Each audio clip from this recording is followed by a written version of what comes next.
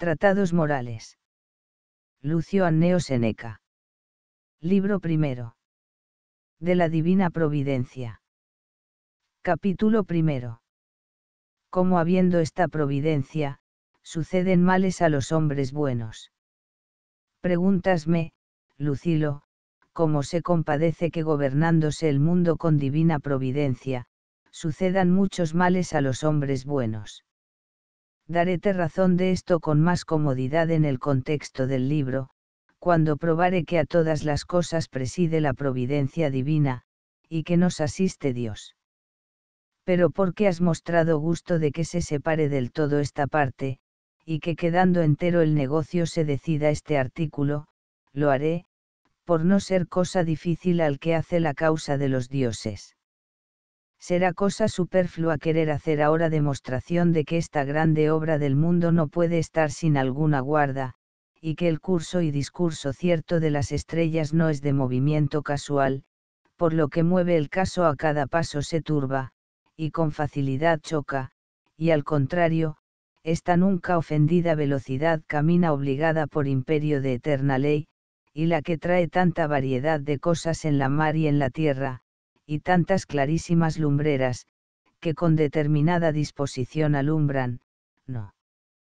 Pueden moverse por orden de materia errante, porque las cosas que casualmente se unen no están dispuestas con tan grande arte como lo está el gravísimo peso de la tierra, que siendo inmóvil mira la fuga del cielo, que en su redondez se apresura, y los mares, que metidos en hondos valles ablandan las tierras, sin que la entrada de los ríos les cause aumento, y ve que de pequeñas semillas nacen grandes plantas, y que ni aun aquellas cosas que parecen confusas e inciertas, como son las lluvias. Las nubes. Los golpes de encontrados rayos, y los incendios de las rompidas cumbres de los montes, los temblores de la movida tierra con los demás que la tumultuosa parte de las cosas gira en contorno de ella, aunque son repentinas, no se mueven sin razón, pues aun aquellas tienen sus causas no menos que en las que remotas tierras miramos como milagros, cuáles son las aguas calientes en medio de los ríos, los nuevos espacios de islas que en alto mar se descubren, y que el que hiciere observación. Retirándose en él las aguas, dejan desnudas las riberas, y que dentro de poco tiempo vuelven a estar cubiertas, conocerá que con una cierta volubilidad se retiran y encogen dentro de sí, y que las olas vuelven otra vez a salir, buscando con veloz curso su asiento, creciendo a veces con las porciones, y bajando y subiendo en un mismo día y en una misma hora, mostrándose ya mayores y ya menores conforme las atrae la luna, a cuyo albedrío crece el océano. Todo esto se reserva para su tiempo, porque aunque tú te quejas de la divina providencia, no dudas de ella, yo quiero ponerte en amistad con los dioses, que son buenos con los buenos, porque la naturaleza no consiente que los bienes dañen a los buenos. Entre Dios y los varones justos hay una cierta amistad unida, mediante la virtud, y cuando dice amistad, debiera decir una estrecha familiaridad, y aun una cierta semejanza, porque el hombre bueno se diferencia de Dios en el tiempo, siendo discípulo e imitador suyo, porque aquel magnífico Padre, que no es blando y exacte de virtudes, cría con más aspereza a los buenos, como lo hacen los severos padres. Por lo cual cuando vieres que los varones justos y amados de Dios padecen trabajos y fatigas, y que caminan cuesta arriba y que al contrario los malos están lozanos y abundantes de deleite, persuádete a que al modo que nos agrada la modestia de los hijos, y nos deleita la licencia de los esclavos nacidos en casa, y a los primeros enfrenamos con melancólico recogimiento, y en los otros alentamos la desenvoltura, así hace lo mismo Dios, no teniendo en deleites al varón bueno, de quien hace experiencias para que se haga duro, porque le prepara para sí. Capítulo segundo porque sucediendo muchas cosas adversas a los varones buenos, decimos que al que lo es no le puede suceder cosa mala. Las cosas contrarias no se mezclan, al modo que tantos ríos y tantas lluvias, y la fuerza de tantas saludables fuentes no mudan ni aun templan el desabrimiento del mar, así tampoco trastorna el ánimo del varón fuerte la venida de las adversidades, siempre se queda en su ser, y todo lo que le sucede, lo convierte en su mismo color, porque es más poderoso que todas las cosas externas. Yo no digo que no las siente, pero digo que las vence, y que estando plácido y quieto se levanta contra las cosas que le acometen, juzgando que todas las adversas son examen y experiencias de su valor.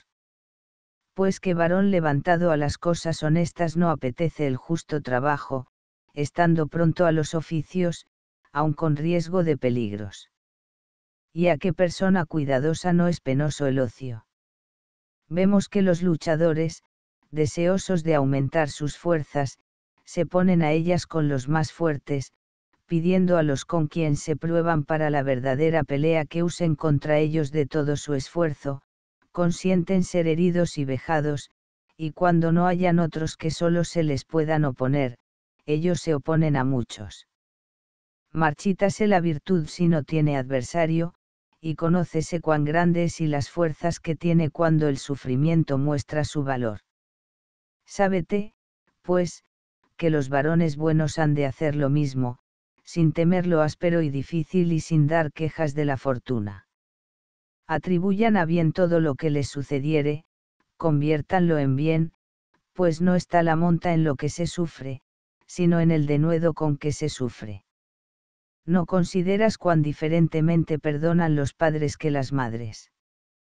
Ellos quieren que sus hijos se ejerciten en los estudios sin consentirles ociosidad, ni aun en los días feriados, sacándoles tal vez el sudor y tal vez las lágrimas, pero las madres procuran meterlos en su seno y detenerlos a la sombra, sin que jamás lloren, sin que se entristezcan y sin que trabajen. Dios tiene para con los buenos ánimo paternal, y cuando más apretadamente los ama, los fatiga, ya con obras, ya con dolores y ya con pérdidas, para que con esto cobren verdadero esfuerzo.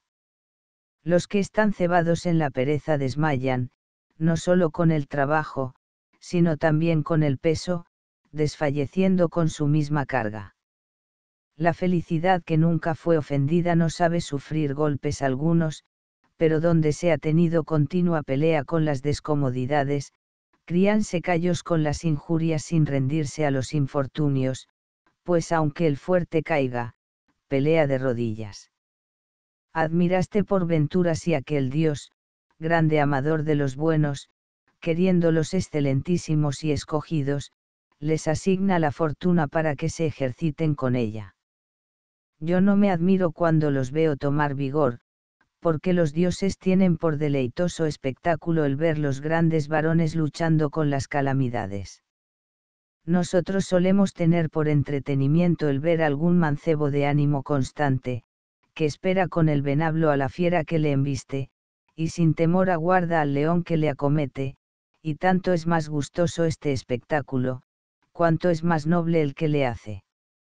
Estas fiestas no son de las que atraen los ojos de los dioses, por ser cosas pueriles y entretenimientos de la humana liviandad mira otro espectáculo digno de que Dios ponga con atención en él los ojos, mira una cosa digna de que Dios la vea, esto es el varón fuerte que está asido a brazos con la mala fortuna, y más cuando él mismo la desafió. Dígote de verdad que yo no veo cosa que Júpiter tenga más hermosa en la tierra para divertir el ánimo, como mirar a Catón, que después de rompidos diversas veces los de su parcialidad, está firme, y que levantado entre las públicas ruinas decía, aunque todo el imperio haya venido a las manos de uno, y aunque las ciudades se guarden con ejércitos y los mares con flotas, y aunque los soldados necesarios tengan cerradas las puertas, tiene Catón por donde salir, una mano hará ancho camino a nuestra libertad. Este puñal, que en las guerras civiles se ha conservado puro y sin hacer ofensa, sacará al fin a luz buenas y nobles obras, dando a Catón la libertad que él no pudo dar a su patria. Emprende, oh ánimo, la obra mucho tiempo meditada, líbrate de los sucesos humanos. Ya Petrello y Juba se encontraron y cayeron heridos cada uno por la mano del otro, egregia y fuerte convención de lado, pero no decente a mi grandeza, siendo tan feo a Catón pedir a otros la muerte como pedirles la vida. Tengo por cierto que los dioses miraban con gran gozo, cuando aquel gran varón, acérrimo vengador de sí, estaba cuidando de la ajena salud, y disponiendo la huida de los otros, y cuando estaba tratando sus estudios hasta la última noche, y cuando arrimó la espada en aquel santo pecho, y cuando, esparciendo sus entrañas, sacó con su propia mano aquella purísima alma, indigna de ser manchada con hierro. Creo que no sin causa fue la herida poco cierta y eficaz, porque no fuera suficiente espectáculo para los dioses ver sola una vez en este trance a Catón. Retúvose y tornó en sí la virtud para ostentarse en lo más difícil, porque no es necesario tan valeroso ánimo para intentar la muerte como para volver a emprenderla. Porque, pues, habían los dioses de mirar con gusto a su ahijado que con ilustre y memorable fin se escapaba. La muerte eterniza a aquellos cuyo remate alaban aún los que la temen. Capítulo tercero. Pero porque cuando pasemos más adelante con el discurso te haré demostración que no son males los que lo parecen, digo ahora que estas cosas que tú llamas ásperas y adversas y dignas de abominación son, en primer lugar, en favor de aquellos a quien suceden, y después en utilidad de todos en general, que de estos tienen los dioses mayor cuidado que de los particulares, y tras ellos de los que quieren les sucedan males, porque a los que rehusan los tienen por indignos. Añadiré que estas cosas las dispone el hado, y que justamente vienen a los buenos por la misma razón que son buenos. Tras esto te persuadiré que no tengas compasión del varón bueno, porque aunque podrás llamarle desdichado, nunca él lo puede ser. Dije lo primero, que estas cosas de quien tememos y tenemos horror son favorables a los mismos a quien suceden, y esta es la más difícil de mis proposiciones. Dirásme, ¿cómo puede ser útil el ser desterrados, el venir a pobreza, el enterrar los hijos y la mujer, el padecer ignominia y el verse debilitado? Si de esto te admiras, también te admirarás de que hay algunos que curan sus enfermedades con hierro y fuego, con hambre y sed. Y si te pusieres a pensar, que a muchos para curarlos les raen y descubren los huesos, les abren las venas y cortan algunos miembros que no se podían conservar sin daño del cuerpo. Con esto, pues, concederás que he probado que hay incomodidades que resultan en beneficio de quien las recibe, y muchas cosas de las que se alaban y apetecen se convierten en daño de aquellos que con ellos se alegran, siendo semejantes a las crudezas y embriagueces, y a las demás cosas que con deleite quitan la vida. Entre muchas magníficas sentencias de nuestro Demetrio hay esta, que es en mí fresca, porque resuena aún en mis oídos. Para mí, decía, ninguno me parece más infeliz que aquel a quien jamás sucedió cosa adversa, porque a este tal nunca se le permitió hacer experiencia de sí, habiéndole sucedido todas las cosas conforme a su deseo, y muchas aún antes de desearlas. Mal concepto hizo los dioses de éste, tuviéronle por indigno de que alguna vez pudiese vencer a la fortuna, porque ella huye de todos los flojos, diciendo, ¿para qué he de tener yo a este por contrario? Al punto rendirá las armas, para con él no es necesaria toda mi potencia, con solo una ligera amenaza huirá, no tiene valor para esperar mi vista, búsquese otro con quien pueda yo venir a las manos, porque me desdeño encontrarme con hombre que está pronto a dejarse vencer. El gladiador tiene por ignominia el salir a la pelea con el que le es inferior, porque sabe que no es gloria vencer al que sin peligro se vence. Lo mismo hace la fortuna, la cual busca los más fuertes y que le sean iguales, a los otros déjalos con fastidio, al más erguido y contumaz acomete, poniendo contra él toda su fuerza. En Mucio experimentó el fuego, en Fabricio la pobreza, en Rutilio el destierro, en Régulo los tormentos, en Sócrates el veneno, y en Catón la muerte. Ninguna otra cosa haya ejemplos grandes sino en la mala fortuna.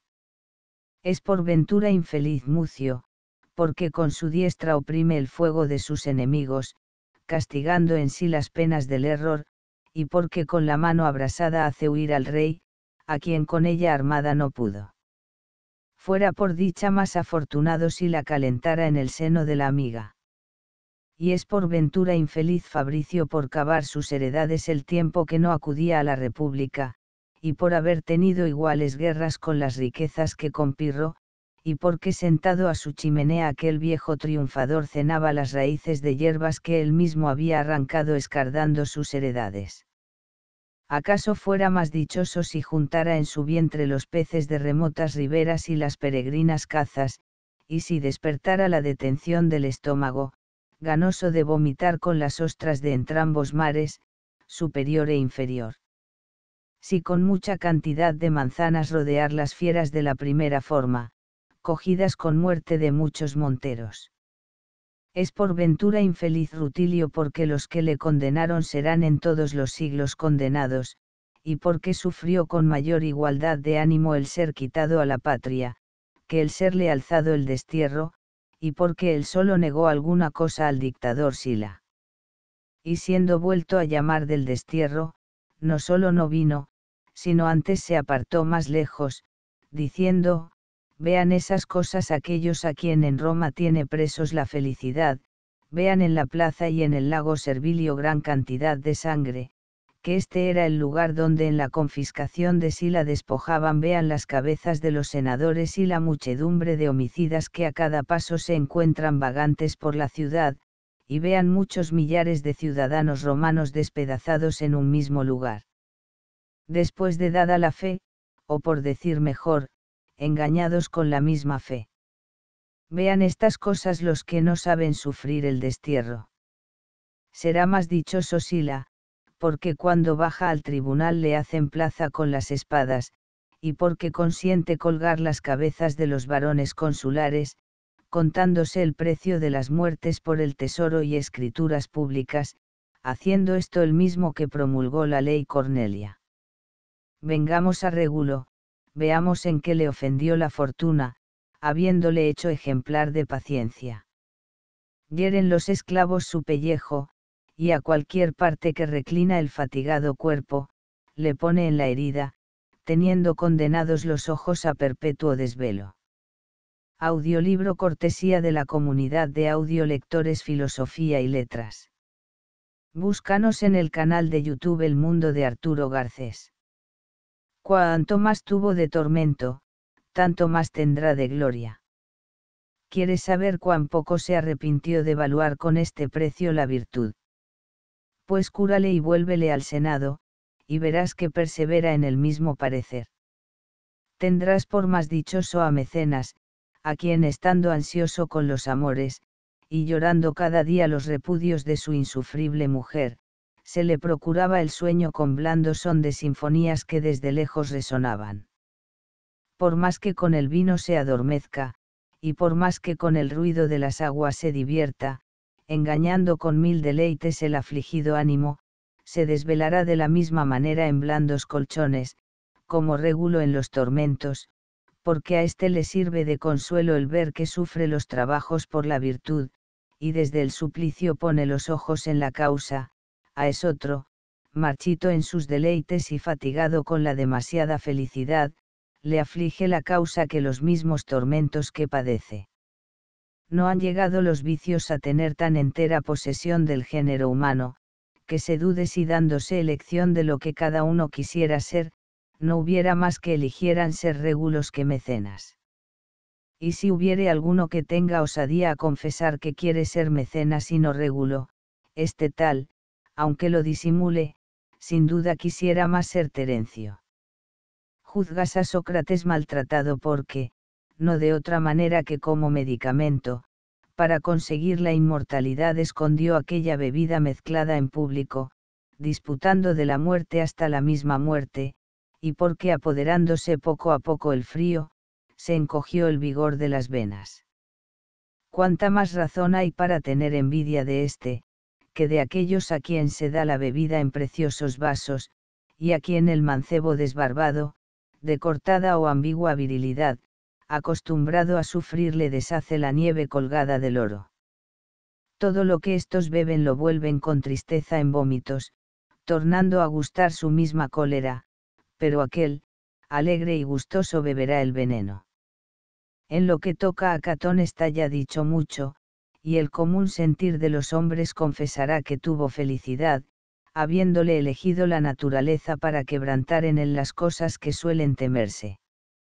Las enemistades de los poderosos son pesadas, opóngase, pues, a un mismo tiempo a Pompeyo, César y Craso.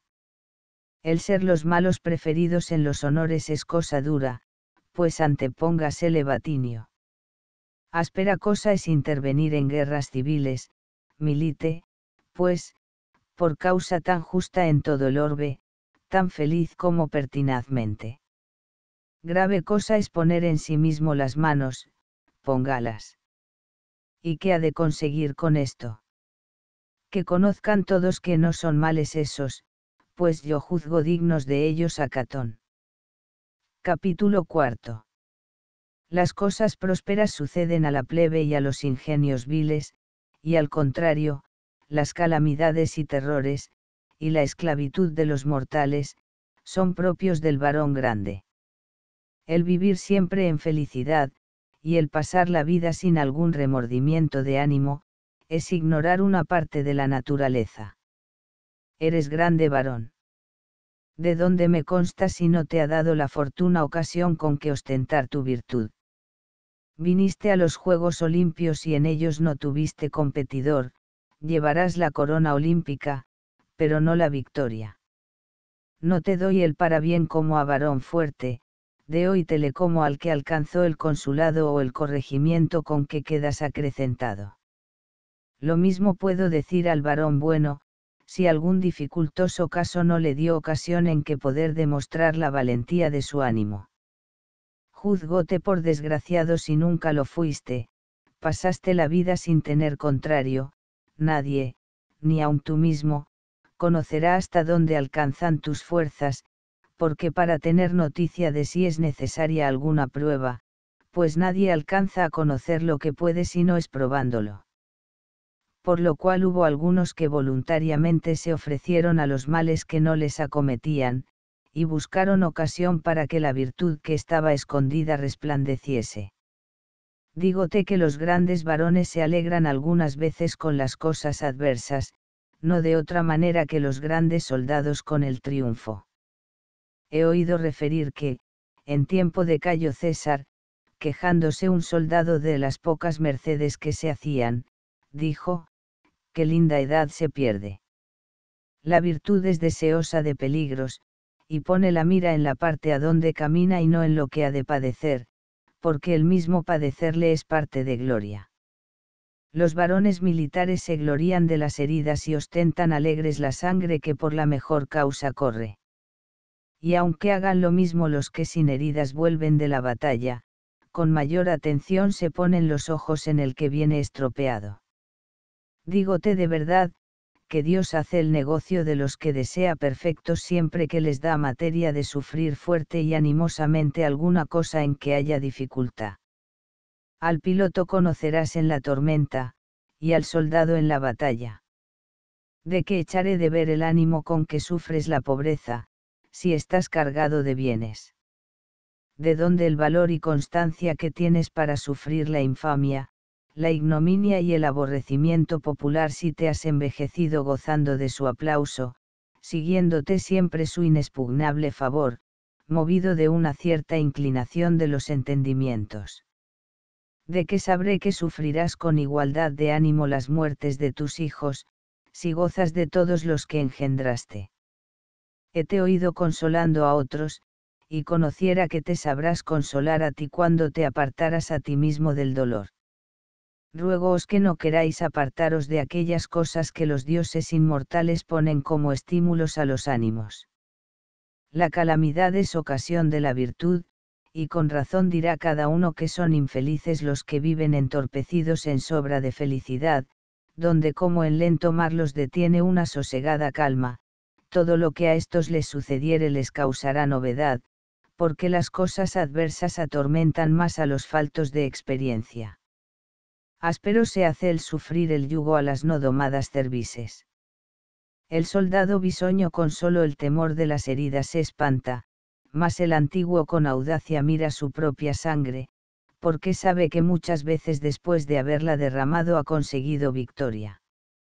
Así que Dios endurece, reconoce y ejercita a los que ama, y al contrario a los que parece que halaga y a los que perdona los reserva para venideros males. Por lo cual erráis si os persuadís que hay algún privilegiado, pues también le vendrá su parte de trabajo al que ha sido mucho tiempo dichoso, porque lo que parece está olvidado, no es sino dilatado. Porque aflige Dios a cualquier bueno con enfermedades, con llantos y con descomodidades porque en los ejércitos se encargan las más peligrosas empresas a los más fuertes. El general siempre envía los más escogidos soldados para que con nocturnas asechanzas inquieten a los enemigos, o exploren su camino, o para que los desalojen, y ninguno de los que a estas facciones salen, dice que le agravió su general, antes confiesa que hizo de él un buen concepto. Digan, pues, aquellos a quien se manda que padezcan, para los tímidos y flojos son dignos de ser llorados los casos, no para nosotros, a quien Dios ha juzgado dignos de experimentar en nuestras fuerzas todo lo que la naturaleza humana puede padecer.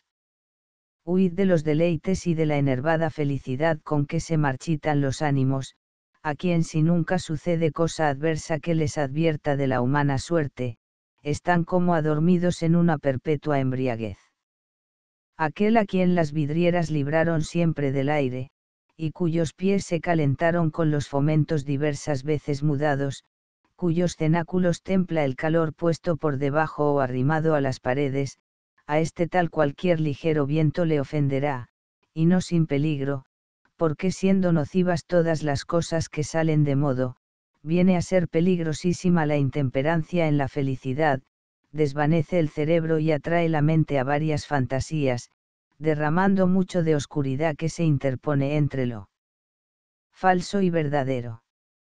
¿Por qué, pues, no ha de ser mejor el sufrir una perpetua infelicidad que despierte a la virtud, que el reventar con infinitos y desordenados bienes? La muerte es menos penosa con ayuno, y más congojosa con crudezas. Los dioses siguen en los varones justos lo que los maestros en sus discípulos, que procuran trabajen más aquellos de quien tienen mayores esperanzas. Persuadir a este por ventura que los lacedemonios son aborrecedores de sus hijos, porque experimentan su valor con verlos azotar en público, y los exhortan estando maltratados a que con fortaleza sufran los golpes que les dan, rogándoles perseveren en recibir nuevas heridas sobre las recibidas. Siendo esto así, de que nos admiramos, si Dios experimenta con aspereza los ánimos generosos. Es por ventura blanda y muelle la enseñanza de la virtud. Azótanos y hiérenos la fortuna, sufrímoslo, no es crueldad, es pelea, a la cual cuantas veces más fuéremos saldremos más fuertes. La parte del cuerpo que con frecuente uso está ejercitada, es la más firme, conviene que seamos entregados a la fortuna, para que por su medio nos hagamos más fuerte contra ella, y para que poco a poco vengamos a ser iguales. La continuación de los peligros engendra desprecio de ellos, por esta razón los cuerpos de los marineros son duros para sufrir los trabajos del mar, y los labradores tienen las manos ásperas, y los brazos de los soldados son más aptos para tirar los dardos. Los correos tienen los miembros ágiles, y en cada uno es fortísima aquella parte en que se ejercita. El ánimo llega con la paciencia a despreciar el poder de los males, y si quisieres saber lo que Él podía obrar en nosotros, considera las naciones donde ha puesto sus límites la paz romana, quiero decir los alemanes, y las demás gentes que andan vagantes en las riberas del Danubio, siempre los oprime un perpetuo invierno y un anublado cielo, y sustentándolos escasamente el estéril suelo, y defiéndense por las lluvias en chozas cubiertas de ramas y hojas, bailan sobre las lagunas endurecidas con el hielo, y para sustentarse cazan las fieras. Parécete que estos son míseros. Pues ninguna cosa en quien la costumbre se ha convertido en naturaleza es mísera, porque poco a poco vienen a ser deleitables las que comenzaron por necesidad. Estas naciones no tienen domicilios, ni lugares de asiento más de aquellos que les da el cansancio de cada día, su comida es vil y la han de buscar en sus manos, y siendo terrible la inclemencia del cielo, traen desnudos los cuerpos, siendo esto que tú tienes por descomodidad la vida de tantas gentes. ¿Por qué, pues, te admiras de que los varones buenos sean vejados, para que con la vejación se fortifiquen? Ningún árbol está sólido y fuerte sino el fatigado de continuos vientos, porque con el mismo combate de ellos se aprietan y fortifican las raíces, y al contrario, los que crecieron en abrigados valles son frágiles. Según esto, en favor de los varones buenos es el ser muy versados entre cosas formidables, para que se hagan intrépidos, sufriendo con igualdad de ánimo las cosas que no son de suyo malas sino para el que las sufre mal. Capítulo V. Añade que asimismo es bueno para todos, quiero decirlo así, que cada uno milite y muestre sus obras. El intento de Dios es persuadir al varón sabio que las cosas que el vulgo apetece y las que teme, ni son bienes ni males conocerás el ser bienes si no los dieres sino a los varones buenos, y ser males si no los dieres sino a los malos. La ceguera fuera detestable si ninguno perdiera la vista sino aquel que mereciese le fuesen sacados los ojos. Carezcan finalmente de luzapio y mételo. Las riquezas no son bienes, pues téngalas el Yorufian, para que cuando los hombres consagraren su mejor dinero en el templo, le vean también en el burdel. El mejor medio de que Dios usa para desacreditar las cosas deseadas es darlas a los malos y negarlas a los buenos.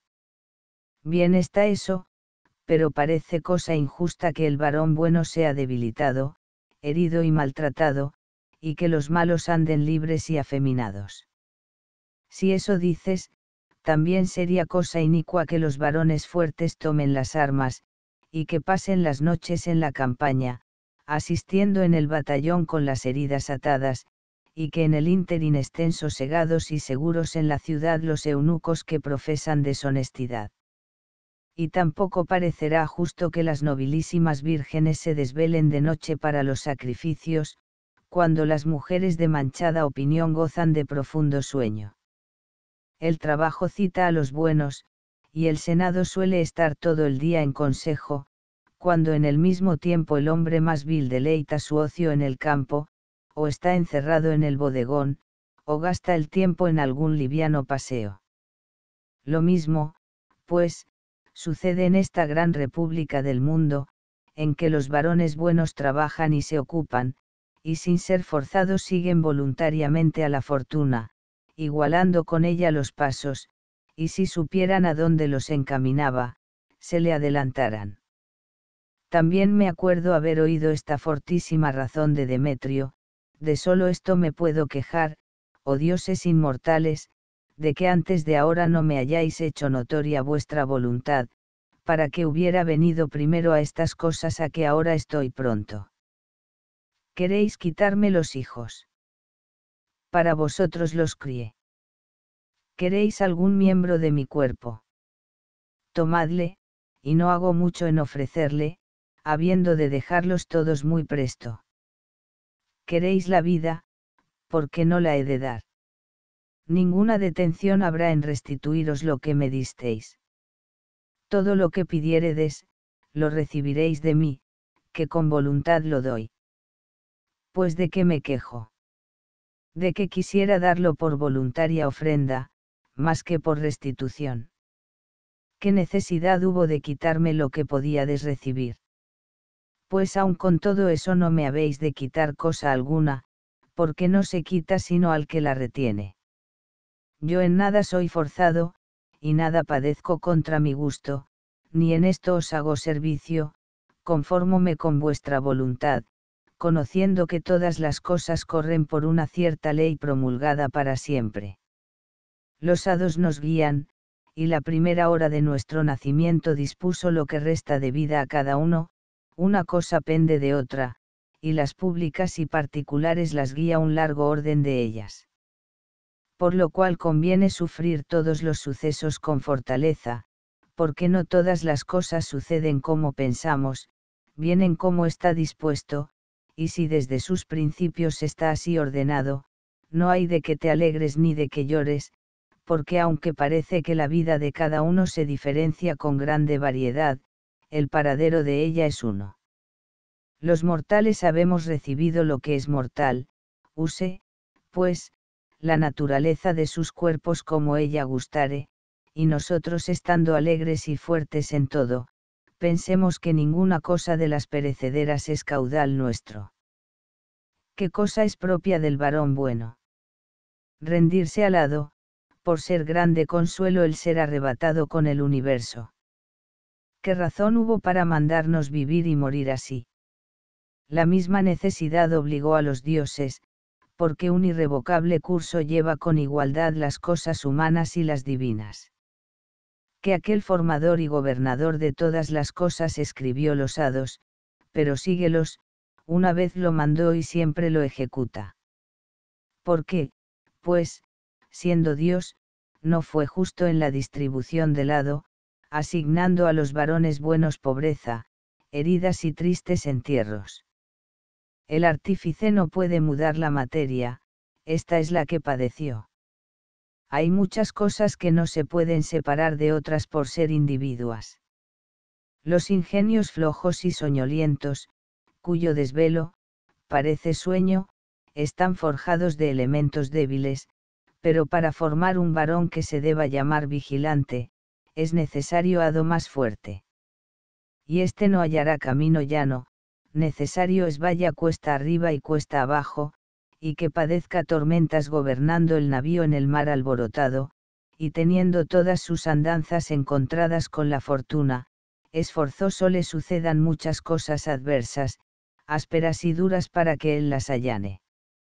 El fuego apura el oro, y la calamidad a los varones fuertes. Mira la altura a donde ha de subir la virtud, y conocerás que no se llega por caminos llanos. La entrada del camino es ardua, y en ella por la mañana apenas pueden afirmar los pies los caballos por ser altísima, en medio del cielo, de donde el mirar las tierras y el mar me causa temor, palpitando el pecho con miedo.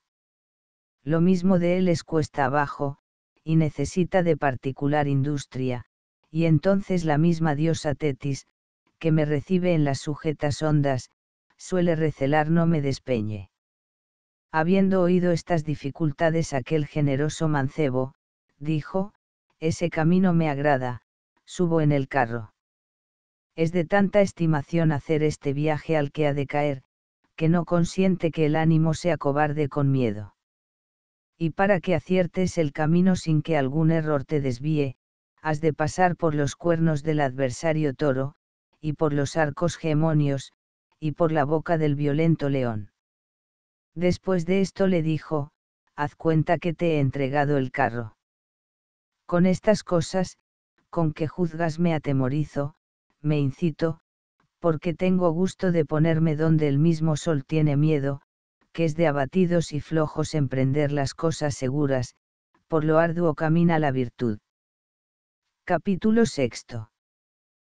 qué permite Dios que a los varones buenos se les haga algún mal no permite tal, antes aparta de ellos todos los males, las maldades, los deleites, los malos pensamientos, los codiciosos consejos, la ciega sensualidad y la avaricia, que anhela siempre por lo ajeno.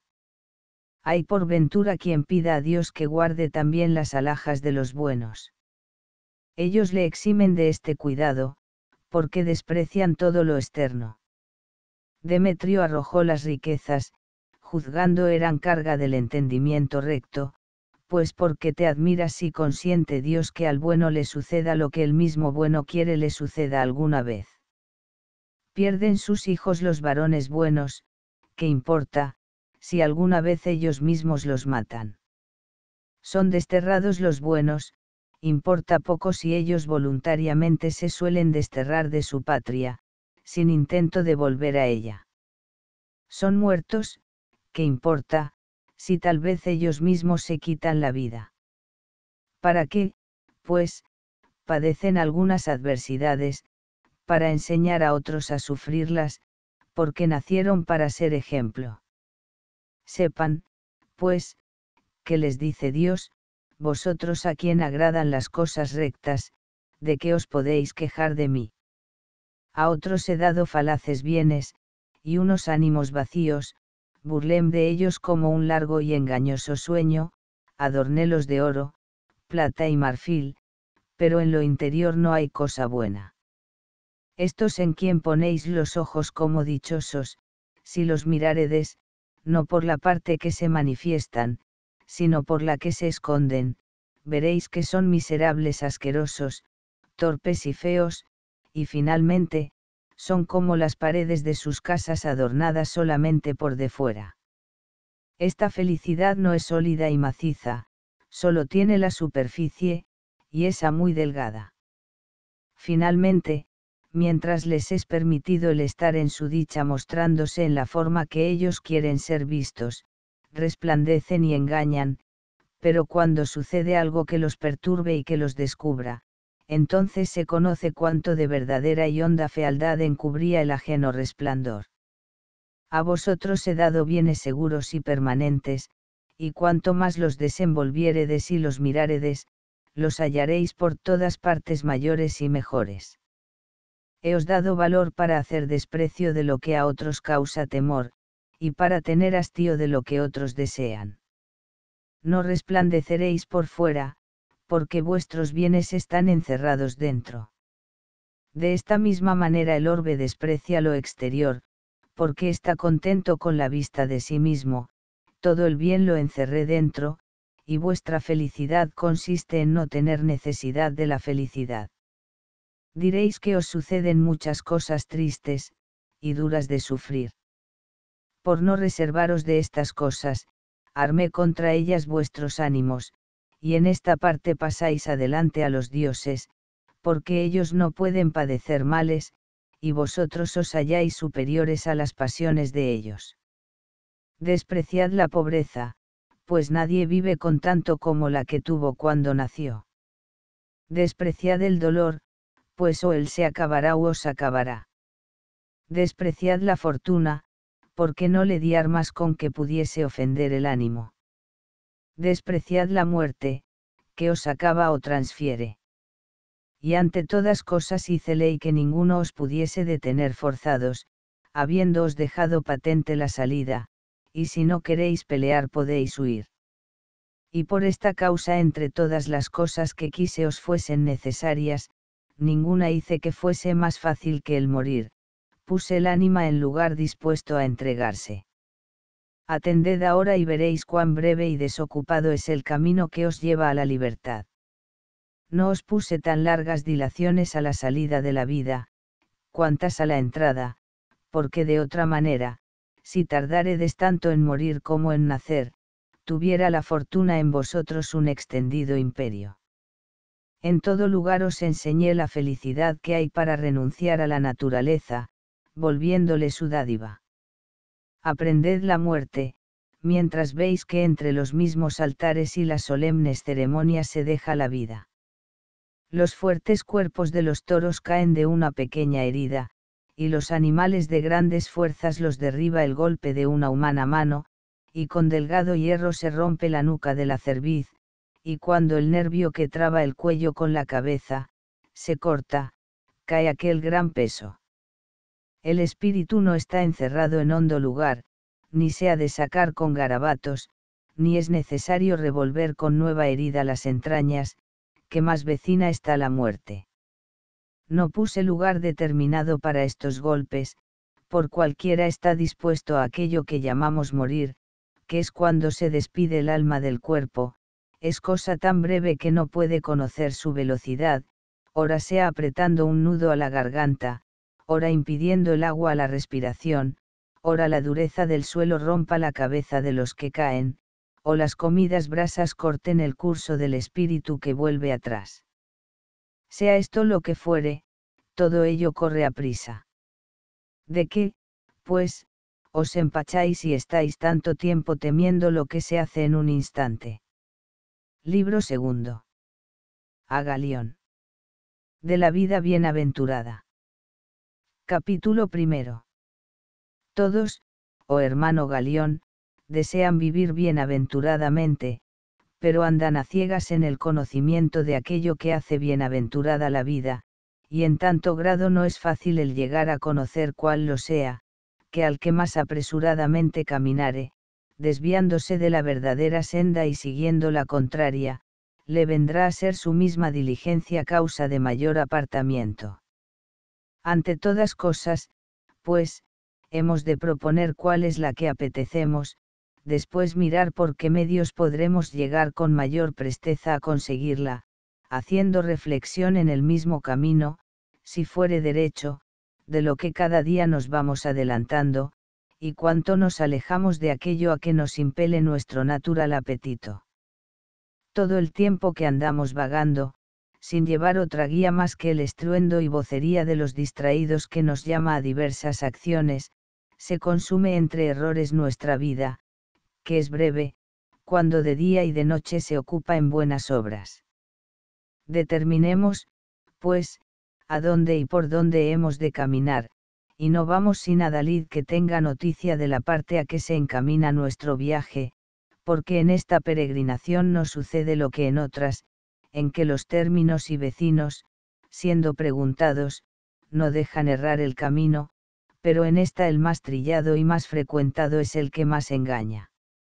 En ninguna cosa, pues, se ha de poner mayor cuidado que en no ir siguiendo, a modo de ovejas, las huellas de las que van delante, sin atender a dónde se va, sino por dónde se va, porque ninguna cosa nos enreda en mayores males, que el dejarnos llevar de la opinión, juzgando por bueno lo que por consentimiento de muchos hayamos recibido, siguiendo su ejemplo y gobernándonos, no por razón, sino por imitación, de que resulta el irnos atropellando unos a otros, sucediendo lo que en las grandes ruinas de los pueblos, en que ninguno cae sin llevar otros muchos tras sí, siendo los primeros ocasión de la pérdida de los demás. Esto mismo verás en el discurso de la vida, donde ninguno yerra para sí solo, sino que es autor y causa de que otros yerren, siendo dañoso arrimarse a los que van delante. Porque donde cada uno se aplica más a cautivar su juicio que hacerle, nunca se raciocina, siempre se cree, con lo cual el error, que va pasando de mano en mano, nos trae en torno hasta despeñarnos, destruyéndonos con los ejemplos ajenos. Si nos apartaremos de la turba, cobraremos salud, porque el pueblo es acérrimo defensor de sus errores contra la razón, sucediendo en esto lo que en las elecciones, en que los electores, cuando vuelve sobre sí el débil favor, se admiran de los jueces que ellos mismos nombraron. Lo mismo que antes aprobamos, venimos a reprobar. Que este fin tienen todos los negocios donde se sentencia por el mayor número de votos. Capítulo segundo. Cuando se trata de la vida bienaventurada, no es justo me respondas lo que de ordinario se dice cuando se vota algún negocio, esto siente la mayor parte, pues por esa razón es lo peor, porque no están las cosas de los hombres en tan buen estado que agrade a los más lo que es mejor, antes es indicio de ser malo el aprobarlo la turba. Busquemos lo que se hizo bien, y no lo que está más usado, lo que nos coloque en la posesión de eterna felicidad, y no lo que califica el vulgo, errado investigador de la verdad. Y llamo vulgo, no solo a los que visten ropas vulgares, sino también a los que las traen preciosas, porque yo no miro los colores de que se cubren los cuerpos, ni para juzgar del hombre doy crédito a los ojos, otra luz tengo mejor y más segura con que discernir lo falso de lo verdadero. Los bienes del ánimo solo el ánimo los ha de hallar, y si éste estuviere libre para poder respirar y retirarse en sí mismo, o, como encontrará con la verdad, y atormentado de sí mismo, confesará y dirá, quisiera que todo lo que hasta ahora hice estuviera por hacer, porque cuando vuelvo la memoria a todo lo que dije, me río en muchas cosas de ello, todo lo que codicié, lo atribuyo a maldición de mis enemigos.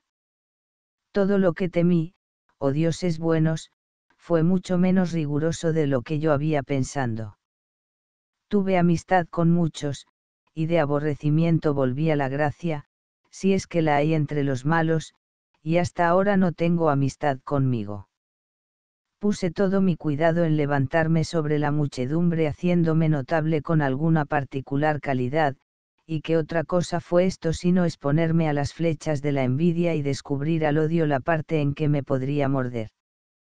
¿Ves tú a estos que alaban la elocuencia, que siguen las riquezas, que lisonjean la privanza y ensalzan la potencia? Pues o todos ellos son enemigos o, juzgándolo con más equidad, lo podrán venir a ser, porque al paso que creciere el número de los que se admiran, ha de crecer el de los que envidian. Capítulo 3. Ando buscando con cuidado alguna cosa que yo juzgue ser buena para el uso y no para la ostentación, porque estas que se miran con cuidado y nos hacen detener mostrándolas los unos a los otros con admiración, aunque en lo exterior tienen resplandor, son en lo interior miserables. Busquemos algo que sea bueno, no en la apariencia, sino sólido y macizo, y en la parte interior hermoso. Alcancémoslo, que no está muy lejos, y con facilidad lo hallarás si atendieres a la parte a que has de extender la mano, porque ahora pasamos por las cosas que nos están cercanas, como los que andan a oscuras, tropezando en lo mismo que buscan. Pero para no llevarte por rodeos, dejaré las opiniones de otros, por ser cosa prolija referirlas y refutarlas. Admite la nuestra y cuando te digo la nuestra, no me ato a la de alguno de los principales estoicos, que también tengo yo libertad para hacer mi juicio. Finalmente, seguiré algunos de ellos, a otro compeleré a que divida su opinión, y por ventura, después de estar llamado y citado de todos, no reprobaré cosa alguna de lo que nuestros pasados decretaron, ni diré, esto siento de más, y en el ínterin, siguiendo la opinión de los estoicos, me convengo con la naturaleza, por ser sabiduría el no apartarnos de ella, formándonos por sus leyes y ejemplos. Será, pues, bienaventuranza la vida en lo natural que se conformare con su naturaleza, lo cual no se podrá conseguir si primero no está el ánimo sano y con perpetua posesión de salud. Conviene que sea vehemente, fuerte, gallardo, sufridor, y que sepa ajustarse a los tiempos, siendo circunspecto en sí y en todo lo que le tocare, pero sin demasía. Ha de ser asimismo diligente en todas las cosas que instruye la vida, usando de los bienes de la fortuna sin causar admiración a otros y sin ser esclavo de ella. Y aunque yo no lo añada, sabes tú que a esto se seguirá una perpetua tranquilidad y libertad, dando de mano a las cosas que nos alteran o atemorizan, porque en lugar de los deleites y las demás cosas que en los mismos vicios son pequeñas, frágiles y dañosas, sucederá una grande alegría incontrastable, una paz acompañada de concordia de ánimo y una grandeza adornada de mansedumbre, porque todo lo que es fiereza se origina de enfermedad. Capítulo IV. Podrá asimismo definirse nuestro bien de otra manera, comprendiéndose en la misma sentencia, aunque no en las mismas palabras. Al modo que un mismo ejército unas veces se esparce en mayor latitud y otras se estrecha y reduce a más angosto sitio, una se pone en forma de media luna, otra se muestra en recta y descubierta frente, pero de cualquier manera que se forme, consta de las mismas fuerzas y está con el mismo intento para acudir a la parcialidad que sigue, así la definición del sumo bien puede unas veces extenderse y estrecharse otras, con lo cual vendrá a ser lo mismo decir que el sumo bien es un ánimo que, estando contento con la virtud, desprecia las cosas que penden de la fortuna, o que es una invencible fortaleza de ánimo sabedora de todas las cosas, agradable en las acciones, con humanidad y estimación de los que le tratan.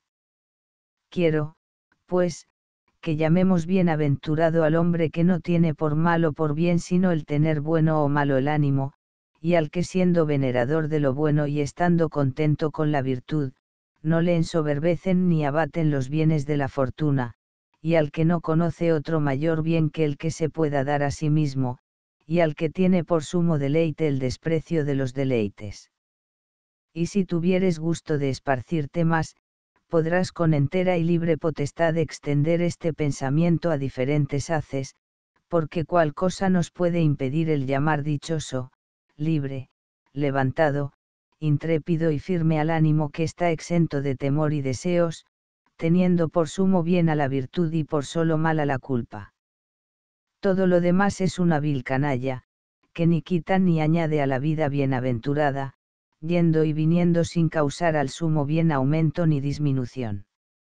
Forzoso es que al que está tan bien fundado, quiera o no quiera, se le siga una continua alegría y un supremo gozo venido de lo alto, porque vive contento con sus bienes, sin codiciar cosa fuera de sí.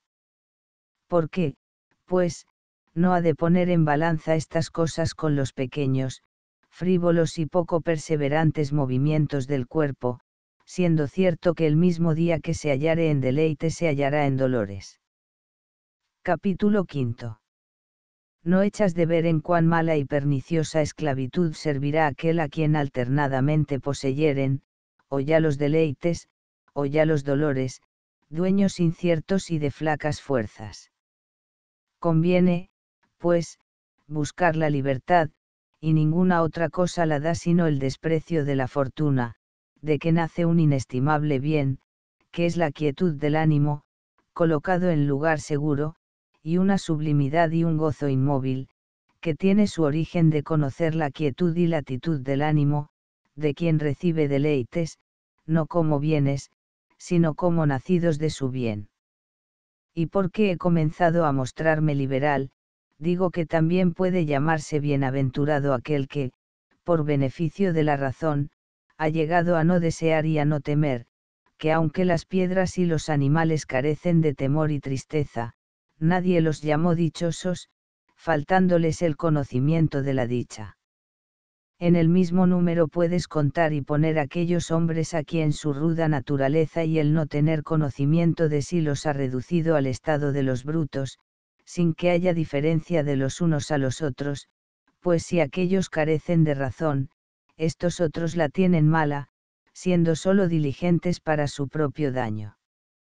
Y ninguno que estuviere apartado de la verdad se podrá llamar bienaventurado, y solo lo será el que tuviere la vida estable y firme y el juicio cierto y recto, porque el ánimo estará entonces limpio y libre de todos males, cuando no solo se apartare de las heridas, sino también de las escaramuzas, esperando a pie quedo a defender el puesto que se le encargó, aunque se le muestra airada y contraria la suerte. Porque aunque el deleite se extienda por todas partes, y por todas las vías influya, y con halagos ablande el ánimo y saque de unas caricias y otras, con que solicite todos nuestros sentidos, cual de los mortales, en quien se halle rastro de hombre, habrá quien quiera que el deleite esté de día y de noche haciéndole cosquillas, para que desamparando el ánimo venga a servir a las comodidades del cuerpo. Capítulo VI. Diráme alguno que también el ánimo ha de tener sus deleites.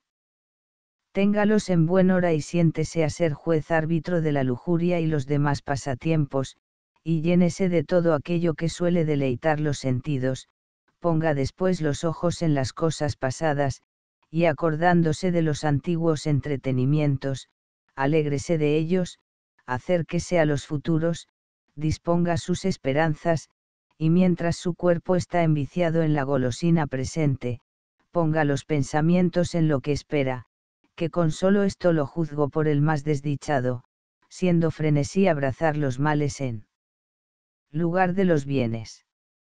Ninguno sin salud es bien afortunado, y no la tiene el que en vez de lo saludable apetece lo dañoso.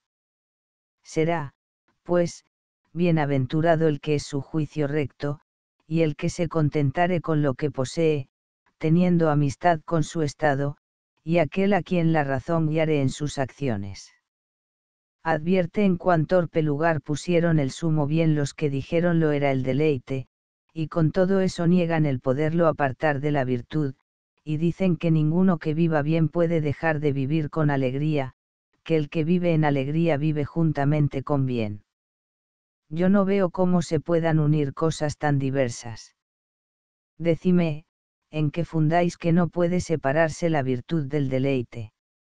Es por ventura porque todo principio de bien nace de la virtud pues también de sus raíces nacen las cosas que vosotros amáis y apetecéis, y si no fuesen distintas, no veríamos que algunas son deleitables y no buenas, y otras que, siendo buenas, se han de buscar por asperezas y dolores. Capítulo séptimo. Añade también que el deleite alcanza a la más torpe vida, y la virtud no admite esta compañía, y que hay algunos que teniendo deleite son infelices, y antes de tenerlos les nace el serlo, lo cual no sucedería si el deleite se mezclase con la virtud, careciendo ella muchas veces de él, sin jamás necesitar de su compañía. ¿Para qué, pues, haces unión de lo que no solo no es semejante, antes es diverso? La virtud es una cosa alta, excelsa, real e infatigable, el deleite es abatido, servil, débil y caduco, cuya morada son los burdeles y bodegones. A la virtud hallarás en el templo, en los consejos y en los ejércitos, defendiendo las murallas, llena de polvo, encendida y con las manos llenas de callos. Hallarás al deleite escondiéndose y buscando las tinieblas, ya en los baños, ya en las estufas y en los lugares donde se recela la venida del juez hallarásle flaco, débil y sin fuerzas, humedecido en vino y en ungüentos, descolorido, afeitado y asqueroso con medicamentos. El sumo bien es inmortal, no sabe irse si no le echan, no causa fastidio ni arrepentimiento, porque el ánimo recto jamás se altera, ni se aborrece, ni se muda, porque sigue siempre lo mejor. El deleite cuando está dando más gusto, entonces se acaba, y como tiene poca capacidad, hinchase presto y causa fastidio, marchitándose al primer ímpetu, sin que se pueda tener seguridad de lo que está en continuo movimiento. Y así, no puede tener subsistencia lo que con tanta celeridad viene y pasa para acabarse con el uso, terminándose donde llega y caminando a la declinación cuando comienza. Capítulo octavo pues que diremos si en los buenos y en los malos hay deleite, y no alegra menos a los torpes la culpa que a los buenos la virtud. Y por esta causa nos aconsejaron los antiguos que siguiésemos la vida virtuosa y no la deleitable, de tal modo que el deleite no sea la guía, sino un compañero de la ajustada voluntad. La naturaleza nos ha de guiar, a esta obedece la razón y con ella se aconseja, según lo cual es lo mismo vivir bien que vivir conforme a los preceptos de la naturaleza. Yo declararé cómo ha de ser esto, si miraremos con recato y sin temor los dotes del cuerpo y las cosas ajustadas a la naturaleza, juzgándolos como bienes transitorios y dados para solo un día, y si no entraremos a ser sus esclavos, ni tuvieren posesión de nosotros, si los que son deleitables al cuerpo y los que vienen de paso los pusiéremos en el lugar en que suelen ponerse en los ejércitos los socorros y la caballería ligera. Estos bienes sirvan y no imperen, que con estos serán útiles al ánimo. Sea el varón incorrupto y sin dejarse vencer de las cosas externas, sea estimador de sí mismo, sea artífice de su vida, disponiéndose a la buena o mala fortuna, no sea su confianza sin sabiduría, y sin constancia persavir en lo que una vez eligiere, sin que haya cosa que se borre en sus determinaciones.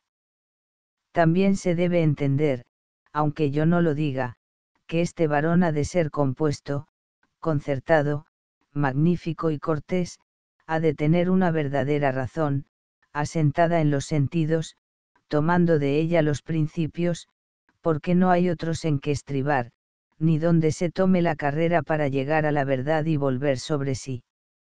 Porque también el mundo, que lo comprende todo, y Dios, que es el gobernador del universo, camina y vuelve a las cosas exteriores.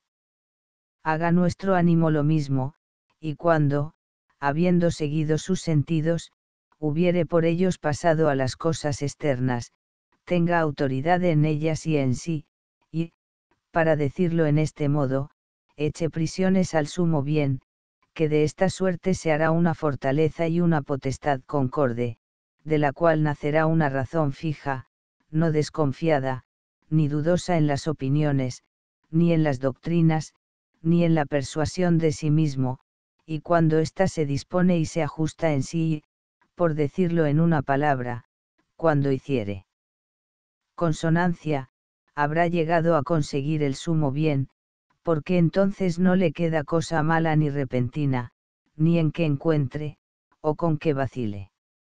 Hará todas las cosas por su imperio, y ninguna impensadamente, lo que hiciere le saldrá bien, con facilidad y sin repugnancia, porque la pereza y la duda dan indicios de pelea y de inconstancia. Por lo cual, con osadías de defender que el sumo bien es una concordia del ánimo, y que las virtudes están donde hubiere conformidad y unidad, y que los vicios andan siempre en continua discordia. Capítulo noveno dirásme que no por otra razón reverencio la virtud sino porque de ella espero algún deleite. Lo primero digo, que aunque la virtud da deleite, no es esa la causa por que se busca, que no trabaja para darle, si bien su trabajo, aunque mira a otros fines, da también deleite, sucediendo lo que a los campos, que estando arados para las mieses dan también algunas flores, y aunque éstas deleitan la vista, no se puso para ellas el trabajo, que otro fue el intento del labrador, y sobrevínole éste. De la misma manera el deleite no es paga ni causa de la virtud, sino una añadidura, y no agrada porque deleita, sino deleita porque agrada. El sumo bien consiste en el juicio y en el hábito de la buena intención, que en llenando el pecho y ciñéndose en sus términos, viene a estar en perfección sin desear cosa alguna, porque como no hay cosa que esté fuera del fin, tampoco la hay fuera del todo, y así, hierras cuando preguntas qué cosa es aquella por quien busco la virtud, que eso sería buscar algo sobre lo supremo. Pregúntasme qué pido a la virtud, pido la misma virtud, porque ella no tiene otra cosa que sea mejor, y es la paga de sí misma. Dirásme, pues esto poco es cosa tan grande, no te he dicho que el sumo bien es un vigor inquebrantable de ánimo, que es una providencia, una altura, una salud, una libertad, una concordia y un decoro. ¿Cómo, pues, quieres haya otra cosa mayor a quien éstas se refieran? ¿Por qué me nombras el deleite? Que yo busco el bien del hombre, no el del vientre, pues éste le tienen mayor los ganados y las bestias. Capítulo décimo. Disimula, dice, lo que yo digo, porque niego que pueda vivir alguno con alegría, si no vive juntamente con virtud, y esto no puede suceder a los animales mudos, que miden su felicidad con la comida. Clara y abiertamente testifico que esta virtud que llamo alegre no puede conseguirse sin juntarle la virtud. Tras esto, ¿quién ignora que de esos vuestros deleites estén llenos los ignorantes, y que abunda la maldad en muchas cosas alegres, y que el mismo ánimo, no solo nos pone su gestión en malos géneros de deleites, sino en la muchedumbre de ellos.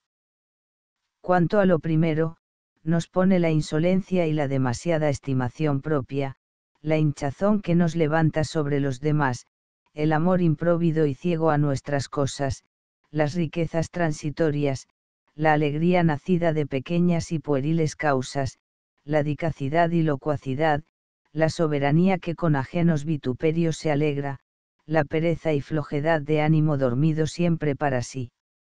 Todas estas cosas destierran la virtud y amonesta a los oídos, y antes de admitir los deleites los examina, y aun de los que admite hace poca estimación, alegrándose, no con el uso, sino con la templanza de ellos. Luego si ésta disminuye los deleites, vendrá a ser injuria del sumo bien.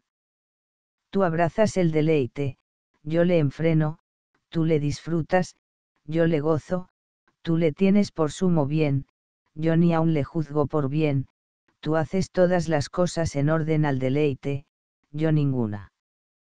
Y cuando digo que no hago cosa alguna en orden al deleite, hablo en persona de aquel sabio a quien solo concedes el deleite.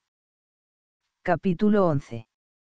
Y no llamo sabio a aquel sobre quien tiene imperio cualquier cosa, cuanto más si le tiene el deleite, porque el poseído de él, cómo podrá resistir al trabajo, al peligro, a la pobreza y a tantas amenazas que alborotan la vida humana. Cómo sufrirá la presencia de la muerte, como la del dolor, como los estruendos del mundo y cómo resistirá a los ásperos enemigos si se deja vencer de tan flaco contrario. Este hará todo lo que le aconsejare el deleite. Atiende, pues, y verás cuántas cosas le aconseja. Dirásme que no le podrá persuadir cosa torpe, por estar unido a la virtud. No tornas a echar de ver las calidades del sumo bien, y las guardas de que necesita para serlo. ¿Cómo podrá la virtud gobernar al deleite, si le sigue, pues el seguir es acción del que obedece, y gobernar del que impera? A las espaldas ponéis al que manda. Gentil oficio dais a la virtud, haciendo que sea repartidora de deleites. Con todo eso hemos de averiguar si en estos que tratan tan afrentosamente a la virtud, hay alguna virtud, la cual no podrá conservar su nombre si se rindió. Mientras hablamos de esta materia, podré mostrarte muchos que han estado sitiados de sus deleites, por haber derramado en ellos la fortuna sus dádivas, siendo forzoso me confieses fueron malos. Pon los ojos en Nomentano y Numicio, que andaban, como estos dicen, buscando los bienes del mar y de la tierra, reconociéndose en sus mesas animales de todas las provincias del orbe, míralos, que desde sus lechos están atendiendo a sus glotonerías, deleitando los oídos con músicas, los ojos con espectáculos y el paladar con guisados. Pues advierte que todo su cuerpo está desafiado de blandos y muelles fomentos, y porque las narices no estén holgando, se inficiona con varios hedores aquel lugar donde se hacen las exequias a la lujuria. Podrás decirme de estos que viven en deleites, pero no que lo pasan bien, pues no gozan del bien. Capítulo 12. Dirás que les irá mal, porque intervienen muchas cosas que les perturban el ánimo, y las opiniones entre sí encontradas les inquietan la mente. Confieso que esto es así, mas con todo eso, siendo ignorantes y desiguales, y sujetos a los golpes del arrepentimiento, reciben grandes deleites, de suerte que es forzoso confesar están tan lejos del disgusto cuanto del buen ánimo, sucediéndoles lo que a muchos que pasan una alegre locura, y con risa se hacen frenéticos. Pero al contrario, los entretenimientos de los sabios son detenidos y modestos, y como encarcelados y casi incomprensibles porque ni son llamados, ni cuando ellos vienen son tenidos en estimación, ni son recibidos con alegría de los que los gozan, porque los mezclan y entrometen en la vida como juego y entretenimiento en las cosas graves. Dejen, pues, de unir lo que entre sí no tiene conveniencia, y de mezclar con la virtud del deleite, que eso es lisonjear con todo género de males al vicio, con lo cual el distraído en deleites y el siempre vago y embriagado viendo que vive con ellos, piensa que asimismo vive con virtud, por haber oído que no puede estar separado de ella el deleite, y con esto intitula a sus vicios con nombre de sabiduría, sacando a luz lo que debiera estar escondido, con lo cual frecuenta sus vicios, no impelido. De la doctrina de Epicuro, sino porque entregado a sus culpas, las quiere esconder en el seno de la filosofía, concurriendo a la parte donde oye alabar los deleites. Y tengo por cierto que no hacen estimación del deleite de Epicuro, así lo entiendo, por ser seco y templado, sino que solamente se acogen a su amparo y buscan su patrocinio, con lo cual pierden un solo bien que tenían en sus culpas, que era la vergüenza, y así alaban aquello de que solían avergonzarse, y gloríanse del pecado, sin que a la juventud le quede fuerzas para levantarse desde que a la torpe ociosidad se le arrimó un honroso nombre. Capítulo 13. Por esta razón es dañosísima la alabanza del deleite, porque los preceptos saludables están encerrados en lo interior, y lo aparente es lo que daña. Mi opinión es, diréla, aunque sea contra el gusto de nuestros populares, que lo que enseñó Epicuro son cosas santas y rectas y aún tristes, si te acercares más a ellas, porque aquel deleite se reduce a pequeño y débil espacio, y la ley que nosotros ponemos a la virtud la puso él al deleite, porque le manda que obedezca a la naturaleza, para la cual es suficiente lo que para el vicio es poco. Pues en qué consiste esto? En que aquel, séase quien se fuere, que llama felicidad al abatido oficio, al pasar de la gula a la lujuria, busca buena autora cosa que es de suyo mala, y mientras se haya inducido de la blandura del nombre, sigue el deleite, pero no es el que oye, sino el que él trae, y como comienza a juzgar que sus vicios son conformes con las leyes, entrégase a ellos, no ya tímida ni paliadamente, sino en público y sin velo, y dase a la lujuria sin cubrirse la cabeza. Así que yo no digo lo que muchos de los nuestros, que la secta de Epicuro es maestra de vicios, antes afirmo que está desacreditada e infamada sin razón, y esto nadie lo puede saber sin ser admitido a lo interior de ella. El frontispicio da motivo a la mentira, y convida a esperanzas malas. Esto es como ver un varón fuerte en traje de mujer, mientras te durare la vergüenza, estará segura la virtud, y para ninguna deshonestidad estará desocupado tu cuerpo, en tus manos está el pandero. Elíjase, pues, un honesto título y una inscripción que levante el ánimo a repeler aquellos vicios que al instante que vienen le enervan las fuerzas.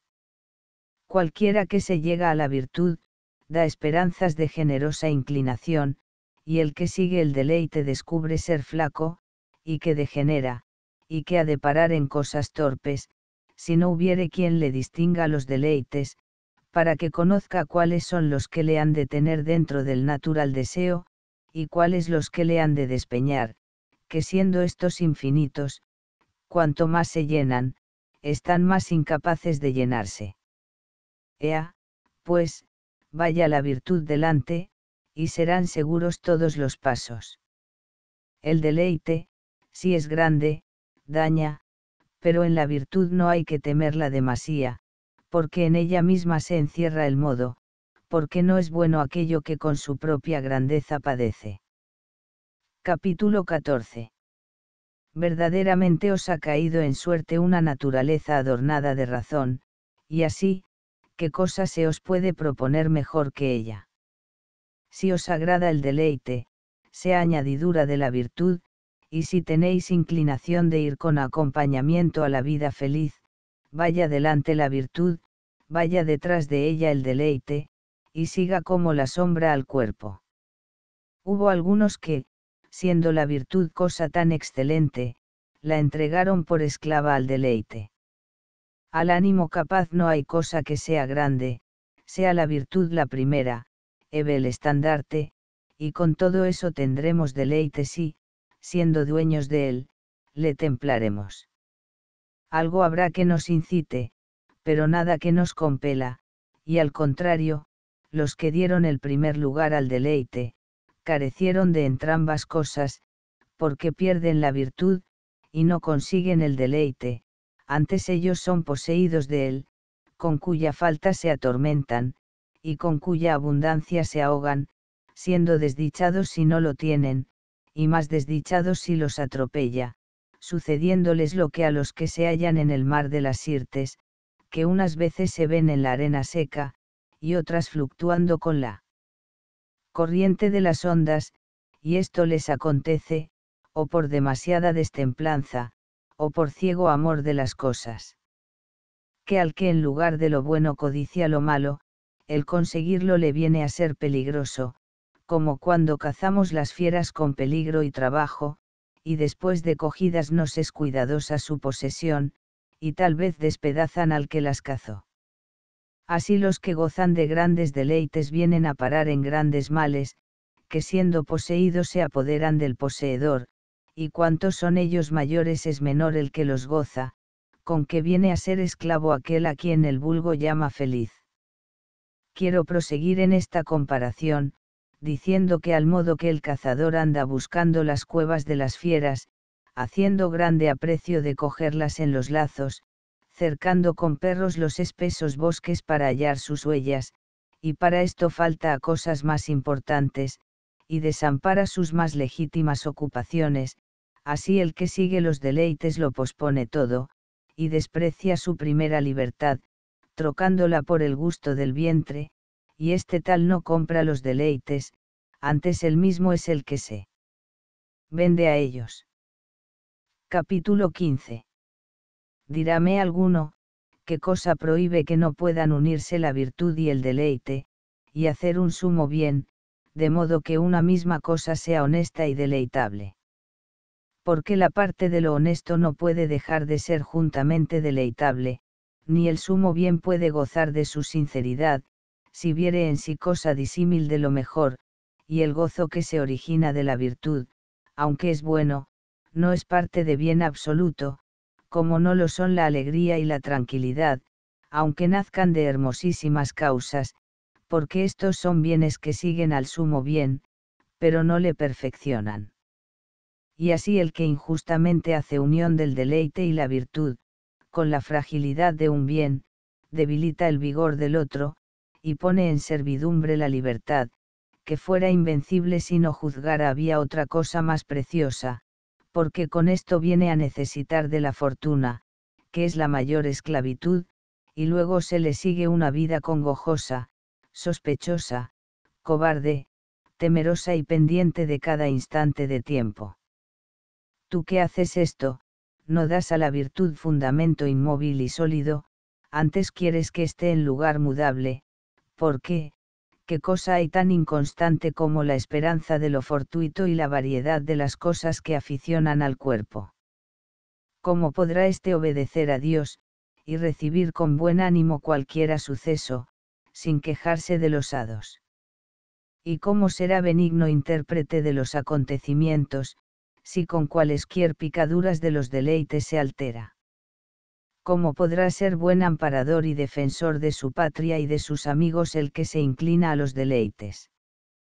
Póngase, pues, el sumo bien en lugar donde con ninguna fuerza pueda ser derribado, y donde no tengan entrada el dolor, la esperanza, el temor ni otra alguna cosa que deteriore su derecho, porque a tan grande altura sola puede subir la virtud, y con sus pasos se ha de vencer esta cuesta, ella es la que estará fuerte, y sufrirá cualesquier sucesos, no solo admitiéndolos, sino deseándolos, conociendo que todas las dificultades de los tiempos son ley de la naturaleza, y como buen soldado sufrirá. Las heridas, contará las cicatrices, y atravesado con las picas, amará muriendo al emperador por cuya causa muere, teniendo en el ánimo aquel antiguo precepto, amar a Dios. Pero el que se queja, llora y gime, y hace forzado lo que se le manda, viene compelido a la obediencia, pues que locura es querer más ser arrastrado que seguir con voluntad.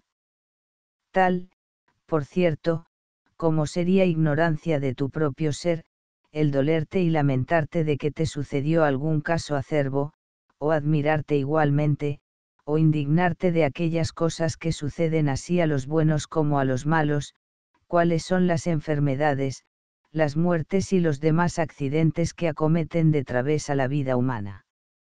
Todo lo que por ley universal se debe sufrir, se ha de recibir con gallardía de ánimo, pues el asentarnos a esta milicia, fue para sufrir todo lo mortal, sin que nos turbe aquello que el evitarlo no pende de nuestra voluntad. En reino nacimos y el obedecer a Dios es libertad. Capítulo 16. Consiste, pues, la verdadera felicidad en la virtud, y que te aconsejará esta. Que no juzgues por bien o por mal lo que te sucediere sin virtud o sin culpa, y que después de esto seas inmóvil del bien para el mal, y que en todo lo posible imites a Dios. Y por esta pelea, que se te promete. Cosas grandes, iguales a las divinas, a nada serás forzado, de ninguna cosa tendrás necesidad, serás libre, seguro y sin ofensa, ninguna cosa intentarás en vano, ninguna hallarás estorbo, todo saldrá conforme a tus deseos, no te sucederá cosa adversa, y ninguna contra tu opinión o contra tu voluntad. Pues qué diremos. Es por ventura la virtud perfecta y divina suficiente para vivir dichosamente. Pues ¿por qué no lo ha de ser? Antes es superabundante, porque ninguna cosa le hace falta al que vive apartado de los deseos de ellas, porque de qué puede necesitar aquel que lo juntó todo en sí. Mas con todo eso, el que camina a la virtud, aunque se haya adelantado mucho, necesita de algún halago de la fortuna, mientras lucha con las cosas humanas, y mientras se desata el lazo de la mortalidad. Pues en qué está la diferencia? En que los unos están asidos, presos y amarrados, y el que se encaminó a lo superior, levantándose más alto, trae la cadena más larga, y aunque no está de todo punto libre, pasa plaza de libre. Capítulo 17. Así que si alguno de estos, que agavillados ladran a la filosofía, me dijere lo que suelen, porque hablas con mayor fortaleza de la que vives. Porque humillas tus palabras al superior. Porque juzgas por instrumento necesario el dinero. Porque te alteras con el daño. ¿Por qué lloras con las nuevas de la muerte de tu mujer o de tu amigo? ¿Por qué cuidas tanto de tu fama? ¿Por qué te alteran las malas palabras? ¿Por qué tienes jardines con mayor adorno del que pide el natural uso? ¿Por qué no comes con las leyes que das? ¿Por qué tienes tan lucidas alhajas? ¿Para qué bebes vino de más años que los que tú tienes? ¿Por qué labras casas? ¿Por qué plantas arboledas para solo hacer sombra? ¿Para qué trae tu mujer en sus orejas la hacienda de una casa rica? ¿Por qué das a tus criados tan costosas libreas? ¿Por qué has introducido que en tu casa sea ciencia el servir, haciendo que los aparadores se dispongan, no acaso, sino con arte? ¿Para qué tienes maestro de trinchar las aves? Añade si te parece. ¿Para qué tienes hacienda en la otra parte del mar? ¿Para qué posees más de lo que conoces? ¿Por qué eres tan torpe o tan descuidado, que no tienes noticia de tus pocos criados, o vives tan desconcertadamente, que por tener tantos no es suficiente tu memoria a conocerlos? Yo ayudaré y esforzaré después estos baldones que me das, y me haré otros muchos cargos más de los que tú me pones pero por ahora te respondo, no como sabio, sino para dar pasto a tu mala voluntad, y no lo hierro. Lo que de presente me pido a mí, no es el ser igual a los mejores, sino el ser mejor que los malos. Bástame el ir cercenando cada día alguna parte de mis vicios, y castigando mis culpas. No he llegado hasta ahora a la salud, ni llegaré tan presto, busco para la gota, ya que no remedios, a lo menos fomentos que la disminuyan, contentándome con que venga menos veces, y que me amenace menos fiera, y así, comparado con la ligereza de vuestros pies, soy débil corredor. Capítulo 18. No digo esto por mí, que me hallo en el golfo de todos los vicios, sino por el que tiene algo de bueno. Dirásme que hablo de una manera, y vivo de otra. Esto mismo fue objetado por malísimas cabezas, y enemigas de los buenos, a Platón, a Epicuro y a Zenón, porque todos estos hablaron, no cómo vivieron, sino cómo debieran vivir, yo no hablo de mí, sino de la virtud, y cuanto digo injurias a los vicios las digo en primer lugar a los míos. Cuando pudiere, viviré como convenga, y no me apartará de lo bueno esta malignidad teñida con mucho veneno, ni la ponzoñosa, que derramáis en otros, con que os matáis a vosotros mismos, me impedirá el perseverar en alabar la vida, no la que tengo, sino la que conozco debo tener, ni me hará dejar de adorar la virtud, ni de seguirla, aunque tras ella vaya arrastrando largo trecho he de esperar por ventura a que haya alguna cosa sin mezcla de malevolencia, de la cual no fueron reservados ni Rutilio ni Catón. A quien no tendrán por demasiado rico los que tienen por poco pobre a Demetrio cínico. Oh varón fuerte y guerreador contra todos los deseos de la naturaleza, y por esto más pobre que todos los cínicos, porque con haberse prohibido el poseer se prohibió el pedir. Niegan que fue harto pobre, porque, como ves, no profesó la ciencia de la virtud, sino solamente la pobreza. Capítulo 19. Niegan que Diodoro, filósofo epicúreo, que en breves días puso con su propia mano fin a su vida, hizo por doctrina de Epicuro el cortarse la garganta. Unos afirman que aquella acción fue locura, otros que temeridad, y él, entre estas opiniones, dichoso y lleno de buena conciencia, se dio a sí mismo testimonio de la vida pasada y de su loable edad, puesta ya en el puerto y echadas las áncoras, y entonces dijo lo que vosotros oís contra vuestra voluntad, viví, y pasé la carrera que me dio la fortuna.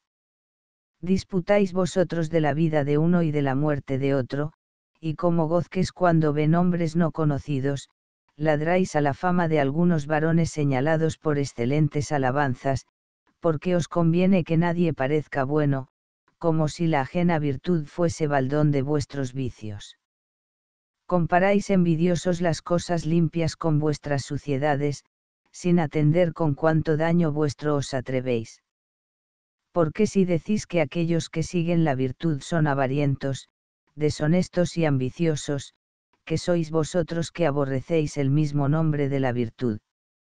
Negáis saber quién ejecute lo que dice y que no viven al modelo de lo que hablan, de que os maravilláis si dicen cosas valientes, grandes y exentas de las humanas tormentas, procurando desasirse de las cruces en que vosotros mismos habéis fijado vuestros clavos, y cuando son llevados a la muerte, pende cada uno de sola una cruz, pero aquellos que se maltratan a sí mismos están en tantas, cuantos deseos tienen, y siendo mordaces, se muestran donairosos en afrenta ajena.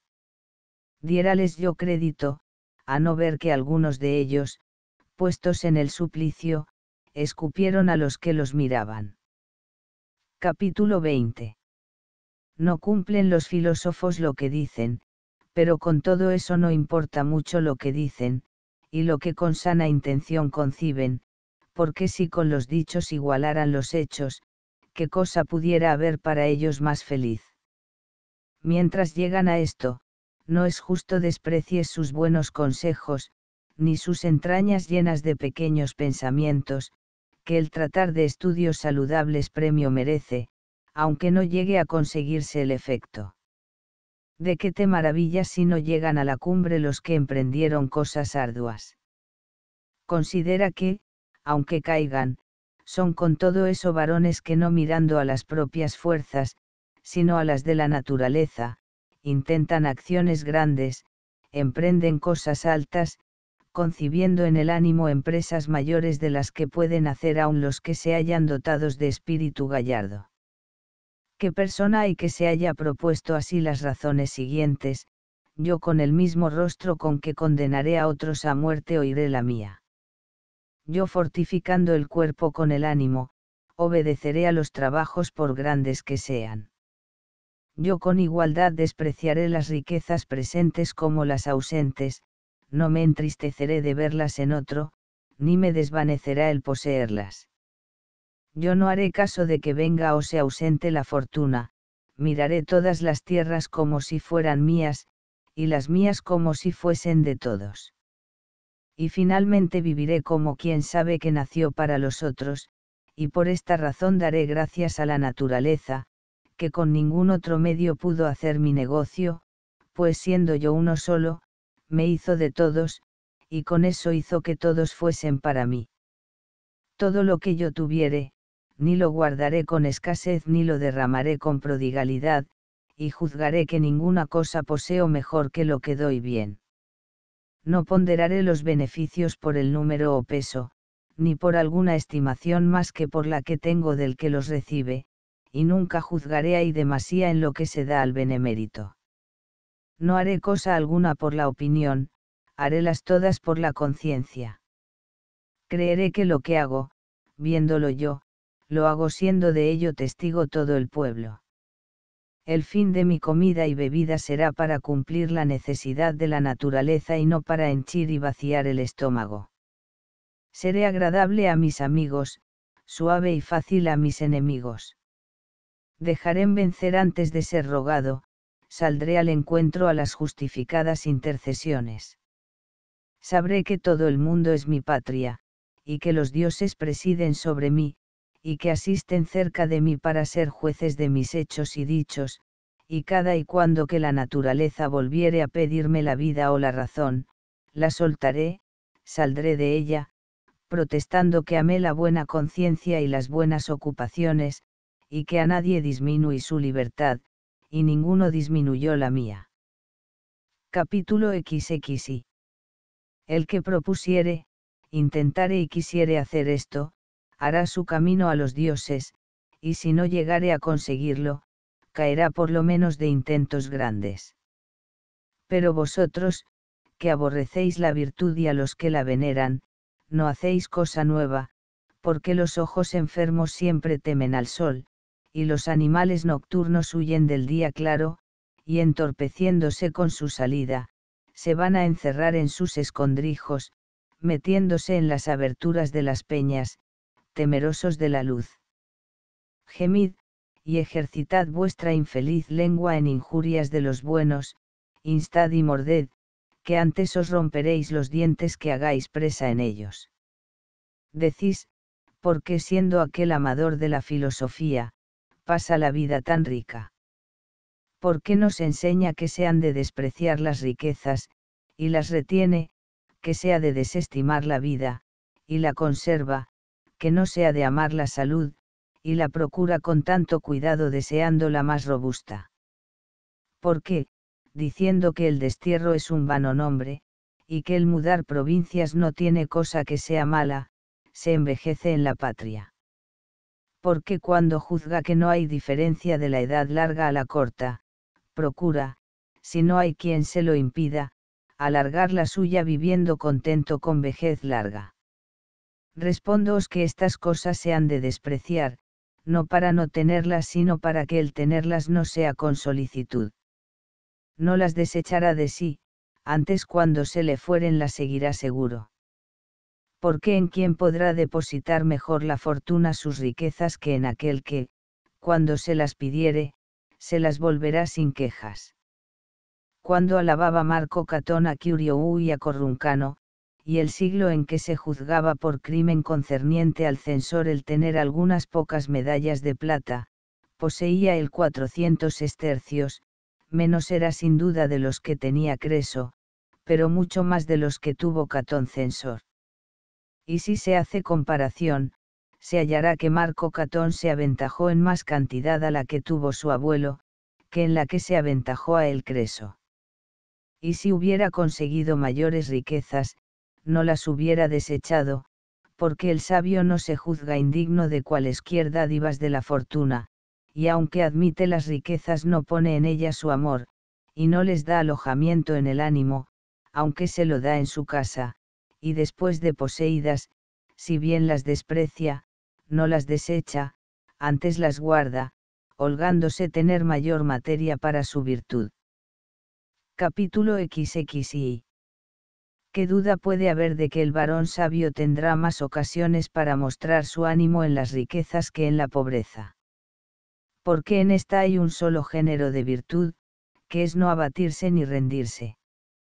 Pero las riquezas tienen un ancho campo en que poder esparcirse, en la templanza, en la liberalidad, en la diligencia, en la disposición y en la magnificencia. El sabio, aunque sea de pequeña estatura, no hará desprecio de sí, pero con todo eso se holgará ser de gallardo talle, y cuando sea flaco de cuerpo y tuerto de un ojo, se tendrá por sano, pero no obstante esto, deseará tener mayor robustez. Y este deseo será con tal templanza, que aunque sabe que puede haber mayor salud, sufrirá la mala disposición, codiciando la buena porque aunque hay algunas cosas que añaden poco a las sumas, y se pueden quitar sin daño del sumo bien, con todo eso aumentan algo al perpetuo contento que nace de la virtud. Aficionan y alegran las riquezas al sabio, al modo que al navegante el quieto y próspero viento, y el buen día, y el lugar abrigado para las lluvias y frío. ¿Cuál de los sabios, de los nuestros hablo, para los cuales la virtud sola es el sumo bien, negará que estas cosas que llamamos indiferentes tienen en sí algo de estimación, y que unas son mejores que otras. A unas de ellas se atribuye alguna parte de honor, a otras mucha. No yerres en esto, advirtiendo que las riquezas se reputan entre las cosas mejores. Dirásme, ¿por qué, pues, te burlas de mí, si ellas tienen cerca de ti el mismo lugar que conmigo. ¿Quieres que te desengañe de que no tienen el mismo lugar? Si a mí se me escaparen las riquezas, no me llevarán más que a sí mismas, pero si te huyeren a ti, quedarás atónito y juzgarás que has quedado sin ti. En mí llegarán a tener alguna estimación, pero en ti la suprema, y finalmente las riquezas serán mías, pero tú serás de las riquezas. Capítulo 23. Deja, pues, de prohibir a los filósofos las riquezas, que nadie condenó a la sabiduría a que fuese pobre. Podrá el filósofo tener grandes riquezas, pero serán no quitadas a otros, ni manchadas con sangre ajena, tendrálas, y serán adquiridas sin injuria de otros y sin ganaricias suyas, y en él será igualmente buena la salida, como lo fue la entrada. Ninguno, sino el envidioso, gemirá por ellas, y por más que las exageres de que no son grandes, has de confesar que son buenas, pues habiendo en ellas muchas cosas que todos desearan fueran suyas, no se hallará alguna de que se pueda decir que lo es. El sabio no apartará de sí la benignidad de la fortuna, y no se desvanecerá ni se avergonzará con el patrimonio adquirido por medios lícitos, antes tendrá de que gloriarse, si haciendo patente su casa, y dando lugar a que, en ella entre toda la ciudad, pudiese pregonar que cada uno lleve lo que conociere ser suyo. Oh varón grande, justamente rico, si conformaren las obras con el pregón, y si después de haberlo pregonado le quedaren todos los bienes que antes tenía. Quiero decir, si con toda seguridad, habiendo admitido al pueblo al escrutinio de sus riquezas, no tuviere quien halle en su casa cosa de que poder echar mano. Este tal con osadía y publicidad podrá ser rico, como el sabio no ha de permitir entre por los umbrales de su casa un maravedí adquirido por malos medios, así tampoco repudiará ni desechará las grandes riquezas que fueren dádiva de la fortuna y fruto de la virtud. ¿Qué razón hay para que él mismo envidie el verlas colocadas en buen lugar?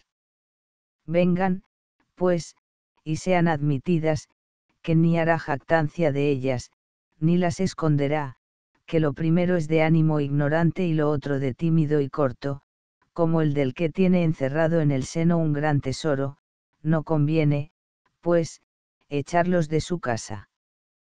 Porque para hacerlo, ¿qué les ha de decir?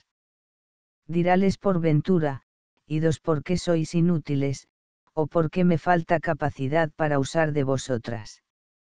Sucederále lo que al que teniendo fuerzas para hacer su viaje a pie, holgaría más de hacerle en un coche. Así el sabio, si pudiere ser rico, holgará de serlo, pero tendrá las riquezas como bienes ligeros y que con facilidad se vuelan, y no consentirá que para sí ni para otros sean pesadas. Quedará. Alargasteis las orejas para oírlo, y desembarazasteis el seno para recibirlo. Dará, pero será a los buenos o a los que pudiere hacer buenos. Dará con sumo acuerdo, y para dar elegirá a los más dignos, como aquel que sabe ha de dar cuenta de lo recibido y de lo gastado. Dará por causas justificadas, conociendo que las dádivas mal colocadas se cuentan entre las torpes perdidas. Tendrá la bolsa fácil, pero no rota, de la cual saldrá mucho, sin que se caiga nada. Capítulo Xib. Yerra el que piensa que el dar es acción fácil, mucho tiene de dificultad el dar con juicio, y no derramar acaso y con ímpetu. Con las dádivas granjeo a este, pago al otro, a este socorro, de aquel me compadezco, al otro adorno, haciendo que la pobreza no le destruya ni le tenga impedido. A algunos dejaré de dar, aunque les falte, conociendo que por mucho que les dé, les ha de faltar, a otros les ofreceré, a otros colmaré. No podré en esto ser descuidado, porque nunca con mayor gusto hago obligaciones que cuando reparto dádivas. Dirásme, pues ¿qué haces en eso, si das para volver a recibir, y nunca para pedir? Aunque la dádiva sea de poner en parte que no se haya de volver a pedir, hace de poner donde ella pueda volver. Colóquese el beneficio como el tesoro escondido en parte secreta, que no le saques sino es cuando la necesidad te obligare. Qué gran cosa es ver la casa de un varón rico. Cuántas ocasiones tiene de hacer bien. ¿Quién llama liberalidad la que solo se hace con los togados? La naturaleza manda que ayudemos a los hombres, pues que importa sean esclavos o libres, nobles o libertinos y que éstos lo sean, o por justa libertad, o por la dada entre amigos donde quiera que hay hombre, hay lugar de hacer beneficio. Podrá también distribuir su dinero dentro de su misma casa, y ejercitar en ella su liberalidad, la cual no se llama liberalidad, porque se debe a los hombres libres, sino porque el darse il siempre de ánimo libre, y nunca la ejercitan los sabios con personas torpes e indignas, ni jamás se halla tan agotada que, si llegare algún benemérito, deje de manar como si estuviera llena. No hay, pues, para que sintáis mal de lo que virtuosa, fuerte y animosamente dicen los amadores de la sabiduría, y ante todas cosas, advertid que es diferente el ser amador de la sabiduría, o haberla ya conseguido. El primero te dirá, yo hablo bien, pero hasta ahora estoy envuelto en muchos males, no me pidas que viva conforme a mi doctrina, cuando estoy formándome y levantándome para ser después un grande dechado, si llegare a conseguirlo, como lo he propuesto, pídeme entonces que correspondan los hechos con las palabras. Pero el que ya llegó a conseguir la perfección del bien humano, tratará contigo de otra suerte, y te dirá que ante todas cosas no te tomes licencia de juzgar a los mejores que tú. Díráte a sí mismo, a mí ya me ha tocado el desagradar a los malos, que es argumento de que no lo soy, pero para darte razón de cuán poca envidia tengo a ninguno de los mortales, escucha lo que te prometo, y lo que a cada uno estimo. Niego que las riquezas son bien, porque si lo fueran, hicieran buenos, y como no se puede llamar bien el que a sí mismo le tienen los malos, niególes este nombre pero tras todo eso confieso que se han de tener, y que son útiles, y que acarrean grandes comodidades a la vida. Capítulo XXV. Pues qué razón hay para no ponerlas entre los bienes. ¿Y qué cosa les atribuyo más que vosotros, pues todos convenimos en que es bueno tenerlas? Oíd, ponedme en una casa muy rica, y en ella mucho oro y plata para igual uso. No me estimaré por estas cosas, porque aunque están cerca de mí, están fuera de mí. Llevadme asimismo a pedir limosna al puente de madera, y apartadme entre los mendigos, que no me desestimaré por verme sentado entre los que extienden la mano al socorro. Porque al que no le falte la facultad de poder morirse, que le importa que le falte un pedazo de pan. Pues qué culpa hay en desear más aquella casa rica, que la miseria del puente. Ponedme entre alhajas resplandecientes y delicadas, que no por eso, ni porque mis vestidos sean más suaves, ni porque en mis convites se pongan alfombras de púrpura me juzgaré más feliz, ni al contrario me tendré por desdichado si reposare mi cansada cerviz sobre un manojo de heno, o sobre lana circense, que se seil por las costuras de los viejos colchones. Pues ¿qué hay en esto? Que quiero más mostrar mi ánimo estando vestido con ropa pretesta, que no con las espaldas desnudas. Para que todas las cosas me sucedan conformes a mis deseos, vengan unos para bienes tras otros, que no por eso tendré más agrado de mí. Múdese al contrario esta liberalidad del tiempo, y por una y otra parte sea combatido el ánimo, ya con varios acometimientos, sin que haya un instante sin quejas, que no por eso, metido entre miserias, me llamaré desdichado, ni maldeciré el día, porque yo tengo hecha prevención para que ninguno me sea nublado. ¿Cómo ha de ser esto? Porque quiero más templar los gozos que enfrenar los dolores. Díráte Sócrates estas razones, hazme vencedor de todas las gentes y desde el nacimiento del sol, hasta Tebas, me lleve triunfante el delicado coche de Baco, pídanme leyes los reyes de Persia, que con todo eso, cuando en todas partes me reverenciaren como a Dios, conoceré que soy hombre. Junta luego a esta grande altura una precipitada mudanza, diciendo, que he de ser puesto en ajeno ataúd, habiéndome de despojar de la pompa de soberbio y fiero vencedor, que no por eso iré más desconsolado, ha sido al ajeno coche, de lo que estuve en el mío, pero tras todo eso deseo más vencer que ser cautivo yo despreciaré todo el reino de la fortuna, pero si me dieren a escoger, elegiré lo mejor de él. Todo lo que en mi poder entrare, se convertirá en bueno. Pero con todo eso, quiero venga lo más suave y más deleitable, y lo que ha de dar menor vejación al que lo hubiere de pasar. No juzgues que hay alguna virtud sin trabajo, si bien hay algunas que necesitan de espuelas, y otras de frenos, al modo que el cuerpo cuando baja algunas cuestas se ha de ir deteniendo, y cuando las sube se ha de impele, así hay unas virtudes que bajan las cuestas, y otras que las suben. Podráse dudar que suben, forcejean y luchan la paciencia, la fortaleza, la perseverancia, y cualquiera otra virtud de las que se opinen a las cosas ásperas y huellan a la fortuna. Y por ventura, no es igualmente manifiesto que caminan cuesta abajo la liberalidad, la templanza y la mansedumbre. En estas detenemos el ánimo para que no caiga, en las otras le exhortamos e incitamos. Arrimaremos, pues, a la pobreza las virtudes más valientes, y las que acometidas son más fuertes, y a la riqueza, las más diligentes, y las que poniendo el paso deteniendo, sustentan su peso. Capítulo XXVI. Hecha esta división, querría yo más para mí aquellas virtudes que puedo ejercitar con mayor tranquilidad, que no las otras cuyo trato es sangre y sudor.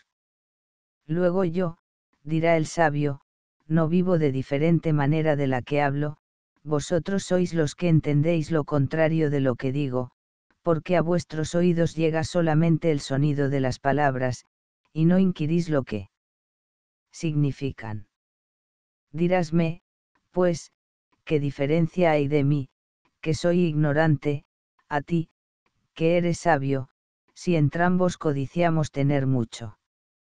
Que las riquezas que tuviere el sabio estarán en esclavitud, y las que tuviese el ignorante en imperio. El sabio no permite cosa alguna a las riquezas, y ellas os permiten a vosotros todas las cosas. Vosotros os acostumbráis y arrimáis a ellas, como si hubiera alguno que os hubiera concedido su perpetua posesión. El sabio, cuando se halla en medio de las riquezas, medita más en la pobreza. El capitán general jamás confía tanto de la paz, que no se prevenga para la guerra, que si ésta no se hace, está por lo menos intimada. A vosotros os desvanece la hermosa casa, como si no pudiera quemarse o caerse. A vosotros os hacen insolentes las riquezas, como si estuvieran exentas de todos los peligros, y como si fueran tales que faltaran fuerzas a la fortuna para consumirlas. Vosotros, estando ociosos, jugáis con vuestras riquezas, sin prevenir los riesgos de ellas, sucediéndoos lo que a los bárbaros, que encerrados en sus murallas e ignorantes de las máquinas militares, miran perezosos el trabajo de los que los tienen sitiados, sin entender a qué se encamina lo que tan lejos se previene. Lo mismo os sucede a vosotros, que os marchitáis en vuestras cosas, sin atender a los varios sucesos que de todas partes os amenazan, para llevarse muy presto los más preciosos despojos. Al sabio, cualquiera que le quitare sus riquezas, le dejará todos sus bienes, porque vive contento con lo presente, y seguro de lo futuro. Ninguna otra cosa es la que Sócrates, y los demás que tienen el mismo derecho y potestad sobre las cosas humanas, dicen, sino estas, Jim resuelto a no sujetar las acciones de mi vida a vuestras opiniones, juntad de todas partes vuestras acostumbradas palabras, que yo no me daré por entendido que me decís injurias, sino que como niños cuitados lloráis. Esto es lo que dirá aquel a quien cupo en suerte el ser sabio, aquel a quien el ánimo libre de culpas le obliga a reprender a los otros, no por odio, sino por remedio. Diráles, vuestra estimación, no en mi nombre, sino en el vuestro, es la que me mueve, porque el aborrecer, y ofender a la virtud, es un apartamiento de toda buena esperanza. Ninguna injuria me hacéis, como no la hacen a los dioses en sus personas los que derriban sus altares, aunque muestran su mala intención y su mal consejo donde no pueden hacer ofensa. De la misma manera sufro vuestros errores, como Júpiter óptimo máximo sufre los disparates de los poetas, uno de los cuales le puso alas, otro cuernos, otro lo introduce adúltero y trasnochador, otro lo hace cruel contra los dioses, otro injusto con los hombres, otro arrebatador, y violador de nobles, hasta en sus propios parientes, otro matador de su padre, y conquistador del ajeno y paterno reino los cuales en esto no cuidaron de otra cosa más que de quitar a los hombres la vergüenza de pecar, con creer que habían sido tales sus dioses. Mas aunque todas estas cosas no me hacen lesión, con todo eso por lo que os toca, os amonesto que admitáis la virtud, crida los que la han seguido mucho tiempo, y dicen a voces que han seguido una cosa grande, y que cada día descubre ser mayor. Reverenciadla como a los dioses, y estimad como a prelados los profesores de ella, y siempre que hicieren mención de letras sagradas, ayudad sus lenguas, y hasta en palabra ayudad, no digo que les deis favor, sino encomendaos en ella el silencio, para que se pueda celebrar dignamente lo sagrado, sin que haya alguna mal voz que lo interrumpa. Capítulo 27 y esto es más necesario encargároslo, para que siempre que de aquel oráculo saliere algo, lo oigáis atentos y con silencio. Cuando alguno, tocando el pandero, os miente por ser mandado, y cuando algún artífice de herirse en las espaldas, ensangrienta con mano suspensa los brazos y los hombros, y cuando alguno, caminando de rodillas por las calles, aulla, y cuando el viejo, vestido de lienzo, sacando en medio del día el laurel y la luz, da voces, diciendo que alguno de los dioses está enojado, concurrís todos, y le oís, y guardando un mudo pasmo, afirmáis que es varón santo. Veis aquí a Sócrates, que desde aquella cárcel, que la purgó con entrar en ella, y la hizo más honrosa que los insignes palacios, clama diciendo, ¿qué locura es esta? ¿Qué inclinación tan enemiga de los dioses y de los hombres es infamar las virtudes y con malignas razones desacreditar las cosas santas? Si lo podéis acabar con vosotros, alabad a los buenos, y si no, por lo menos dejadlos. Y si tenéis intento de ejecutar esa mala inclinación, embestíos unos a otros, porque cuando os enfurecéis contra el cielo, no os digo que hacéis sacrilegio, sino que perdéis el trabajo. Alguna vez di yo a Aristófano materia de entretenimiento, y toda aquella caterva de poetas cómicos derramó contra mí sus venenosos dicterios y donaires, y mi virtud se ilustró con lo que ellos pretendieron herirla, porque le está muy a cuento el ser desafiada y tentada, y ninguna conocen cuán grande sea, como los que desafiándola experimentaron su valentía. Ninguno conoce tan bien la dureza del pedernal, como el que le hiere.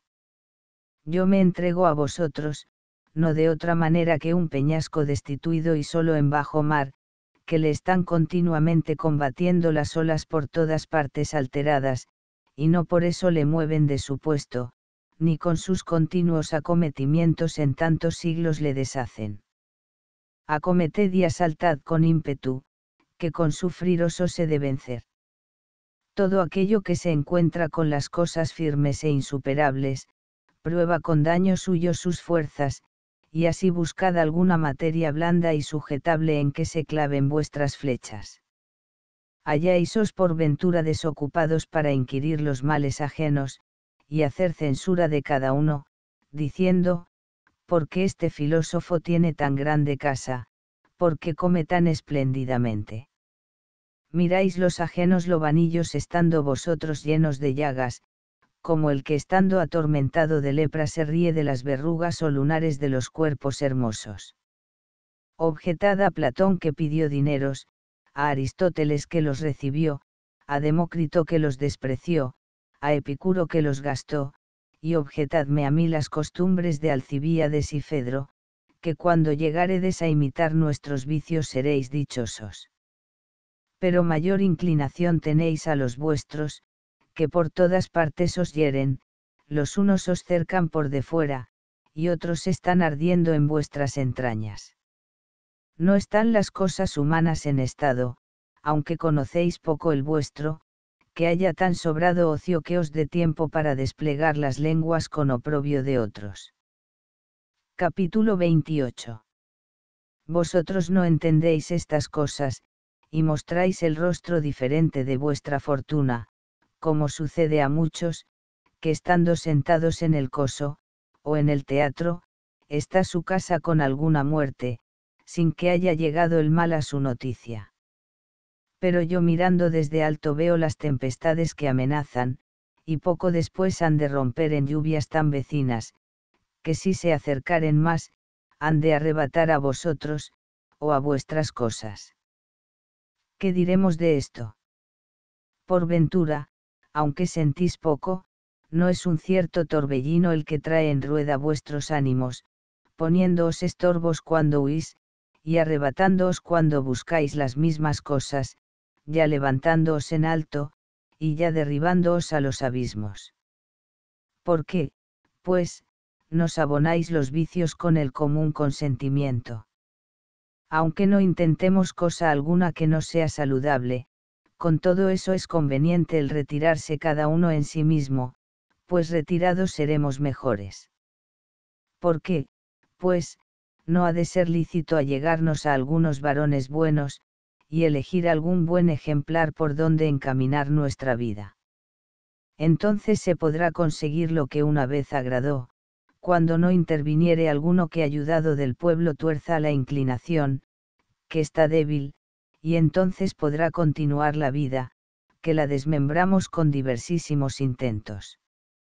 Porque entre los demás males, es el más pésimo el andar variando de vicios, con lo cual aún nunca nos sucede perseverar en la culpa conocida, un mal nos agrada, y nos fatiga por otro, con lo cual nuestros juicios, no solo son malos, sino madavals.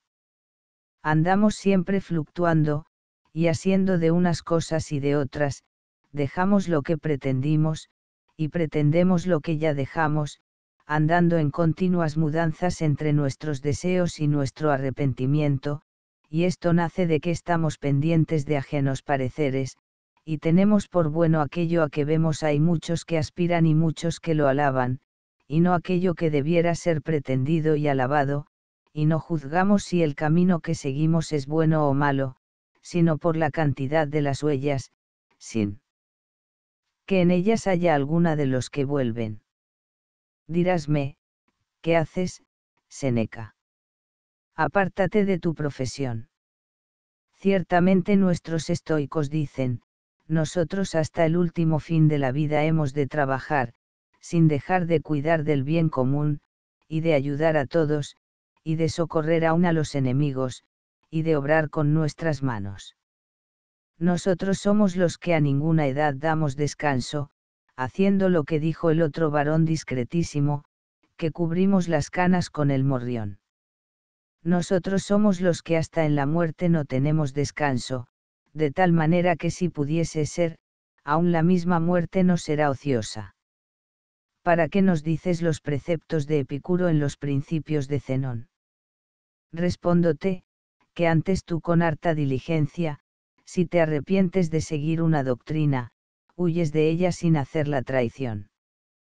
¿Quieres por ventura más de que yo procure imitar a nuestros capitanes? Pues que se seguirá de esto. Que iré, no a donde me enviaren, sino a donde me guiaren. Capítulo 6. Con esto te pruebo que yo no me aparto de los preceptos de los estoicos, ni ellos se apartan de los suyos, y con todo eso estaría excusadísimo si no siguiese su doctrina, sino sus ejemplos. Dividiré lo que digo en dos partes, lo primero, para que cada uno pueda, aun desde su primera edad, entregarse todo a la contemplación de la virtud, y buscar el camino de vivir, siguiéndolo en secreto. Después para que hallándose ya jubilado en la edad cansada, pueda con buen derecho hacer y pasar los ánimos de otros a otras acciones, al modo que las vírgenes vestals, las cuales, dividiendo sus años en las ocupaciones, aprenden sus cosas sagradas, y después las enseñan. Capítulo Besos. Haré demostración de que estas cosas agradan también a los estoicos, y no será por haberme puesto ley de no haber de emprender cosa alguna contra la doctrina de Zenón o Crisipo, sino porque la misma materia permite que yo siga su opinión, porque el que se arrima siempre a la doctrina de uno, mira más a bandos que a la vida. Ojalá se manifestasen todas las cosas, y la verdad estuviese sin velo, y sin que alterásemos algo de sus secretos ahora andamos buscándola con los mismos que la enseñan. En esto disienten las dos grandes sectas de los epicúreos y estoicos, aunque la una y la otra encaminan al descanso por diferentes vías. Epicuro afirma que el sabio no se ha de allegar a la república si no es con alguna ocasión forzosa, Zenón dice que se allegue, no habiendo causa precisa que se lo impida. El uno busca el descanso en el intento, y el otro en la causa. Pero la causa tiene mucha latitud, como es cuando la República está tan perdida y tan enviciada en males, que no puede ser socorrida, y entonces no ha de porfiar en vano el sabio, ni se ha de consumir en lo que no ha de aprovechar, faltándole autoridad o fuerzas, o si conociere que la República no le ha de admitir, o si se lo impidiere su poca salud, y al modo que no echaría al mar la nave rota, ni se asentaría a la milicia faltándole fuerzas, así tampoco se arrimará a la vida a que no fuere. Suficiente. Aquel, pues, cuyas cosas están enteras, sin haber experimentado las tormentas, podrá hacer pie en lo firme y seguro, entregándose desde luego a las buenas artes, y procurando aquel dichoso ocio, siendo reverenciador de aquellas virtudes que pueden ser ejercitadas aún de los más retirados. Lo que se pide al hombre es que aproveche a los hombres, si pudiere, a muchos, y si no, a pocos, y si no pudiere a pocos, que sea a sus más cercanos, y si no, a sí mismo, porque cuando se hace útil para los demás, hace el negocio común, y cuando se hace malo, no solo se daña a sí, sino también a todos aquellos a quien, siendo bueno, pudiera aprovechar. El que vive bien, con solo eso es útil para otros, porque los encamina a lo que les ha de ser provechoso. Capítulo XXXI. Consideremos en nuestro entendimiento dos repúblicas, una grande y verdaderamente pública, en la cual son comprendidos los dioses y los hombres, donde no miramos a esta o aquella parte, sino antes medimos con el sol los términos de nuestra ciudad, la otra es aquella en que nos puso el estado de nuestro nacimiento, como el ser ateniense, o cartaginés, o de otra cualquiera provincia que no pertenezca en común a todos los hombres, sino a pocos en particular.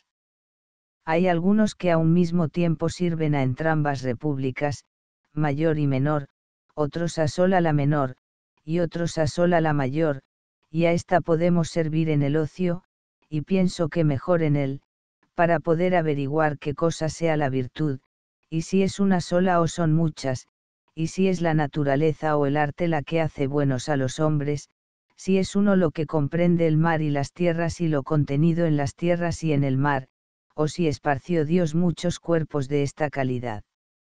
Si la materia de que son engendradas todas las cosas es una, si es continua y llena o dividida, si lo inane y vacío está mezclado con lo sólido, si mira Dios sus obras sentado, si las trata y cerca por de fuera o asiste interiormente en ellas, si el mundo es inmóvil, o si se ha de contar entre las cosas caducas que nacieron para tiempo limitado.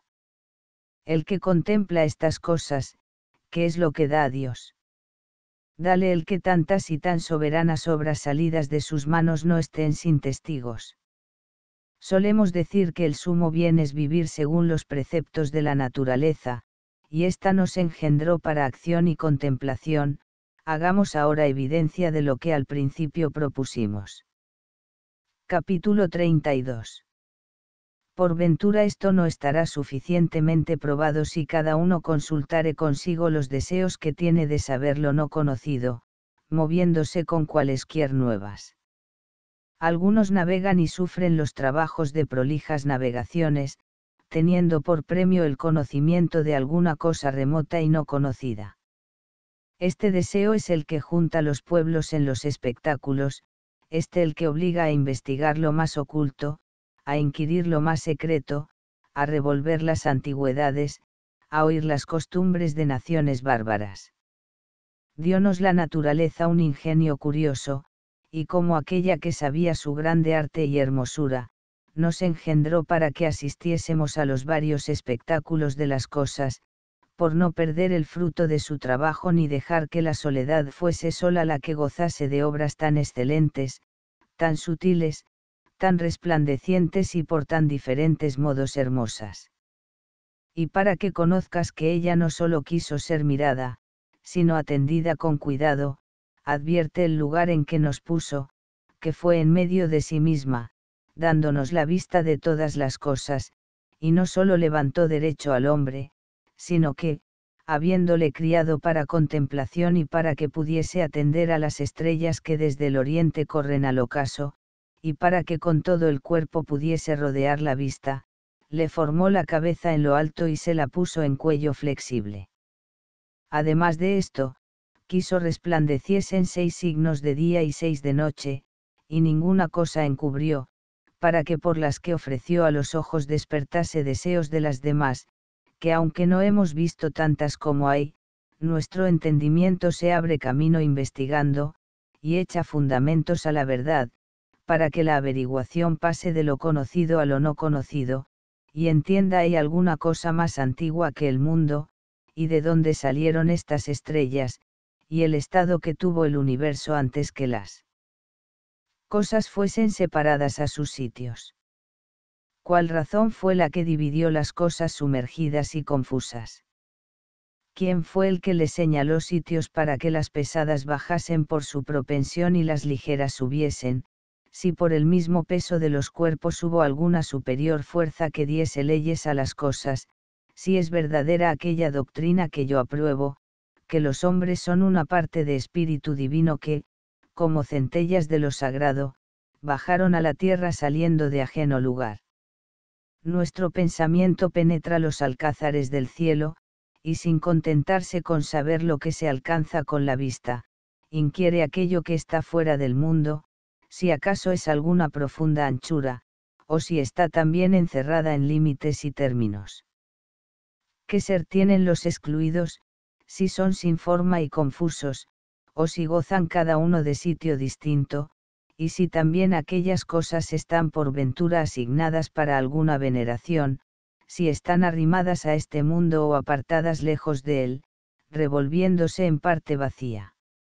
Si son individuas aquellas cosas por las cuales se ordena todo lo nacido y todo lo que ha de nacer, si su materia es continua o mudable en todo, si son contrarios entre sí los elementos, o sin hacerse repugnancia conspiran por diversas causas. El que nació para investigar estas cosas, juzgue que no ha recibido mucho tiempo, aunque lo reserve todo para sí, sin consentir que por facilidad o negligencia se le usurpe alguna parte, conservando sus horas con toda avaricia, y aunque lo continúe hasta los últimos términos de la edad humana, sin que la fortuna le desmorone alguna parte de lo que la naturaleza le dio, con todo eso es el hombre con demasía mortal, para poder llegar al conocimiento de las cosas inmortales. Yo vivo según la naturaleza, si me entrego de todo punto a ella y si soy admirador y reverenciador suyo, ella me mandó que atendiese a entrambas cosas, a obrar y a estar desocupado para la contemplación, lo uno y lo otro hago, porque la contemplación no puede subsistir sin acción. Pero dirásme que conviene averiguar si se le arrima por causa del deleite, sin pretender de ella más que una continua contemplación, de la cual no se puede salir, porque es muy dulce y tiene sus halagos. A esto te respondo que importa ver el ánimo con que pasas la vida civil, si es para andar siempre inquieto, sin tomar tiempo necesario para pasar la vista de las cosas humanas a las divinas, no siendo digno de aprobación el apetecer las cosas sin ningún amor de las virtudes y sacando desnudas las obras sin cultura del ingenio, porque todas estas cosas deben mezclarse y unirse. De esta misma manera es la virtud que, recostada en el ocio, es un imperfecto y flaco bien, que jamás dio muestras de lo que aprendió. Quien niega que debe aquel mostrar sus aprovechamientos en las obras. Y no solo ha de meditar lo que debe hacer, sino que alguna vez ha de ejercitar las manos, reducir a ejecución lo que meditó. Pero ¿qué diremos cuando la dilación no consiste en el sabio, porque muchas veces, sin que falte a gente, suelen faltar las cosas en que ha de hacer, permitirásle, por ventura, estarse consigo solo. ¿Con qué ánimo se aparta el sabio al ocio, para que entienda que, aun estando a solas contigo, ha de hacer tales cosas que sean provechosas a los venideros?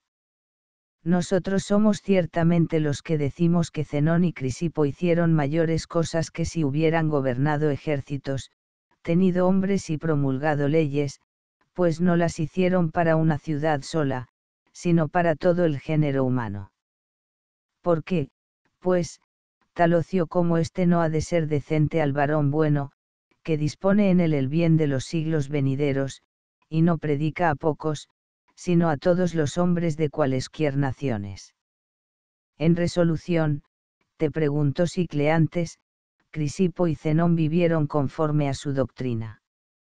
Responderáseme, sin duda, que vivieron en la misma forma que dijeron se había de vivir, y tras esto ninguno de ellos gobernó la república.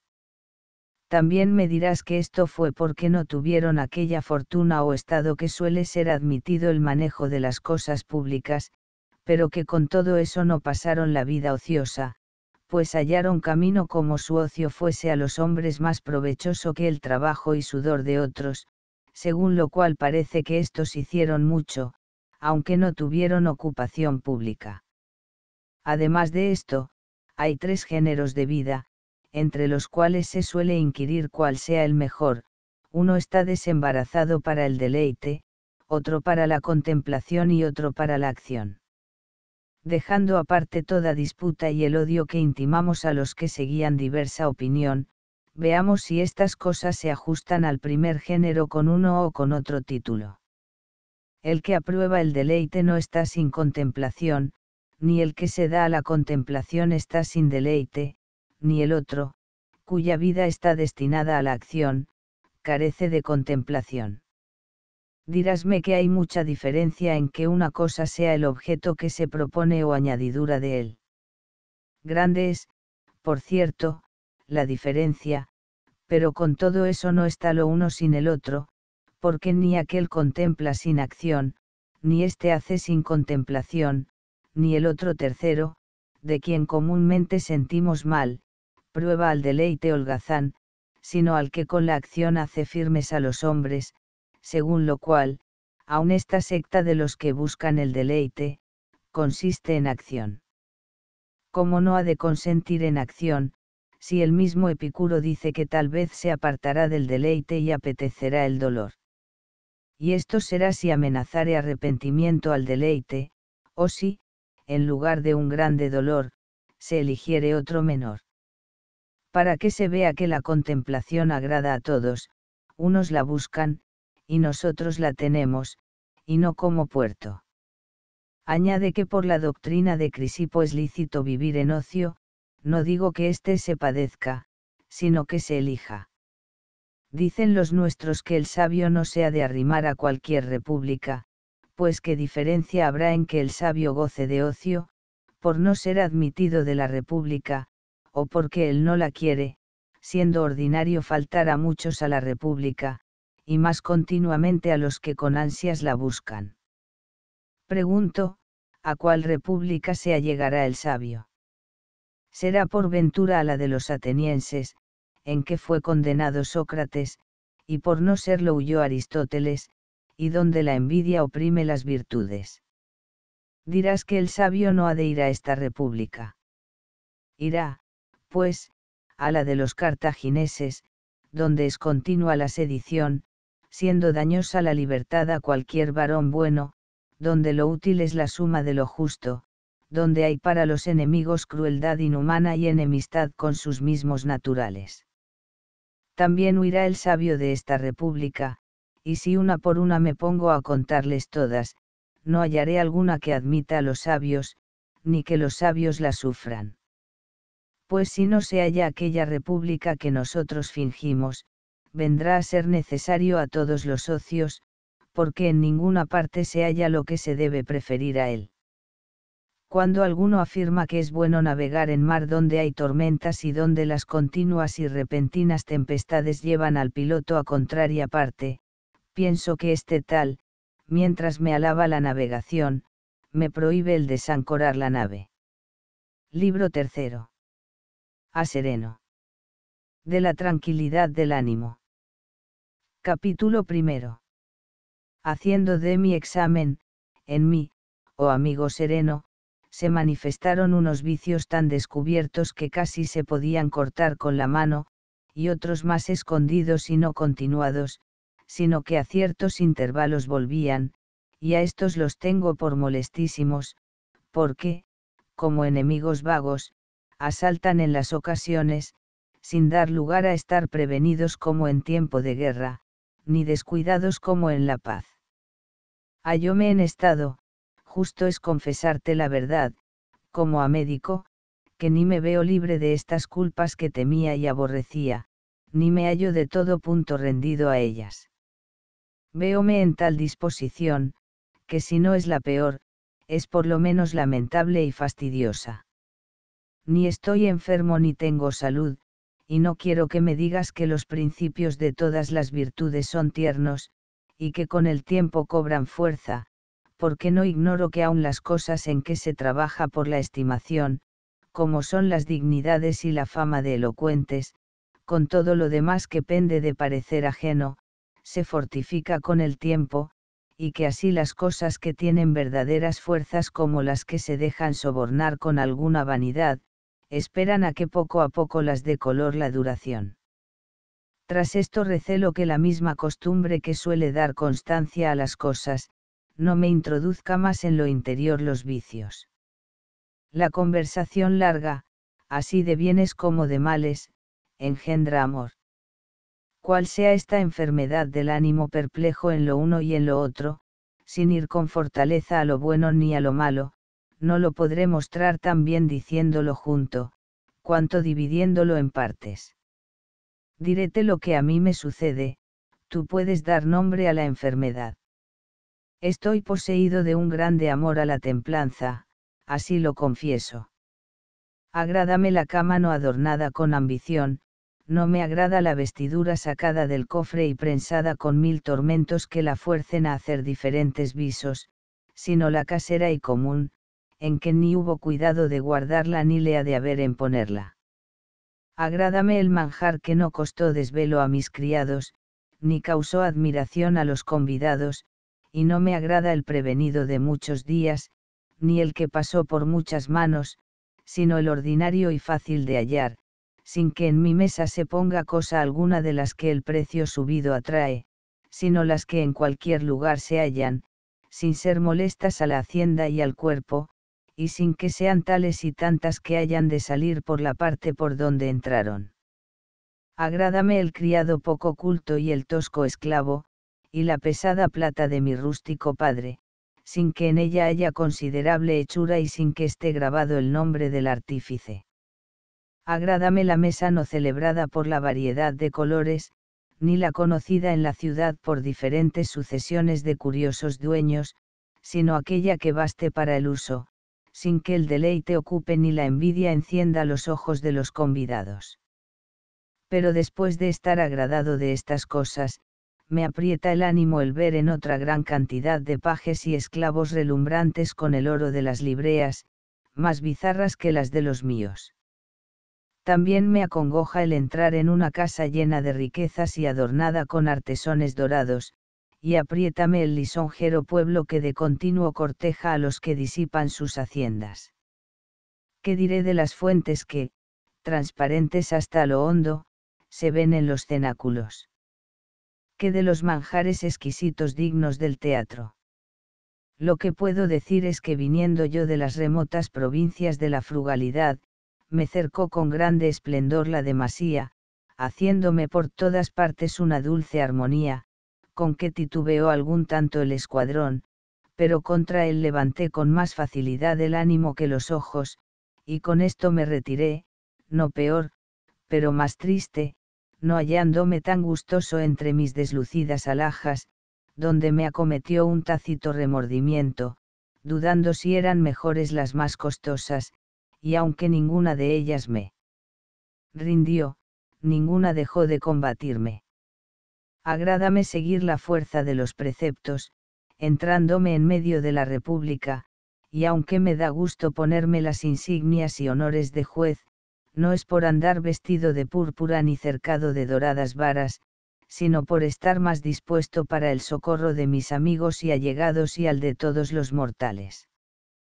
Puesto más cerca, sigo a Zenón, Cleantes y Crisipo, ninguno de los cuales se arrimó a la República, aunque ninguno de ellos dejó de encaminar a otros a ella, a la cual, cuando permito se acerque mi ánimo no acostumbrado, si acaso ocurre alguna cosa indigna o poco corriente, como es ordinario en la vida humana, o cuando las cosas a que se debe poca estimación me piden mucho tiempo, luego me vuelvo al ocio, y como es más veloz la carrera a los cansados ganados cuando tornan a su casa, así a mí. Ánimo le agrada más el encerrar la vida entre las propias paredes. Nadie, pues, me usurpe un solo día, ya que no pueda darme recompensa equivalente a tal pérdida. El ánimo estribe en sí mismo, estímese y no se embarace en ajenas cosas, ni haga aquellas en que pueda intervenir el juez. Ame la tranquilidad que no se embaraza en cuidados públicos ni particulares, mas donde la importante lección levantó el espíritu, y donde los nobles ejemplos pusieron espuelas, luego se desea acudir a los tribunales para ayudar a unos con la abogacía y a otros con el favor, y aunque parezca que éste no haya de ser de provecho, se intente que lo sea, para enfrenar la soberbia de quien sin razón se engríe por verse próspero. Yo tengo por más acertado en los estudios poner los ojos en la sustancia de las cosas, y que el lenguaje se acomode a ellas, proporcionándoles las palabras, de modo que a la parte donde ellas nos guiaren, siga la oración sin demasiado cuidado. ¿Qué necesidad hay de adornar lo que no ha de durar muchos siglos? Pretendes que los venideros no te pasen en silencio. Advierte, pues, que naciste para la muerte, y que el entierro con silencio tiene menos de molesto. Escribe alguna materia en estilo sencillo, y sea para ocupar el tiempo en beneficio tuyo y no para ostentación, menor trabajo hasta a los que escriben para el tiempo presente. Cuando el espíritu se levanta de nuevo con la grandeza de algún pensamiento, luego se hace altivo en las palabras, porque al modo que aspira a cosas altas, procura hablar con altivez, y entonces, olvidado de la ley del ajustado juicio, me dejo subir en alto, hablando con labios ajenos. Y para no discurrir con singularidad en cada cosa, digo que en todas me sigue esta enfermedad del entendimiento sano, y temo caer poco a poco en ella, y lo que más cuidado me da es el estar siempre colgado, a imitación del que va a caer, siendo esta indisposición mayor que la solicitud que de curarla tengo. Porque a las cosas domésticas las miramos amigablemente, siendo este favor perjudicial al juicio. Entiendo que muchos llegarán a la sabiduría, a no persuadirse que ya la habían conseguido, y si en sí mismos no hubieran disimulado muchas cosas, mirándolas de otros con ojos despabilados y atentos no pienses que con la adulación se destruyen solamente los negocios ajenos y no los propios. ¿Quién hay que tenga valor para decirse la verdad a sí mismo? ¿Quién es el que, metido entre la multitud de aduladores, no se lisonjeó? Suplícote que si sabes algún remedio con que detener esta tormenta que padezco, me juzgues digno de que te deba la tranquilidad bien sé que los movimientos de mi ánimo no me son peligrosos, ni me acarrean cosas de inquietud, mas para declararte con un verdadero símil aquello de que me lamento, te digo que lo que me fatiga no es tempestad, sino fastidio. Líbrame, pues, de esta indisposición, y socorre al que padece a vista de tierra. Capítulo segundo. Cuando estoy en silencio conmigo solo, me pregunto a qué cosa me parece semejante este afecto de ánimo, y con ningún ejemplo quedo más propiamente advertido que con el de aquellos que, habiendo salido de alguna grave y larga enfermedad, se ven todavía molestados de ligeros accidentes, y aun después de haber de todo punto desechado las reliquias de la indisposición, les inquietan sospechas, y estando ya sanos, dan el pulso a los médicos, desacreditando cualquier calor que sienten. Los cuerpos de estos no están enfermos, sino poco acostumbrados a la salud, sucediéndoles lo que al mar y a las lagunas, que aun después de cesar las tormentas y estar tranquilas y sosegadas, les quedan algunas mareas. Por lo cual es necesario uses, no de aquellos duros preceptos que hemos ya pasado, ni te resistas en algunas ocasiones, ni que en otras te hagas eficaz instancia, basta lo último, que es el darte crédito a ti mismo, persuadiéndote a que vas camino derecho, sin dejarte llevar por las transversales huellas de muchos que a cada paso van haciendo nuevos discursos, y estando en el camino le yerran. Lo que deseas es una cosa grande, alta y muy cercana a Dios, que es no mudarte. Los griegos llaman a esta firmeza de ánimo estabilidad, de la cual Demetrio escribió un famoso libro, y yo la llamo tranquilidad, porque ni tengo obligación de imitarlos, ni de traducir las palabras a su estilo. La cosa de que se trata se ha de significar con algún término, que tenga fuerza de la palabra griega, aunque no tenga la misma cara. Lo que ahora preguntamos es de qué modo estará siempre el ánimo con igualdad, y cómo caminará con próspero curso, siéndose propicio y mirando sus cosas con tal alegría que no se interrumpa, perseverando en un estado plácido, sin desvanecerse ni abatirse. Esto es tranquilidad, busquemos, pues, el camino por donde podemos llegar de todo punto a ella. Toma tú la parte que quisieres del remedio público, y ante todas las cosas has de poner delante todo el vicio, para que cada uno conozca lo que de él te toca, y con esto verás cuánto menos embarazo tienes con el fastidio de ti mismo, que el que tienen aquellos que, atados a ocupaciones honrosas y trabajando bajo el yugo de magníficos títulos, los detiene en su simulación más la vergüenza que la voluntad.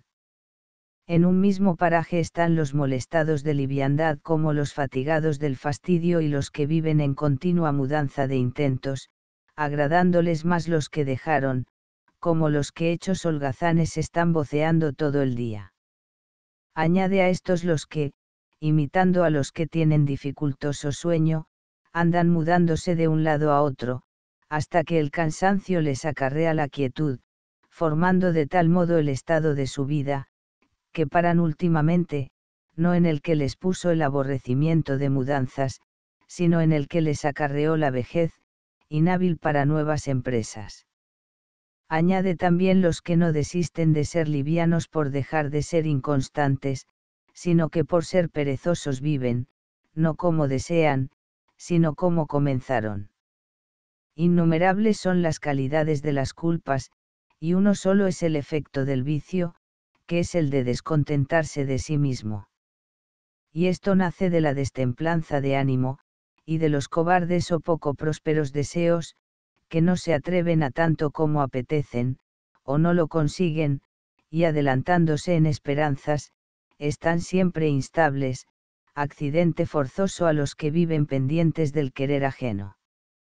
Pásaseles toda la vida en industriarse a cosas poco honestas y muy dificultosas, y cuando su trabajo queda sin premio, les atormenta la infructuosa indignidad, sin que el arrepentimiento sea de haber pretendido lo malo, sino de que sus deseos quedaron frustrados, y entonces se hallan poseídos del dolor que les causa el arrepentimiento de lo comenzado y el que tienen de lo que han de comenzar, entrando en ellos una inquietud de ánimo, que en ninguna cosa haya salida, porque ni pueden sujetar a sus deseos, ni saben obedecerlos, de que nace una irresolución de indeterminada vida, y un detenimiento de ánimo entorpecido entre determinaciones, y estas cosas les son más molestas cuando por odio de la trabajosa infelicidad se retiraron al ocio y a los estudios quietos, que no los admite el ánimo levantado a negocios civiles, ni el deseoso de trabajar, por ser de natural inquieto, y así, cuando se ve careciendo del consuelo y deleites que le daban las ocupaciones, no puede sufrir su casa. Su soledad y el estar metido entre paredes, doliéndose de verse dejado para sí solo, de que le nace el fastidio y desagrado, y un desasosiego de ánimo poco firme.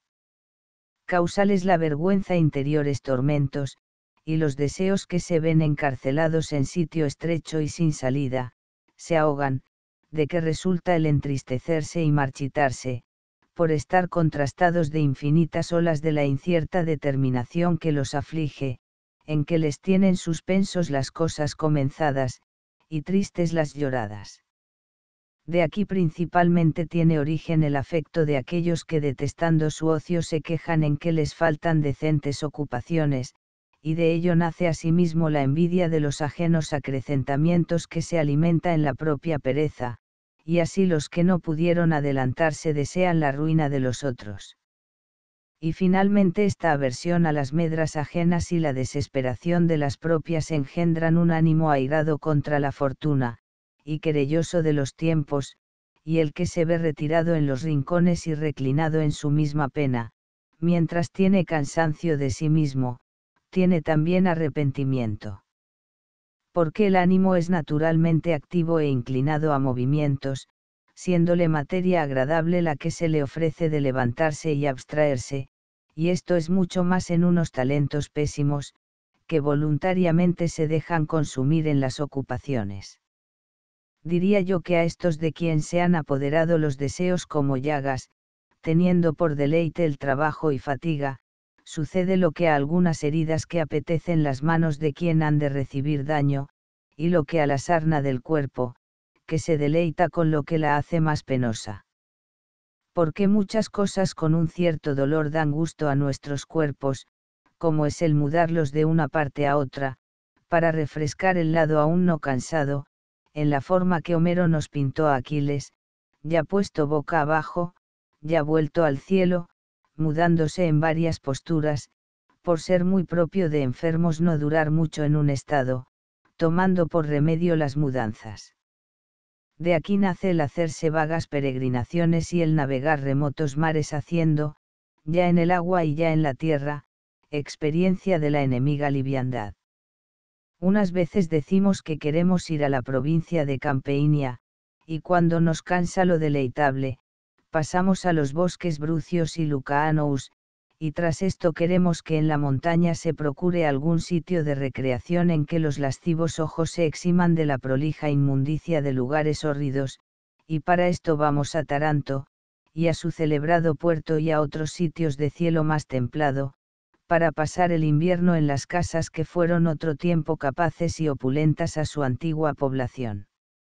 Luego decimos, volvamos a la ciudad, porque hay muchos días que nuestras orejas carecen del estruendo y aplauso, y tenemos gusto de ver en los espectáculos derramar sangre humana, pasando de unas fiestas en otras. Y de este modo, como dijo Lucrecio, anda cada uno huyendo de sí, pero de qué le aprovecha, si nunca acaba de ejecutar la huida. Va siguiéndose a sí mismo, con que le molesta un pesado compañero. Conviene, pues, que nos desengañemos, confesando que la culpa no está en los lugares, sino en nosotros, que somos flacos para sufrir mucho tiempo el trabajo o el deleite, nuestras cosas o las ajenas. A muchos acarreó la muerte la mudanza de intentos, recayendo en las mismas cosas sin dar lugar a la novedad de que resultó causarles fastidio la vida y el mismo mundo, diciendo con rabiosa queja, ¿hasta cuándo han de ser unos mismos los deleites? Capítulo tercero.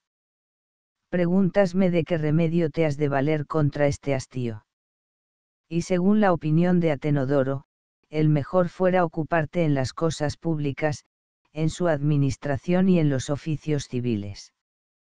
Porque al modo que algunos hombres pasan los días curtiendo sus cuerpos al sol en ocupaciones y ejercicios, y al modo que a los luchadores les es muy útil el gastar mucho tiempo en fortalecer los brazos para el ministerio a que se dedicaron, así a nosotros, que hemos de disponer los ánimos a la pelea de los negocios civiles, nos es fuera de conveniencia asistir siempre en la obra, porque con el intento de hacerse apto para ayudar a sus ciudadanos y a todos, viene a un mismo tiempo a ejercitarse. Y a ser provechoso a otros, aquel que, puesto en medio de las ocupaciones, administró conforme a su caudal las cosas particulares y las públicas. Pero tras esto dice, que como en esta tan loca ambición de los hombres son tantos los calumniadores que tuercen lo justo a la peor parte, viene a estar poco segura la sencillez, siendo más lo que impide que lo que ayuda. Conviene, pues, apartarnos de los tribunales y de los puestos públicos, que el ánimo grande también tiene en los retiramientos donde poder espaciarse, y como el ímpetu de los leones y de otras bestias fieras no me acobarda estando metidos en sus cuevas, así tampoco dejan de ser grandes las acciones de los hombres grandes, aunque estén apartados del concurso. De tal manera se retiran estos, que donde quiera que esconden su quietud, lo hacen con intento de aprovechar a todos en común y a cada uno en particular, ya con su ingenio, ya con sus palabras y ya con su consejo. Porque no solo sirven a la República los que apadrinan a los pretendientes, y los que defienden a los reos, y los que tienen voto en las cosas de la paz y de la guerra, sino también aquellos que exhortan a la juventud y a los que, en tiempo que hay tanta falta de buenos preceptos, instruyen con su virtud los ánimos, y los que detienen y desvían a los que se precipitaban a las riquezas y demasías. Y si de todo punto no lo consiguen, por lo menos los retardan. Los que esto hacen, aun estando retirados, tratan el negocio público. Por ventura hace más el corregidor y juez, que entre los vecinos y forasteros pronuncia las sentencias comunicadas con su asesor, que el que retirado enseña qué cosa es justicia, piedad, paciencia, fortaleza, desprecio de la muerte, conocimiento de los dioses y, finalmente, el gran bien que consiste en tener buena conciencia. Luego si gastares el tiempo en los estudios, aunque te apartes de los oficios, no será desampararlos ni faltar a tu obligación, pues no solo milita el que en la campaña está defendiendo el lado derecho o siniestro, sino también el que guarda las puertas, y el que asiste haciendo centinela en la plaza de armas, porque aunque este puesto es menos peligroso, no es menos cuidadoso, y así, aunque estos cuidados tienen menos de sangrientos, entran a gozar de los estipendios y sueldos. Si te retirares a tus estudios y dejares todo el cansancio de la vida, no vendrás a codiciar la noche por el fastidio del día, ni te cansarás de ti mismo, ni a otros serás enfadoso. Llevarás muchos a tu amistad, y te irán a buscar todos los hombres de bien, porque aunque la virtud esté en lugar oscuro, jamás se esconde, antes siempre da señales de sí, y cualquiera que fuere digno de ella, la hallará por las huellas. Pero si nos apartamos de la comunicación, y renunciamos el trato de los hombres, viviendo solamente para nosotros, sucederá a esa retirada una soledad, carecedora de todo buen estudio, y una falta de ocupaciones, con que comenzaremos a plantar unos edificios, y a derribar otros, a dividir el mar, a conducir sus aguas contra la dificultad de los lugares, consumiendo mal el tiempo que nos dio la naturaleza para que le empleásemos bien. Unos usamos de él con templanza y otros con prodigalidad, unos le gastamos en tal forma que podemos dar razón, otros sin que nos queden reliquias de él, por lo cual no hay cosa más torpe que ver un viejo de mucha edad que, para probarlo, no tiene otro testimonio más que los años y las canas. Paréceme a mí, oh carísimo sereno, que Artemidoro se rindió con demasía a los tiempos, y que con demasiada presteza huyó de ellos, porque yo no niego que tal vez sea de hacer retirada, pero ha de ser a paso lento, sin que el enemigo lo entienda, conservando las banderas y la reputación militar. Los que con las armas se entregan al enemigo, están más seguros y estimados, lo mismo juzgo convenir a la virtud y a los amadores de ella, que si prevaleciere la fortuna, y les atajare la facultad y posibilidad de hacer bien, no huyan luego, ni volviendo las espaldas desarmados busquen dónde esconderse, siendo cierto que no hay lugar seguro ni exento de las persecuciones de la fortuna. En tal caso entren con mayor denuedo en los negocios de la República, buscando con buena elección algún ministerio en que puedan ser útiles a su ciudad. El que no puede militar, aspire a honores civiles, si ha de pasar vida privada, sea orador, si le imponen silencio, ayude a sus ciudadanos con abogacía, si tiene peligro en los tribunales, muéstrese en las casas, espectáculos y convites buen vecino, amigo fiel y templado convidado, y en caso que le falten los ministerios de ciudadano, no le falten los de hombres, y por esta razón, teniendo gallardía de ánimo, no nos hemos encerrado en las murallas de una ciudad, antes hemos salido al comercio. De todo el orbe, juzgando por patria a todo el mundo, para dar con esto más ancho campo a la virtud. Si no has podido llegar a ser consejero, si te está prohibido el púlpito, y no te llaman a las juntas, pon los ojos en la grande latitud de provincias y pueblos, y verás que nunca se te prohíbe tanta parte que no sea mucho mayor la que se te deja. Pero advierte en que esta culpa no sea toda tuya, por no querer servir a la República, si no te hacen oidor o uno de los cincuenta magistrados, o sacerdote de Ceres, o supremo dictador. Será bueno que no quieras militar si no te hacen general o tribuno. Si otros están en la primera frente, y la fortuna te puso en retaguardia, pelea desde ella con la voz, con la exhortación, con el ejemplo y con el ánimo. El que estando a pie quedó esfuerza a los demás con vocería, hallará cómo ayudar en la guerra, aun después de cortadas entrambas manos. Lo mismo harás tú, si la fortuna te apartase de los primeros puestos de la República, si estuvieres firme y la ayudares con voces, y si te cerraren los labios, no descaezcas, ayúdala con silencio, que el cuidado del buen ciudadano jamás es inútil, pues siempre hace fruto con el oído, con la vista, con el rostro, con la voluntad y con una tácita obstinación y hasta con los mismos pasos, porque al modo que muchas cosas salutíferas hacen provecho con solo olerlas, sin llegar a gustarlas ni tocarlas, así la virtud esparce mil utilidades, aunque esté lejos y escondida, ora use de su derecho, ora tenga las entradas precarias, hallándose obligada a recoger las velas, ora esté ociosa y muda o encarcelada en angosto sitio, ora esté en público, porque en cualquier traje será provechosa. ¿Piensas tú que es de poco fruto el ejemplo del que retirado vive bien? Asegúrote que es cosa muy superior mezclar el ocio en los negocios cuando se prohíbe la vida activa, o ya con casuales impedimentos, o con el estado de la República. Porque nunca se cierran tan de todo punto las cosas que no quede lugar para alguna acción honesta. Podrás por ventura hallar alguna ciudad más perdida de lo que fue la de Atenas, cuando los treinta tiranos la despedazaban, habiendo muerto a mil y trescientos ciudadanos de los mejores, sin poner esto fin a la ciudad que consigo mismo se irritaba.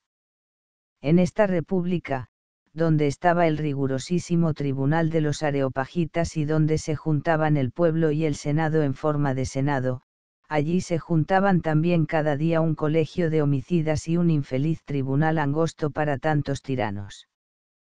Podía, por ventura, tener alguna quietud aquella ciudad, donde los tiranos eran tantos cuantos los soldados de la guarda, sin que se pudiese ofrecer a los ánimos esperanza alguna de libertad y sin descubrirse camino para el remedio contra tan gran fuerza de infortunios.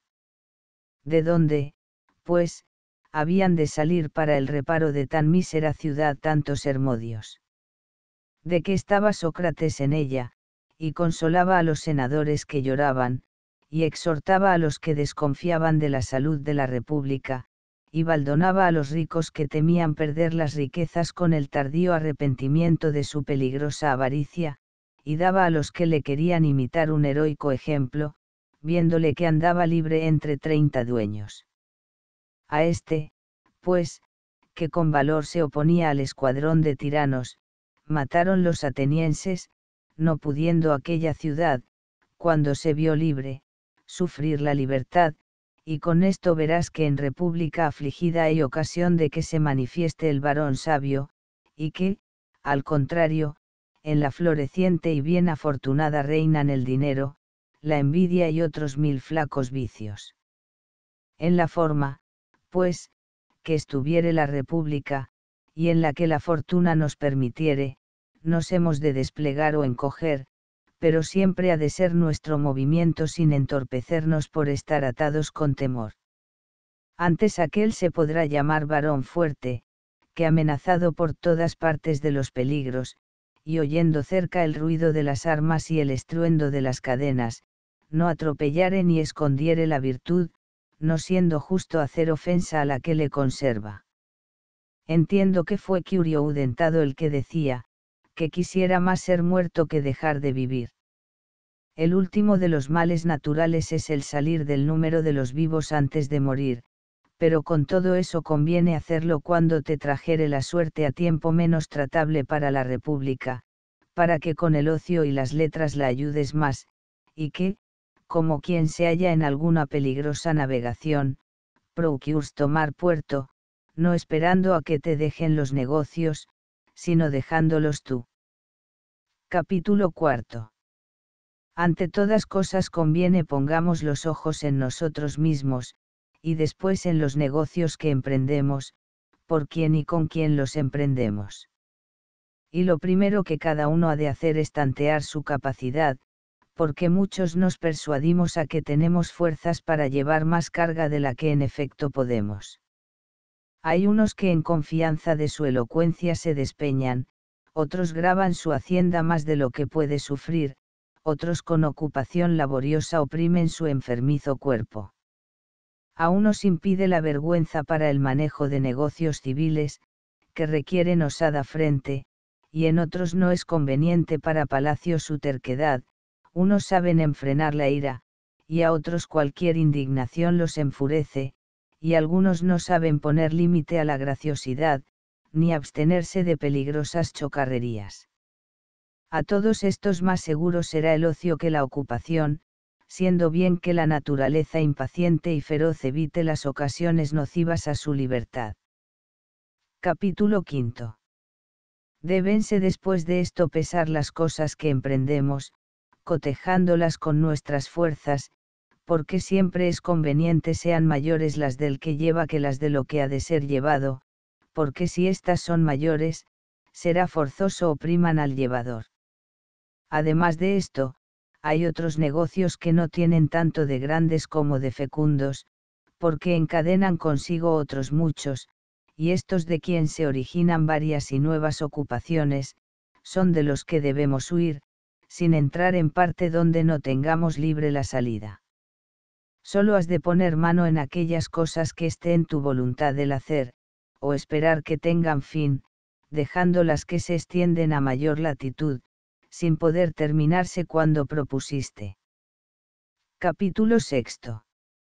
Has de hacer, finalmente, examen de los hombres, para ver si son dignos de que en ellos empleemos parte de nuestra vida, o si les alcanza algo de la pérdida de nuestro tiempo. Hay algunos que nos hacen cargo de las buenas obras que voluntariamente les hicimos. Atenodoro dijo que aún no iría al convite de aquel que no se juzgase deudor en tenerlo por su convidado. Persuádome que juzgarás que éste mucho menos iría a las casas de aquellos que quieren con dar su mesa recompensar las amistades de sus amigos, computando por dádivas los platos, y queriendo disculpar su destemplanza diciendo va encaminada a honor de los convidados, quita tú a estos que no tengan testigos de sus convites y no tendrán gusto con el regalo secreto. También debes considerar si tu naturaleza es más apta al despacho de negocios, o a estudios retirados y a contemplación, y luego te has de encaminar a la parte donde te guía la fuerza de tu ingenio y Sócrates sacó del tribunal a un consejero asiéndole por la mano, porque juzgó ser más apto para escribir historias y anales, que los ingenios forzados no responden bien, y si repugna la naturaleza, es bueno el trabajo. Capítulo séptimo. Ninguna cosa hay que tanto deleite el ánimo como la dulce y fiel amistad, siendo gran bien estar dispuestos los pechos para que con seguridad se deposite cualquier secreto en aquel cuya conciencia temas menos que la tuya, cuya conservación mitigue tus cuidados, cuyo parecer aclare tus dudas, cuya alegría destierre tu tristeza y, finalmente, cuya presencia deleite tu vida. Hemos de elegir los amigos tales que, en cuanto fuere posible, estén desnudos de deseos, porque los vicios entran solapados y después se extienden a todo lo que hayan cercano, ofendiendo con el contacto, por lo cual conviene, como se hace en tiempos de pestilencia, que no nos sentemos junto a los cuerpos infectos y tocados de la enfermedad, porque, atraeremos a nosotros los peligros, y con sola la comunicación vendremos a enfermar. De tal manera debemos cuidar en elegir los talentos de los amigos, que sean sin tener la menor falta, porque suele ser origen de enfermedad mezclar lo sano con lo que no lo está. Pero en esto no es mi intento decirte que a tu amistad no atraigas otros más que al sabio, porque donde has de hallar a éste, a quien todos los siglos hemos buscado. Por bueno has de tener al que no es muy malo, pues apenas tuvieras comodidad de hacer mejor elección, aunque buscaras los buenos entre los Platouns y Xenofontes y en aquella fértil cosecha de los discípulos de Sócrates, y aunque gozaras de la edad de Catón, que habiendo producido muchos hombres dignos de haber nacido en su vida, produjo otros muchos peores que en otro algún siglo, siendo maquinadores de grandes maldades, y siendo los unos y los otros necesarios para que fuese conocido Catón. Convino hubiese buenos de quien fuese aprobado, y malos en quien se experimentase su valor. Pero en este tiempo, en que hay tanta falta de buenos, hágase elección menos fastidiosa, y en primer lugar no se elijan hombres tristes, que todo lo lloran, sin que haya cosa alguna que no les sirva de motivo para quejas, y aunque éstos tengan fe y amor, es contrario a la tranquilidad del compañero que anda siempre inquieto y el que se lamenta de todo. Capítulo octavo. Pasemos a la hacienda, ocasión grande de las ruinas humanas, porque si hacemos comparación de las demás cosas que nos congojan, como son la muerte, las enfermedades, los temores, los deseos y el padecer dolores y trabajos con los demás daños que nuestro dinero nos acarrea, hallarás que la hacienda es la que nos pone mayor gravamen, y así debemos ponderar cuán más ligero dolor es no tenerla, que el perderla después de tenida, y con esto conocemos que, al paso que la pobreza es menor materia de tormento, lo es de daño, porque te engañas si juzgas que los ricos sufren más animosamente las pérdidas. El dolor de las heridas es igual a los pigmeos y gigantes. Bien dijo con elegancia que el mismo dolor sentían los calvos que los guedejudos, cuando les arrancaban algún cabello. Esto mismo has de entender de los pobres y de los ricos que sienten un mismo tormento, porque estando los unos y los otros asidos al dinero, no puede arrancárseles sin dolor, pero como tengo dicho, más tolerable es el no adquirir que el perder, y así verás que viven más contentos aquellos en quien jamás puso los ojos la fortuna que los otros de quien los apartó. Bien conoció esta verdad Diógenes, varón de grande ánimo, y dispúsose a no poseer cosa que se le pudiese quitar. A esta que yo llamo tranquilidad, llámala tu pobreza, necesidad o miseria, y ponle otro cualquier ignominioso nombre, que cuando hallares alguno libre de pérfidas, juzgaré que Diógenes no fue dichoso, o yo me engaño, o solo el reino de la pobreza no puede ser ofendido de los avarientos, de los engañadores, de los ladrones y robadores, y si alguno duda de la felicidad de Diógenes, podrá también dudar de la de los dioses inmortales, pareciéndole que no viven felices porque no tienen adornados. Jardines ni preciosas quintas cultivadas de ajenos caseros, y porque no tienen grandes juros en los erarios. Tú, que con las riquezas te desvaneces, no te avergüenzas de ello. Vuelve los ojos al mundo, y verás que los dioses, que lo dan todo, están desnudos y sin poseer cosa alguna, juzgarás tú por pobre, o por semejante a los dioses, al que se desnudó de todas las riquezas. Tienes por más dichosos a Demetrio y Pompeyano, que no hubieron vergüenza de ser más ricos que Pompeyo, haciéndoseles cada día relación de los criados que tenían, como la que al emperador se hace de los soldados de su ejército, habiendo poco antes sido las riquezas de estos, dos esclavos, que sustituyendo servían por ellos, y un aposento algo más acomodado. Huyósele a Diógenes un solo esclavo que tenía, llamado Manes, y habiendo sabido dónde estaba, no hizo diligencia en recobrarle, diciendo parecería cosa torpe que pudiendo Manes vivir sin Diógenes, no pudiese Diógenes vivir sin Manes.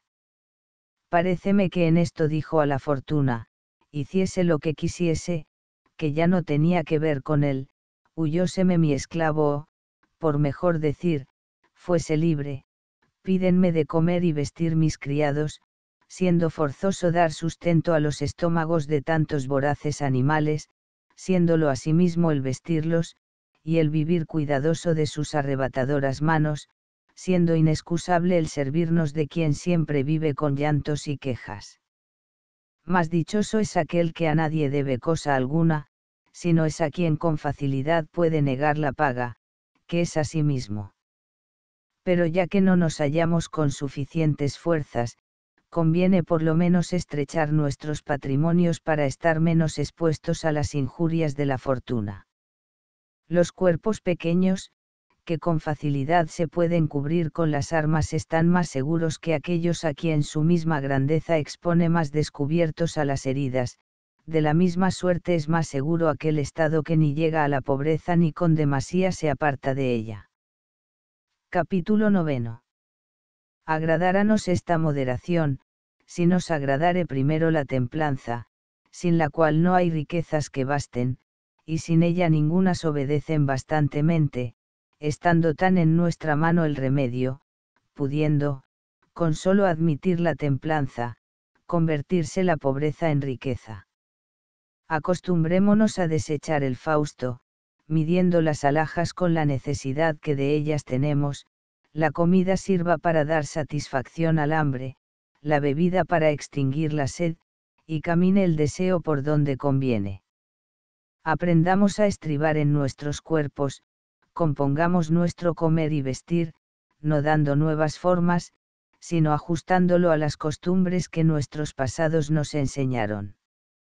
Aprendamos a aumentar la continencia, a enfrenar la demasía, a templar la gula, a mitigar la ira, a mirar con buenos ojos la pobreza, y a reverenciar la templanza, y aunque nos cueste vergüenza el dar a nuestros deseos remedios poco costosos, aprendamos a encarcelar las desenfrenadas esperanzas y el ánimo, que se levanta a lo futuro, procuremos alcanzar las riquezas de nosotros mismos, y no de la fortuna.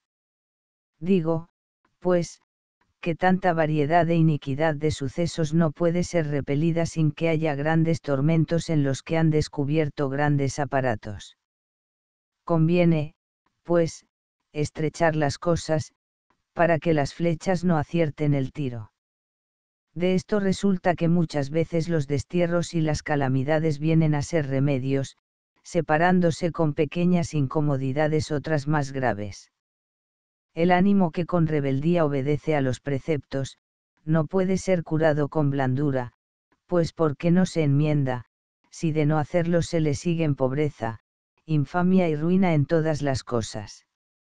Un mal se opone a otro acostumbrémonos a poder cenar sin asistencia de pueblo, y a servirnos de menos criados, haciendo que los vestidos sean para el fin a que se inventaron, y reduciéndonos a vivir en casas más estrechas. Y no solo hemos de volver atrás en la carrera y en la contienda pública del coso, sino también lo hemos de hacer interiormente en estos términos de la vida. Hasta el trabajo de los estudios, con ser tan ingenuo, en tanto se ajusta a la razón, en cuanto se ajusta al modo. ¿De qué sirven innumerables libros y librerías, cuyo dueño apenas leyó en toda su vida los índices? La muchedumbre de libros carga, y no enseña, y así te será más seguro entregarte a pocos autores, que errar siguiendo a muchos. Cuarenta mil cuerpos de libros se abrasaron en la ciudad de Alejandría, hermoso testimonio de la opulencia real, alguno habrá que la alabe, como lo hizo Tito Livio, que la llamó obra egregia de la elegancia y cuidado de los reyes. Pero ni aquello fue elegancia, ni fue cuidado, sino una estudiosa demasía, o por decir mejor, no fue estudiosa, porque no los juntaron para estudios, sino para sola la vista, como sucede a muchos ignorantes, aun de las letras serviles, a quien los libros no les son instrumentos de estudios, sino ornato de sus alas. Téngase, pues, la suficiente cantidad de libros, sin que ninguno de ellos sirva para sola ostentación. Responderásme que tienes por más honesto el gasto que en ellos haces, que el de pinturas y vasos de Corinto. Advierte que donde quiera que hay demasía hay vicio. ¿Qué razón hay para perdonar menos al que procura ganar nombre con juntar estatuas de mármol o marfil, que al que anda buscando las obras de autores ignotos, y quizá reprobados, estando ocioso entre tantos millares de libros, agradándose solamente de las encuadernaciones y rótulos. Hallarás en poder de personas ignorantísimas todo lo que está escrito de oraciones y de historias, teniendo los estantes llenos de libros hasta los techos, porque ya aún en los baños se hacen librerías, como alhaja forzosa para las casas. Perdonáralo yo, si esto naciera de deseos de los estudios, pero ahora estas exquisitas obras de sagrados ingenios, entalladas con sus imágenes, se buscan para adorno y gala de las paredes. Capítulo décimo. Si entraste acaso en alguna difícil forma de vida y, sin saberlo tú, te puso la pública o la particular fortuna en algún lazo que ni sabes desatarle ni puedes romperle, considera que los presos a los principios sufren mal las cadenas y grillos, que son impedimentos de sus pasos, pero después que se determinan a traerlos sin indignarse con ellos, la misma necesidad los anima a sufrirlos con fortaleza, y la costumbre los enseña a llevarlos con facilidad. En cualquier estado de vida hallarás anchuras, gustos y deleites, si te dispusieses primero a querer no juzgar por mal a la que tienes, no haciéndola sujeta a la envidia con ninguna cosa nos obligó más la naturaleza, como fue, conociendo que nacíamos para tantas miserias, haber inventado para temperamento de ellas la costumbre de sufrirlas, la cual con presteza se convierte en familiaridad. Nadie perseverara en las cosas, si la continuación de las adversas tuviera la misma fuerza que tuvo a los primeros acometimientos. Todos estamos atados a la fortuna, pero la cadena de unos es de oro y floja, la de otros estrecha y abatida. Pero ¿de qué importancia es esta diferencia, si es una misma la cárcel en que estamos todos, estando también presos en ella los mismos que hicieron la prisión, si no es que asimismo juzgues que es más ligera la cadena porque te la echaron al lado izquierdo. A unos enlazan y encadenan las honras, a otros las riquezas, a otros la nobleza, a unos oprime la humildad, y hay otros que tienen sobre su cabeza ajenos imperios, y otros los suyos, a unos detiene en un lugar el destierro, a otros el sacerdocio, siendo toda la vida una continuada servidumbre. Conviene, pues, acostumbrarnos a vivir en nuestro estado, sin dar de él una mínima queja, abrazando en él cualquier comodidad que tenga no hay caso tan acerbo en que no halle algún consuelo el ánimo ajustado. Muchas veces el arte del buen arquitecto dispone pequeños sitios para varios usos, y la buena distribución hace habitable el sitio, aunque sea angosto. Arrima tú la razón a las dificultades, y verás cómo con ellas se ablandan las cosas ásperas, se ensanchan las angostas, oprimiendo menos las graves a los que con valor las sufren. Además de esto no se han de extender los deseos a cosas remotas, y ya que de todo punto no los podemos estrechar, les hemos de permitir solo aquello que está cercano, desechando lo que, o no puede conseguirse, o sea de conseguir con dificultad. Sigamos lo que está cerca, y lo que se ajusta y proporciona con nuestra esperanza. Sepamos que todas las cosas son igualmente caducas, y que aunque en lo exterior tienen diferentes visos, son en lo interior igualmente vanas. No tengamos envidia a los que ocupan encumbrados lugares, porque lo que nos parece altura es despeñadero, y al contrario, aquellos a quien la adversa suerte puso en estado de medianía, estarán más seguros si quitaren la soberbia a los ministerios que de suyo son soberbios, bajando, en cuanto les fuere posible, su fortuna a lo llano.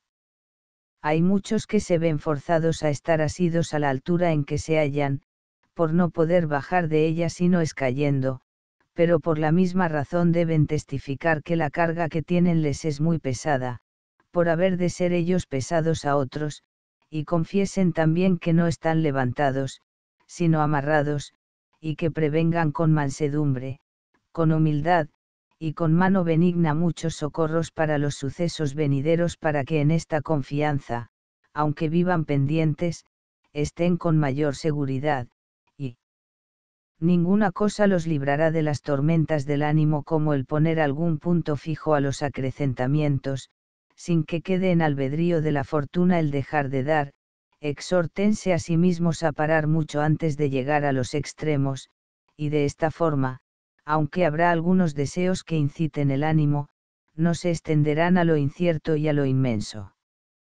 Capítulo 11. Esta mi doctrina habla con los imperfectos, con los mediocres y con los malsanos, y no con el sabio, que ni vive temeroso ni anda atentado, porque tiene de sí tanta confianza, que no recela salir al encuentro a la fortuna, sin jamás rendírsele, y sin poseer cosa en que poder temerla, porque tiene por prestados, no solo los esclavos, las heredades y las dignidades, sino su mismo cuerpo, sus ojos y sus manos, y todo aquello que le puede hacer más amable la vida, viviendo como prestado a sí mismo. Para sin tristeza restituirse a los que le volvieron a pedir, y no se desestima en saber que no es suyo, antes hace todas las cosas con tan gran diligencia y circunspección, como el hombre religioso y santo, que guarda lo que se entregó a su fe, y cada y cuando que se lo mandaren restituir lo hará sin dar quejas de la fortuna, antes dirá, doy gracias por el tiempo que lo poseí. Yo estimo con veneración tus cosas, pero ya que me las pides, te las restituyo con voluntad y agradecimiento, si gustas dejarme alguna, te la guardaré también, pero ya que de ello tienes gusto, te restituyo la plata labrada, la acuñada, la casa y la familia. Si me llamare la naturaleza, que fue la primera que me prestó a mí, le diré también, tómate mi ánimo, mejorado te le vuelvo de lo que me le diste, no ronceo, ni huyo, aprestado está por mí, que me hallo sin voluntad, recibe lo que me diste cuando no tenía sentido. El volver a la parte de donde venimos, que tiene de molestia. Aquel vivirá mal que ignorare el útil de morir bien. Lo primero, pues, a que se ha de quitar la estimación es a la vida, contándola entre las demás cosas serviles. Dice Cicerón que aborrecemos a los gladiadores que en pelea procuran salvar la vida y, al contrario, favorecemos a los que la desprecian. Entiendo, pues, que lo mismo nos sucede a nosotros, siendo muchas veces causa de morir el esperar tímidamente a la muerte. La fortuna, que hace también sus regocijos y espectáculos, dice, ¿para qué te he de reservar, animal malo y cobarde? ¿por qué no sabes ofrecer el cuello has de ser más herido y maltratado, al contrario, tú, que no con cerviz forzada ni cruzadas las manos esperas el cuchillo, vivirás más tiempo y morirás con más despejo. El que temiere la muerte no hará hazaña de varón vivo, mas el que conoce que al tiempo de su concepción capituló el morir, vivirá según lo capitulado, y juntamente con la gallardía de ánimo hará que ninguna cosa de las que en la vida suceden le sea repentina, porque teniendo por asentado que todo lo que puede venirle ha de suceder, mitigará los ímpetus de los males, que éstos nunca traen cosa de nuevo a los que estando prevenidos los esperan, y solamente son graves y pesados a los que viven. Con descuido y esperan solamente las cosas felices. Porque la enfermedad, la cautividad, la ruina y el incendio no me son cosas repentinas, sabiendo yo en cuán revoltoso hospedaje me encerró la naturaleza. Muchas veces sentí llantos en mi vecindad, muchas vi pasar por mi puerta entierros no sazonados, con hachas y cirios, muchas oí el estruendo de soberbios edificios que cayeron, y muchos de aquellos a quienes el tribunal, la corte y la conversación juntaron conmigo, se los llevó una noche, dividiendo las manos unidas en amistad. Tengo de admirarme de que se me hayan llegado los peligros que siempre anduvieron cerca de mí. Muchos hombres hay que habiendo de navegar no se acuerdan de que hay tormentas, yo no me avergüenzo en lo bueno de tener por autor un malo. Publio, más vehemente que los ingenios trágicos y cómicos, todas las veces que dejó los disparates mímicos y los dicterios y donaires concernientes al vulgo, entre otras muchas cosas dignas de la gravedad y escena trágica, dijo, a cada cual puede suceder lo que puede suceder a alguno, el que depositare en su corazón esta sentencia y atendiere a los males ajenos, de que cada día hay tanta abundancia, y conociere que tienen libre el camino para venir a él, este tal se prevendrá antes de ser acometido. Tardamente se arma el ánimo a la paciencia de los trabajos, después que ellos han llegado. Dirás, no pensé que esto sucediera, ni creí que esto pudiera venirme. Pues ¿por qué no lo pensaste? ¿Qué riquezas hay a quien no vayan siguiendo la pobreza, el hambre y la mendicidad? ¿Qué dignidad hay a cuya garnacha, cuyo hábito augural y cuyas insignias de nobleza no acompañen asquerosidades, destierros, descréditos, mil anchas y últimamente el desprecio? ¿Qué reino hay a quien no esté aparejada la ruina y la caída, teniendo ora un justo dueño y ora un injusto tirano.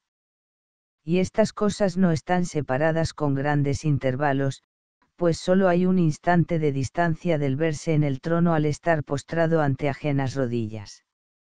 Persuádate, pues, que todo estado es mudable, y que lo que ves en otros puede suceder en ti.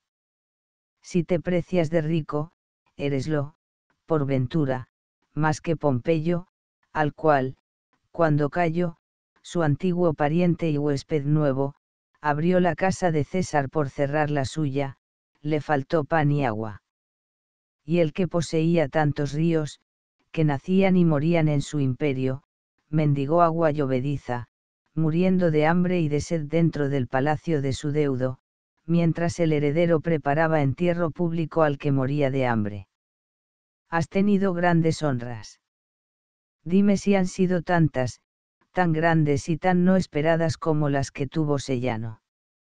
Pues advierte que el mismo día que le acompañó el Senado le despedazó el pueblo, y habiendo puesto en él los dioses y los hombres todo lo que se puede juntar, no quedó cosa que en el verdugo no hiciese presa. Eres rey. Pues no te enviaré a Creso, que entró mandando en la hoguera y la vio extinguida, sobreviviendo no solo al reino, sino a su misma muerte. No te enviaré a Yugurta, a quien el pueblo romano vio preso dentro del año en que le había temido. No a Ptolomeo, rey de África, ni a Mitrídates, rey de Armenia, a quienes vimos entre las guardas callanas, siendo el uno desterrado, y deseando el otro serlo con seguridad si en tan gran mutabilidad de las cosas que suben y bajan no juzgares que te amenaza todo lo que puede sucederte, darás contra ti fuerzas a las adversidades, las cuales quebranta el que las anteve. Lo que a esto se sigue es que ni trabajemos en lo necesario, ni para ello, quiero decir, que o no deseemos lo que no podemos conseguir, o lo que se ha de conseguir tarde, y después de haber pasado mucha vergüenza, conozcamos la vanidad de nuestros deseos, no poniéndolos en aquello en que ha de salir vano, y sin efecto el trabajo, a donde el efecto ha de ser indigno de lo que se trabajó, porque casi siempre se sigue tristeza si no suceden, o si suceden vienen a causar vergüenza. Capítulo 12. Conviene reformar los paseos, que en muchos hombres son tan continuos que andan siempre vagando por las casas y teatros, ofreciéndose a los negocios ajenos, remedando a los que siempre están ocupados. Y si preguntas a alguno de estos cuando se ir de casa, a dónde va o en qué piensa, te responderá, por Dios que no lo sé, visitaré a algunos y haré algún negocio. Van sin determinación buscando ocupaciones, y sin hacer aquello que habían determinado hacen lo que primero se les ofreció, su paseo es vano y sin consejo, como el de las hormigas que suben por los árboles, y después de haber llegado a la cima bajan vacías al tronco. Muchos son los que pasan la vida semejante a estas, pudiendo con razón llamarla una inquieta pereza. De otros tendrás compasión, como de personas que corren incendio, que atropellando a los que encuentran se despeñan y los despeñan. Estos tales, después de haber corrido a saludar a quien no les ha de pagar la cortesía, o para hallarse en las honras de persona con quien no tuvieron conocimiento, o para asistir a la vista de algún pleito, del que es siempre litigante, o a las bodas de quien muchas veces se casa, siguiendo su litera y ayudando en muchas partes a llevarla, cuando vuelven a sus casas con un vacío cansancio juran que ni saben a qué salieron, ni dónde estuvieron, con haber de andar los mismos pasos el día siguiente enderécese, pues, tu trabajo a algún fin, y mire aparte seguro. A los inquietos y locos no los mueve la industria, muévenles las falsas imágenes de las cosas, porque les obliga alguna vana esperanza, convídalos la apariencia de aquello cuya vanidad no la comprende el entendimiento cautivo. Del mismo modo sucede a los que salen de casa a solo aumentar el vulgo, llevándolos por la ciudad insustanciales y ligeras ocasiones, y sin tener en qué trabajar los espele de sus casas a la salida del sol, y después de haber sufrido mil encontrones para llegar a saludar a muchos, siendo mal admitidos de algunos, a ningunos hallan más dificultosamente en casa que a sí mismos. De esta ociosidad se origina el vicio de andar siempre escuchando e inquiriendo los secretos de la República y el saber muchas cosas que ni con seguridad se pueden contar, ni aun saberse con ella. Pienso que, siguiendo esta doctrina Demócrito, comenzó diciendo, el que quisiere vivir en tranquilidad, ni haga muchas cosas en que se singularice, ni se deje llevar con publicidad a las superfluas porque de las que son necesarias, no solo se han de hacer muchas privadas y públicamente, sino innumerables, pero donde no nos llama la obligación de algún importante ministerio, conviene enfrenar nuestras acciones. Capítulo 13. Porque el que se ocupa de muchas cosas hace muchas veces entrega de sí a la fortuna, siendo más seguro hacer de ella pocas experiencias, no obstante que conviene pensar mucho en ella, sin prometerse seguridad alguna de su fe. Dirá el sabio, haré mi navegación, si no hubiera algún accidente, seré oidor, si no se ofreciere algún impedimento, y mis trazas saldrán bien, si no interviene algún estorbo. El decir esto es lo que obliga a que afirmemos que al sabio no le suceda cosa alguna contra su opinión. No le exceptuamos de los sucesos humanos, sino de los errores, ni decimos le suceden todas las cosas como deseó, sino como pensó, porque antes de emprenderlas se persuadió podía haber algo que impidiese la ejecución de sus deseos, y así, es forzoso que al que no se prometió seguridad en sus intentos, venga más templado el dolor de verlos defraudados. Capítulo 14 debemos también hacernos fáciles, sin entregarnos con pertinacia a las determinaciones, pasemos a lo que nos llevare el suceso, y no temamos las mudanzas de consejo o de estado, con tal que no seamos poseídos de la liviandad, vicio encontradísimo con la quietud, porque es forzoso que la pertinacia sea congojosa y miserable en aquel a quien diversas veces quita alguna cosa la fortuna, y que sea más grave la liviandad de aquel que jamás está en un ser. El ignorar hacer mudanza cuando conviene y el no saber perseverar en cosa alguna, son cosas contrarias a la tranquilidad, conviene, pues, que apartándose el ánimo de todas las externas, se reduzca así, confíe de sí y se alegre consigo, abrace sus cosas en cuanto fuese posible, abstrayéndose de las ajenas y aplicándose a sí mismo sin sentir los daños, juzgando con benignidad aún de las cosas adversas. Habiendo llegado nuevas a nuestro cenón de que en un naufragio se había anegado toda su hacienda, dijo, quiere la fortuna que yo filosofe más desembarazadamente. Amenazaba un tirano a Teodoro filósofo con la muerte y con que no sería sepultado, y él respondió, tienes con qué alegrarte, pues mi sangre está en tu potestad, pero en lo que dices de la sepultura eres ignorante, si piensas que importa el podrecerme encima o debajo de la tierra. Canio Julio, varón grande, a cuya estimación no daña el haber nacido en nuestro siglo, habiendo altercado mucho tiempo con Cayo, le dijo aquel Falaris cuando se iba, para que no te lisonjees con vana esperanza, he mandado te lleven al suplicio, y él le respondió, doy las gracias, óptimo príncipe. Estoy dudoso de lo que en esto quiso sentir, y ocurrenme muchas cosas. Quísole afrentar dándole a entender cuán grande era su crueldad, pues tenía por beneficio la muerte, o quizá le dio en rostro con la ordinaria locura de aquellos que le daban gracias cuando les había muerto sus hijos y quitádoles sus haciendas, o por ventura recibió con alegría la muerte juzgándola por libertad. Sea lo que fuere, la respuesta fue de ánimo gallardo. Dirá alguno que pudo después de esto mandar Cayo que Canio viviese. No temió esto Canio, que era conocida la estabilidad que en semejantes crueles mandatos tenía Cayo. ¿Piensas tú que sin algún fundamento pidió cinco días de dilación para el suplicio? No parece verosímil lo que aquel varón dijo y lo que hizo, y en la tranquilidad que estuvo jugando estaba al ajedrez cuando el alguacil que traía la caterva de muchos condenados a muerte mandó que también le sacasen a él, y después de haber sido llamado, contó los tantos y dijo al que jugaba con él, advierte que después de mi muerte no mientas diciendo que me ganaste. Y llamando al alguacil, le dijo, serás testigo de que le gano un tanto. ¿Piensas tú que Canio jugaba en el tablero? Lo que hacía no era jugar, sino burlarse del tirano, y viendo llorosos a sus amigos por la pérdida que hacían de tal varón, les dijo, ¿de qué estáis tristes? Vosotros andáis investigando si las almas son inmortales, y yo lo sabré ahora.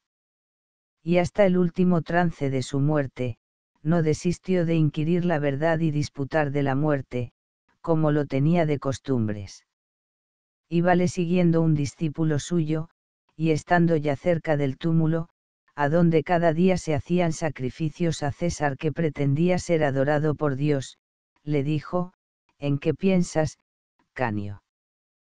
¿Qué juicio es el tuyo? Sacrifica a César.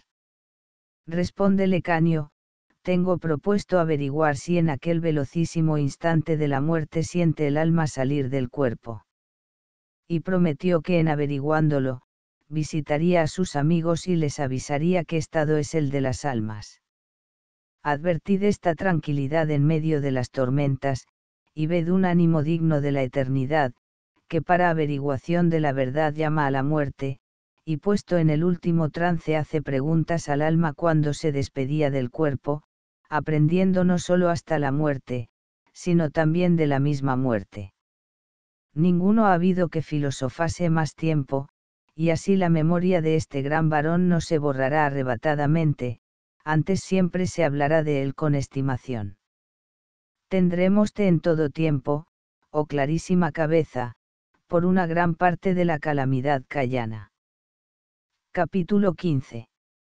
Y no basta desechar las causas de la tristeza particular, que sin ellas nos posee muchas veces un aborrecimiento de todo el género humano, saliéndonos al encuentro la turba de tantas bien afortunadas maldades, y cuando hacemos reflexión de cuán rara es la sencillez, cuán no conocida la inocencia y cuán poco guardaba la fe, sino es en aquel a quien le está bien guardarla, y cuando miramos las ganancias y los daños de la sensualidad, igualmente aborrecidos, cuando vemos que la ambición, no. Ajustada en sus debidos términos, resplandece con su misma torpeza, escóndesele al ánimo la luz, y salen oscuras tinieblas, cuando por estar abatidas las virtudes, ni es permitido esperarlas, ni aprovecha el tenerlas. Debemos, pues, rendirnos a no tener por aborrecibles sino por ridículos todos los vicios del vulgo, imitando antes a Demócrito que a Heráclito. Este siempre que salía en público lloraba, y el otro reía. Este juzgaba todas nuestras acciones por miserias, y aquel las tenía por locuras. Sufranse todas las cosas con suavidad de ánimo, siendo más humana acción reírnos de la vida que llorarla. Y añade que en mayor obligación pone al género humano el que se ríe de él, que no el que le llora, porque el primero deja alguna parte de esperanza, y es otra llora neciamente aquello que desconfía poder remediarse. Y bien considerado todo, mayor grandeza de ánimo es no poder enfrenar la risa que el no poder detener las lágrimas, porque todas las cosas que nos obligan a estar alegres o tristes, mueven el ligerísimo afecto del ánimo, sin que juzgue que en tanto aparato de cosas hay alguna que sea grande, severa ni seria.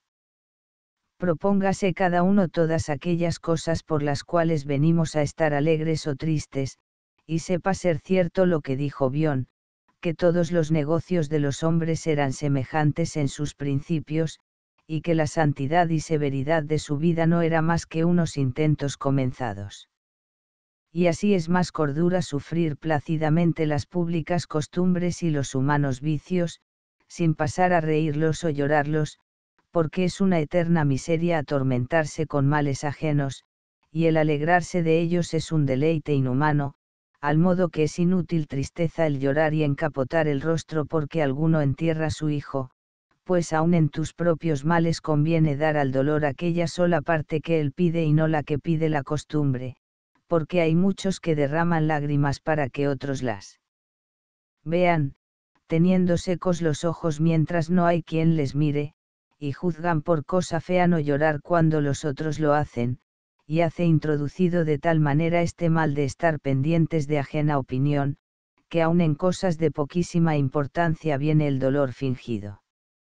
Síguese tras esto una parte que no sin causa suele entristecer y poner en cuidado, cuando los remates de los buenos son malos, como son morir, Sócrates en una cárcel, y vivir en destierro rutilio, y entregar Pompeyo y Cicerón la cerviz a sus mismos paniaguados, y que el gran Catón, única imagen de las virtudes, recostado sobre la espada de juntamente satisfacción de sí y de la República. Conviene, pues, el dar quejas de que la fortuna pague con tan inicuos premios, porque ¿qué puede esperar cada uno cuando ve que los buenos padecen grandes males? Pues ¿qué hemos de hacer en tal caso?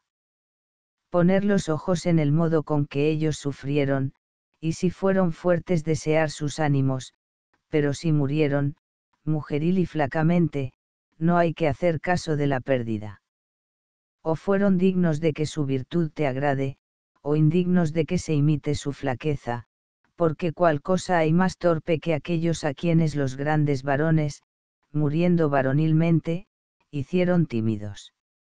Alabemos aquel que por tantas razones es digno de alabanza, y digamos de él, cuanto más fuerte fuiste, fuiste más dichoso, escapaste ya de los humanos acontecimientos, y de la envidia y enfermedad, saliste de la prisión tú que no eras merecedor de mala fortuna, y los dioses te juzgarán por cosa indigna que ella tuviese en ti algún dominio. A los que, cuando llega la muerte, rehuyen y ponen los ojos en la vida, se han de echar las manos. Yo no lloraré al que está alegre, ni lloraré al que llora, porque el primero con la alegría me quitó las lágrimas, y éste con las suyas se hizo indigno de las de otros he de llorar yo a Hércules quemado vivo. A Régulo clavado con muchos clavos. A Catón, que con fortaleza sufrió tantas heridas. Todos estos, con corto gasto de tiempo breve, hallaron modo de eternizarse, llegando a la inmortalidad por medio de la muerte. Es asimismo no pequeña materia de cuidado el tenerle grande de componerte, no mostrándote sencillo, culpa en que caen muchos, cuya vida es fingida y ordenada a sola ostentación, y esta continua diligencia los martiriza, recelando no los hallen en diferente figura de la que acostumbran, porque este cuidado jamás afloja mientras juzgamos que todas las veces que nos miran nos estiman, y hay muchos sucesos que contra su voluntad los desnudan de la ficción, y dado caso que esta fingida compostura les suceda bien, no es posible que los que siempre viven con máscara tengan vida gustosa ni segura, y al contrario, la sencillez cándida, y adornada de sí misma, sin echar velo a las costumbres, goza de infinitos deleites. Pero también esta vida tiene peligro de desprecio, porque cuando todas las cosas son patentes a todos, hay muchos que hacen desestimación de lo que tratan más de cerca, aunque la virtud no tiene peligro de envilecerse por acercarse a los ojos, y mucho mejor es ser despreciado por sencillo que vivir atormentado con perpetua simulación.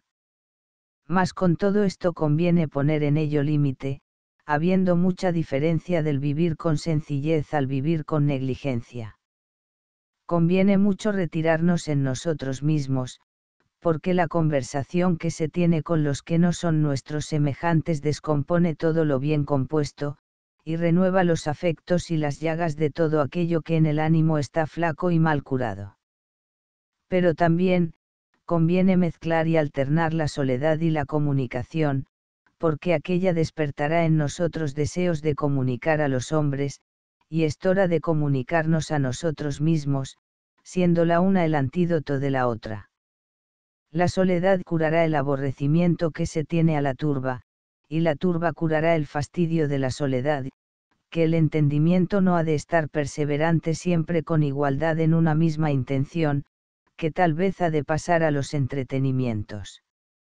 Sócrates no se avergonzaba de jugar con los niños, y Catón recreaba en convites el ánimo fatigado de cuidados públicos. Scipión danzaba a compás con aquel su militar y triunfador cuerpo, pero no haciendo mudanzas afeminadas de las que exceden a la blandura mujeril, como las que ahora se usan, sino como lo solían hacer aquellos antiguos varones que se entretenían entre el juego y los días festivos, danzando varonilmente, sin que pudiesen perder crédito aunque los viesen danzar sus enemigos. Darse tiene algún refrigerio a los ánimos, porque descansados se levanten mejores y más valientes al trabajo, y como los campos fértiles no se han de fatigar, porque el no dar alguna intermisión a su fecundidad los enflaquecerá con presteza, así el trabajo continuo quebranta los ímpetus del ánimo, que recreado tomará más fuerzas. De la continuación en los cuidados nace una como inhabilidad y descaecimiento de los ánimos, y el eficaz deseo de los hombres no se inclinará a tanto, si en el entretenimiento y juego no hallara un casi natural deleite, cuyo uso siendo frecuente quita a los ánimos todo el vigor y fuerza. Necesario es el sueño para reparar las fuerzas, pero si le continúas de día y de noche, vendrá a ser muerte, mucha diferencia hay en aflojar o soltar una cosa los legisladores instituyeron días festivos para que los hombres se juntasen públicamente, interponiendo con alegría un casi necesario temperamento a los trabajos, y los grandes varones, como tengo dicho, se tomaban cada mes ciertos días feriados, y otros no dejaron día alguno sin dividirle entre los cuidados y el ocio, como lo sabemos de Polión Asinio, gran orador a quien ningún negocio detuvo en pasando la hora décima, y después, ni aun quería leer las cartas, porque de ellas no le resultase. Algún cuidado, reparando en aquellas dos horas de descanso el trabajo de todo el día. Otros dividieron el día reservando para las tardes los negocios de menor cuidado, y nuestros pasados prohibieron el hacerse en el Senado nuevas relaciones pasada la hora décima. El soldado divide las velas, y el que viene de la campaña está libre de hacer la centinela. Conviene ensanchar el ánimo dándole algún ocio que aliente y de fuerzas, y el paseo que se hiciere sea en campo abierto para que en cielo libre y con mucho aliento se levante y aumente el ánimo, y tal vez dará vigor el andar a caballo, haciendo algún viaje y mudando de sitio. Los banquetes y la bebida algo más licenciosa, y aun llegando tal vez a la raya de la embriaguez, no de modo que nos anegue, sino que nos divierta, nos aligerarán los cuidados sacando el ánimo de su encerramiento, porque como el vino cura algunas enfermedades, así también cura la tristeza. Abaco, inventor del vino, le llamaron liber, no por la libertad que da a la lengua, sino porque libra el ánimo de la servidumbre de los cuidados, fortaleciéndole y haciéndole más vigoroso y audaz para todos los intentos, pero como en la libertad es saludable la moderación, lo es también el vino. De Solón y Arquesilao se dice que fueron dados al vino, a Catón le tacharon de embriaguez, pero el que a Catón opone esta culpa podrá con más facilidad persuadir que ella sea honesta que no que Catón haya sido torpe. Mas esta licencia del vino no se ha de tomar muchas veces, porque el ánimo no se habitúe a malas costumbres, aunque tal vez ha de salir a regocijo y libertad, desechando algún tanto la sobriedad triste, porque si damos crédito al poeta griego, alguna vez da alegría el enloquecerse, y si a Platón, en vano abre las puertas a la poesía el que está con entero juicio, y si a Aristóteles, pocas veces hubo ingenio grande sin alguna mezcla de locura no puede decir cosa superior y que exceda a los demás, sino es el entendimiento altivo, que despreciando lo vulgar y usado se levanta más alto con un sagrado instinto, porque entonces con boca de hombre canta alguna cosa superior. Mientras una persona está en sí, no se le puede ofrecer pensamiento sublime, y puesto en altura, conviene que se aparte de lo acostumbrado y que se levante, y que tascando el freno arrebate al caballero que le guía, llevándole hasta donde él no se atrevería a correr. Con esto tienes, oh carísimo sereno, las cosas que pueden defender la tranquilidad, las que la pueden restituir y las que pueden resistir a los vicios que se quieren introducir. Pero conviene sepas que ninguna de estas cosas es suficiente a los que han de guardar una tan débil, si no es que al ánimo que va a caer le cerque un continuo y asistente cuidado. Libro cuarto. A sereno. De la constancia del sabio y que en él no puede caer injuria. Capítulo primero. No sin razón me atreveré a decir, oh amigo sereno, que entre los filósofos estoicos y los demás profesores de la sabiduría y la diferencia que entre los hombres y las mujeres, porque aunque los unos y los otros tratan de lo concerniente a la comunicación y compañía de la vida, los unos nacieron para imperar y los otros para obedecer. Los demás sabios son como los médicos domésticos y caseros, que aplican a los cuerpos medicamentos suaves y blandos, no curando como conviene, sino como les es permitido. Los estoicos, habiendo entrado en varonil camino, no cuidan de que parezca ameno a los que han de caminar por él, tratan solo de librarlos con toda presteza de los vicios, colocándolos en aquel alto monte que de tal manera está encumbrado y seguro, que no solo no alcanzan a él las flechas de la fortuna, sino que aún les está superior. Los caminos a que somos llamados son arduos y fragousos, que en los llanos no hay cosa eminente, pero tras todo eso, no son tan despeñaderos como muchos piensan. Solas las entradas son pedregosas y ásperas, y que parece están sin senda, al modo que sucede a los que de lejos miran las montañas, que se les representan ya quebradas y ya unidas, porque la distancia larga engaña fácilmente la vista, pero en llegando más cerca, todo aquello que el engaño de los ojos había juzgado por unido, se va poco a poco mostrando dividido, y lo que desde lejos parecía despeñadero, se descubre en llegando ser un apacible collado.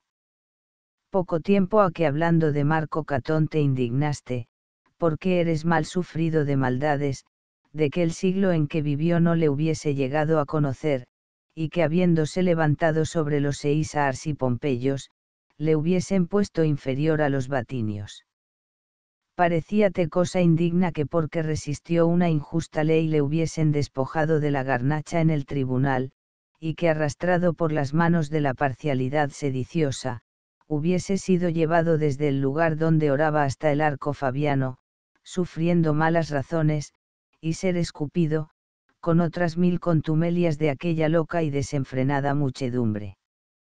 Respondite entonces que más justo era dolerte de la República, que de una parte la rendía Publio Clodio y de otra Batinio y otros muchos ciudadanos, que corrompidos con la ciega codicia, no conocían que mientras ellos vendían la República, se vendían a sí mismos. Capítulo segundo. Por lo que toca a Catón, te dije que no había para que te congojases, porque ningún sabio puede recibir injuria ni afrenta, y que los dioses nos dieron a Catón por más cierto dechado de un varón sabio, que en los siglos pasados a Ulises o Hércules, porque a estos llamaron sabios nuestros estoicos por haber sido invictos de los trabajos, despreciadores de los deleites, y vencedores de todos peligros. Catón no llegó a manos con las fieras, que el seguirlas es de agrestes cazadores, ni persiguió a los monstruos con fuego o hierro, ni vivió en los tiempos en que se pudo creer que se sostuvo el cielo sobre los hombros de un hombre, mas estando ya el mundo en sazón, que desechada la antigua credulidad había llegado a entera astucia, peleó con el soborno y con otros infinitos males, peleó con la hambrienta y ambiciosa codicia de imperar que tenían aquellos, a quien no parecía suficiente el orbe. Dividido entre los tres, y solo Catón estuvo firme contra los vicios de la República, que iba degenerando y cayéndose con su misma grandeza, y en cuanto fue en su mano, la sostuvo, hasta que arrebatado y apartado se le entregó por compañero en la ruina, que mucho tiempo había detenido, muriendo juntos él y la República, por no ser justo se dividiesen, pues ni Catón vivió en muriendo la libertad, ni hubo libertad en muriendo Catón. ¿Piensas tú que a tal varón pudo injuriar el pueblo porque le quitó el gobierno y la garnacha, y porque cubrió de saliva aquella sagrada cabeza? El sabio siempre está seguro, sin que la injuria o la afrenta le puedan hacer ofensa. Capítulo tercero. Paréceme que veo tu ánimo, y que, encendido en cólera, te aprestas a dar voces, diciendo, estas cosas son las que desacreditan y quitan la autoridad a vuestra doctrina, prometéis cosas grandes, y tales, que no solo no se pueden desear, pero ni aun creer.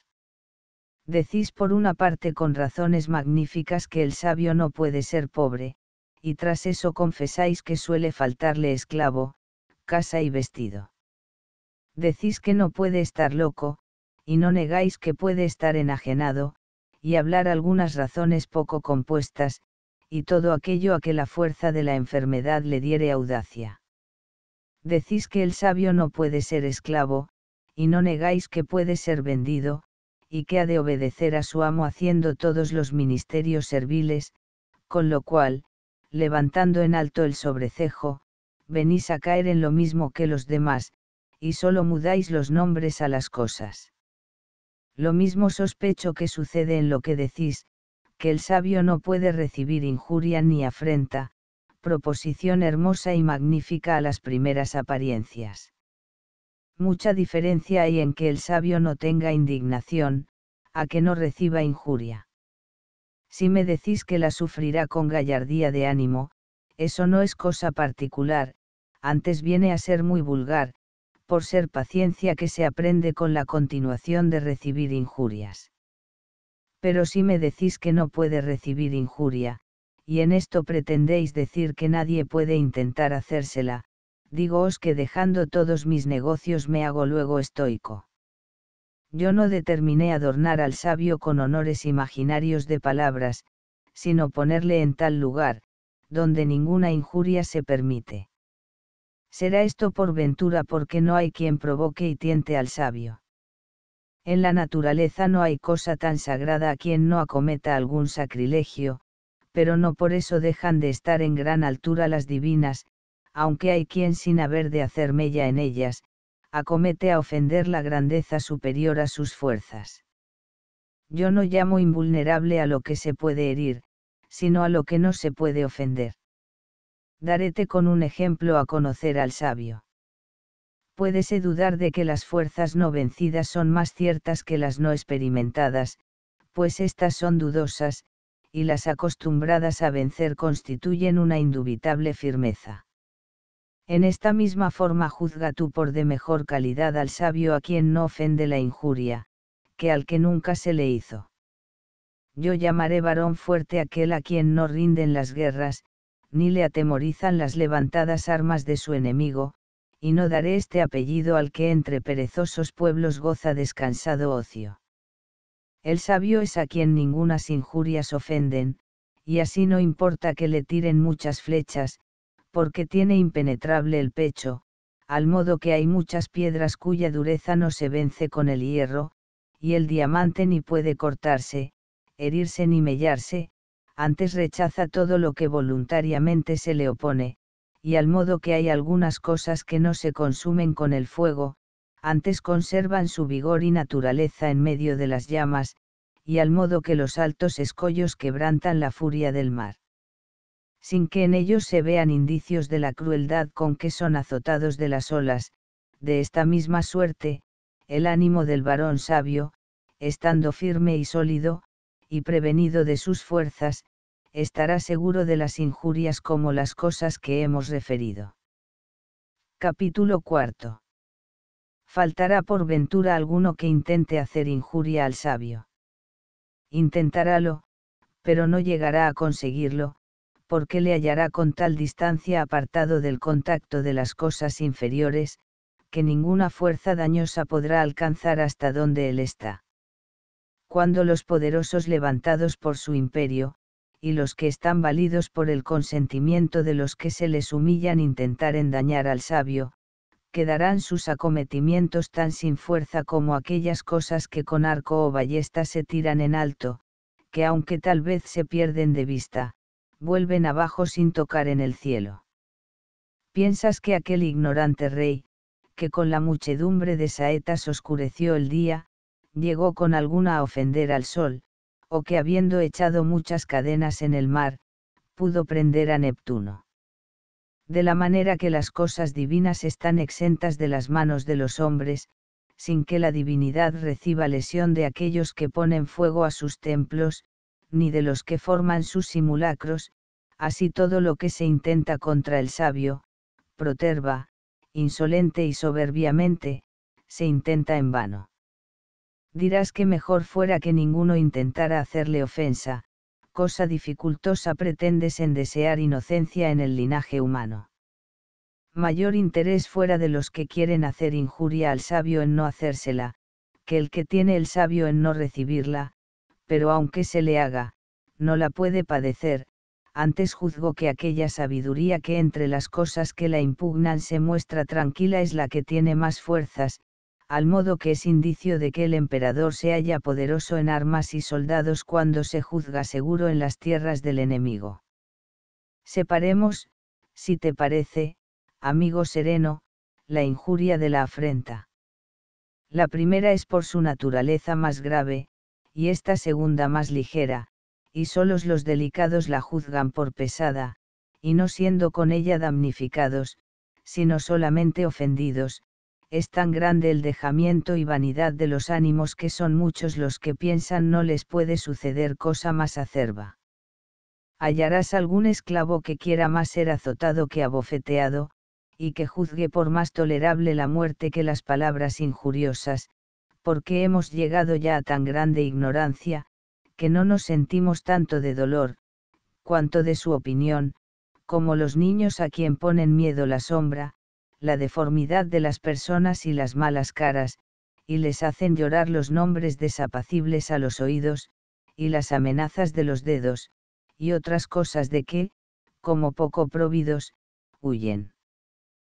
Capítulo V. El fin de la injuria es hacer algún mal, pero la sabiduría no le deja lugar en que entre, porque para ella no hay otro mal si no es la torpeza, la cual no tiene entrada donde una vez entraron la virtud y lo honesto, según lo cual, es cosa cierta que no puede llegar la injuria al sabio, porque el padecer algún mal es lo que se llama injuria, y el sabio no le padece, es evidencia de que no tiene que ver con él la injuria, porque toda injuria es una cierta disminución del sujeto en quien cae, no.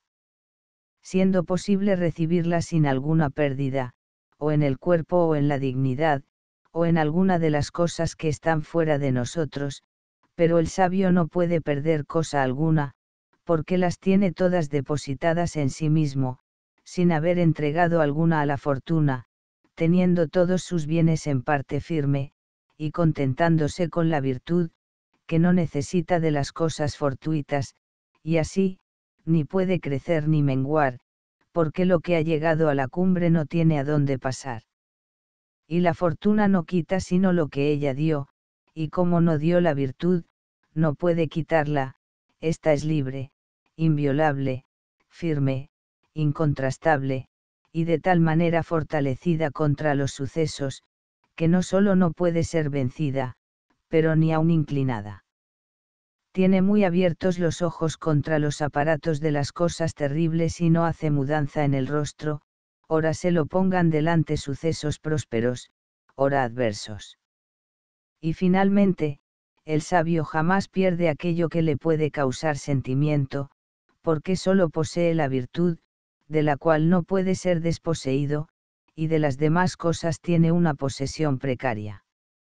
¿Quién, pues, se lamenta con la pérdida de lo que es ajeno?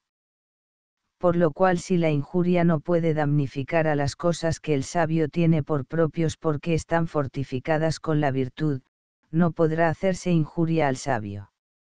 Tomó Demetrio Policertes la ciudad de Megara, y habiendo preguntado a Estilpón filósofo qué pérdida había hecho, le respondió que ninguna, porque tenía consigo todos sus bienes, no obstante que el enemigo le había despojado de su patrimonio, robándole sus hijas, y violado su patria. Disminuyóle con esta respuesta la victoria, porque habiendo perdido la ciudad, no solo no se tuvo por vencido, mas antes dio a entender no estar damnificado, mientras quedaban en su poder los verdaderos bienes de que no se puede hacer presa, y los que le habían sido robados y disipados, los tenía por adventicios y por sujetos a los antojos de la fortuna y por esta razón no los amaba como propios, pues de todo lo que está de la parte de afuera, es incierta y deslizadera la posesión. Juzga, pues, ahora sí a este sabio, a quien la guerra y el enemigo práctico en batir murallas no pudieron quitar cosa alguna, si se la podrá quitar el ladrón, el calumniador, el vecino poderoso o el rico, que por no tener hijos se hace respetar como rey. Entre las espadas por todas partes relumbrantes, y entre el tumulto militar para la presa, entre las llamas y la sangre, entre las ruinas de una ciudad saqueada, y entre el fuego de los templos que caían sobre sus dioses, solo hubo paz en este hombre. Según esto, no hay para que juzgues por atrevida mi proposición, pues si tuvieres de mi poco crédito, te daré fiador. Y si te parece que en un hombre no puede haber tanta parte de firmeza ni tal grandeza de ánimo, ¿qué dirás si te pongo delante quien diga lo siguiente? Capítulo sexto. No hay por qué dudes de que hay hombre nacido que pueda levantarse sobre las cosas humanas, mirando con tranquilidad los dolores, las pérdidas, las llagas, las heridas y, finalmente, los grandes movimientos que cercándole braman mientras él plácidamente sufre las cosas adversas y con moderación las prósperas, sin rendirse con aquellas ni desvanecerse con estas, siendo uno mismo entre tan diversos casos, y sin juzgar que hay algo que sea suyo, si no es a sí mismo, y esto por la parte en que es mejor. Aquí estoy para probarte esta verdad con este destruidor de tantas ciudades podrán desmoronarse con la batería de las murallas, y caer de repente con las secretas minas las altas torres, podrán subir los baluartes de modo que se igualen a los más encumbrados alcáceres, pero ningunas máquinas militares se hallarán para conmover un ánimo bien fortalecido. Librem, dice, de las ruinas de mi casa, y huí por medio de las llamas que de todas partes estaban relumbrando, y no sé si el suceso que habrán tenido mis hijos será peor que el público. Yo, solo y viejo, viéndome cercado de enemigos, digo que toda mi hacienda está en salvo, porque tengo y poseo todo lo que de mí tuve, no tienes por qué juzgarme vencido ni estimarte por vencedor, tu fortuna fue la que venció a la mía. Yo ignoro dónde están aquellas cosas caducas que mudaron dueño, pero lo que a mí me toca, conmigo está y estará siempre. En este caso perdieron los ricos sus riquezas, los lascivos sus amores y las amigas amadas con mucha costa la vergüenza. Los ambiciosos perdieron los tribunales y lonjas y los demás lugares destinados para ejercer en público sus vicios. Los logreros perdieron las escrituras en que la avaricia, fingidamente alegre, tenía puesto el pensamiento, pero yo todo lo tengo libre y sin lesión. A estos que lloran y se lamentan, y a los que por defender sus riquezas oponen sus desnudos pechos a las desnudas espadas, y a los que, huyendo del enemigo, llevan cargados los senos, puedes preguntar lo que perdieron. Ten, pues, por cosa cierta, amigo sereno, que aquel varón perfecto, lleno de todas las virtudes humanas y divinas, no perdió cosa alguna, porque sus bienes estaban cercados de murallas firmes e inexpugnables. No compares con ella los muros de Babilonia que allanó Alejandro, no los castillos de Cartago y Numancia, ganados con un ejército, no el Capitolio y su alcázar, que todos ellos tienen las señales de los enemigos, pero las que defienden al sabio están seguras del fuego y de los asaltos, sin que haya portillo por donde entrar, porque son altas, excelsas e iguales a los dioses. Capítulo séptimo. No tendrás razón en decir lo que sueles, que este nuestro sabio no se halla en parte alguna, porque nosotros no fingimos esta vana grandeza del humano entendimiento, ni publicamos gran concepto de cosa falsa, sino como lo formamos os lo damos y os lo daremos, si bien raramente y con grande intervalo de los tiempos se halla, porque las cosas grandes que exceden el vulgar y acostumbrado modo no nacen cada día.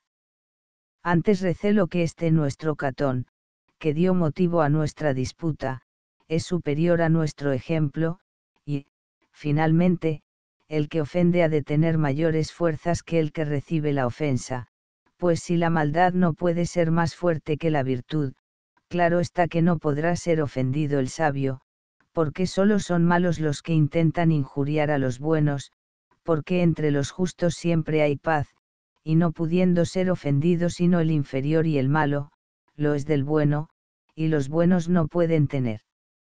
Injuria si no es de los que no lo son, claro es que el sabio no puede ser injuriado. Y no tengo que advertirte de nuevo que no hay otro que sea bueno sino el sabio dirásme que aunque Sócrates fue condenado injustamente, al fin recibió injuria. Para esto conviene que sepamos que puede suceder que alguno me haga injuria y que yo no la reciba, como si una persona, habiendo hurtado alguna cosa de mi granja, me la pusiese en mi casa, este tal cometió hurto, pero yo no perdí cosa alguna, así, puede uno ser dañador sin hacer daño. Acuéstase un casado con su mujer juzgando que es ajena, este será adúltero sin que lo sea la mujer. Danle algún veneno que, mezclado con la comida, perdió la fuerza, pero con darme el veneno, aunque no me dañó, se hizo sujeto a la culpa, y no deja de ser ladrón aquel cuyo puñal quedó frustrado con la ropa.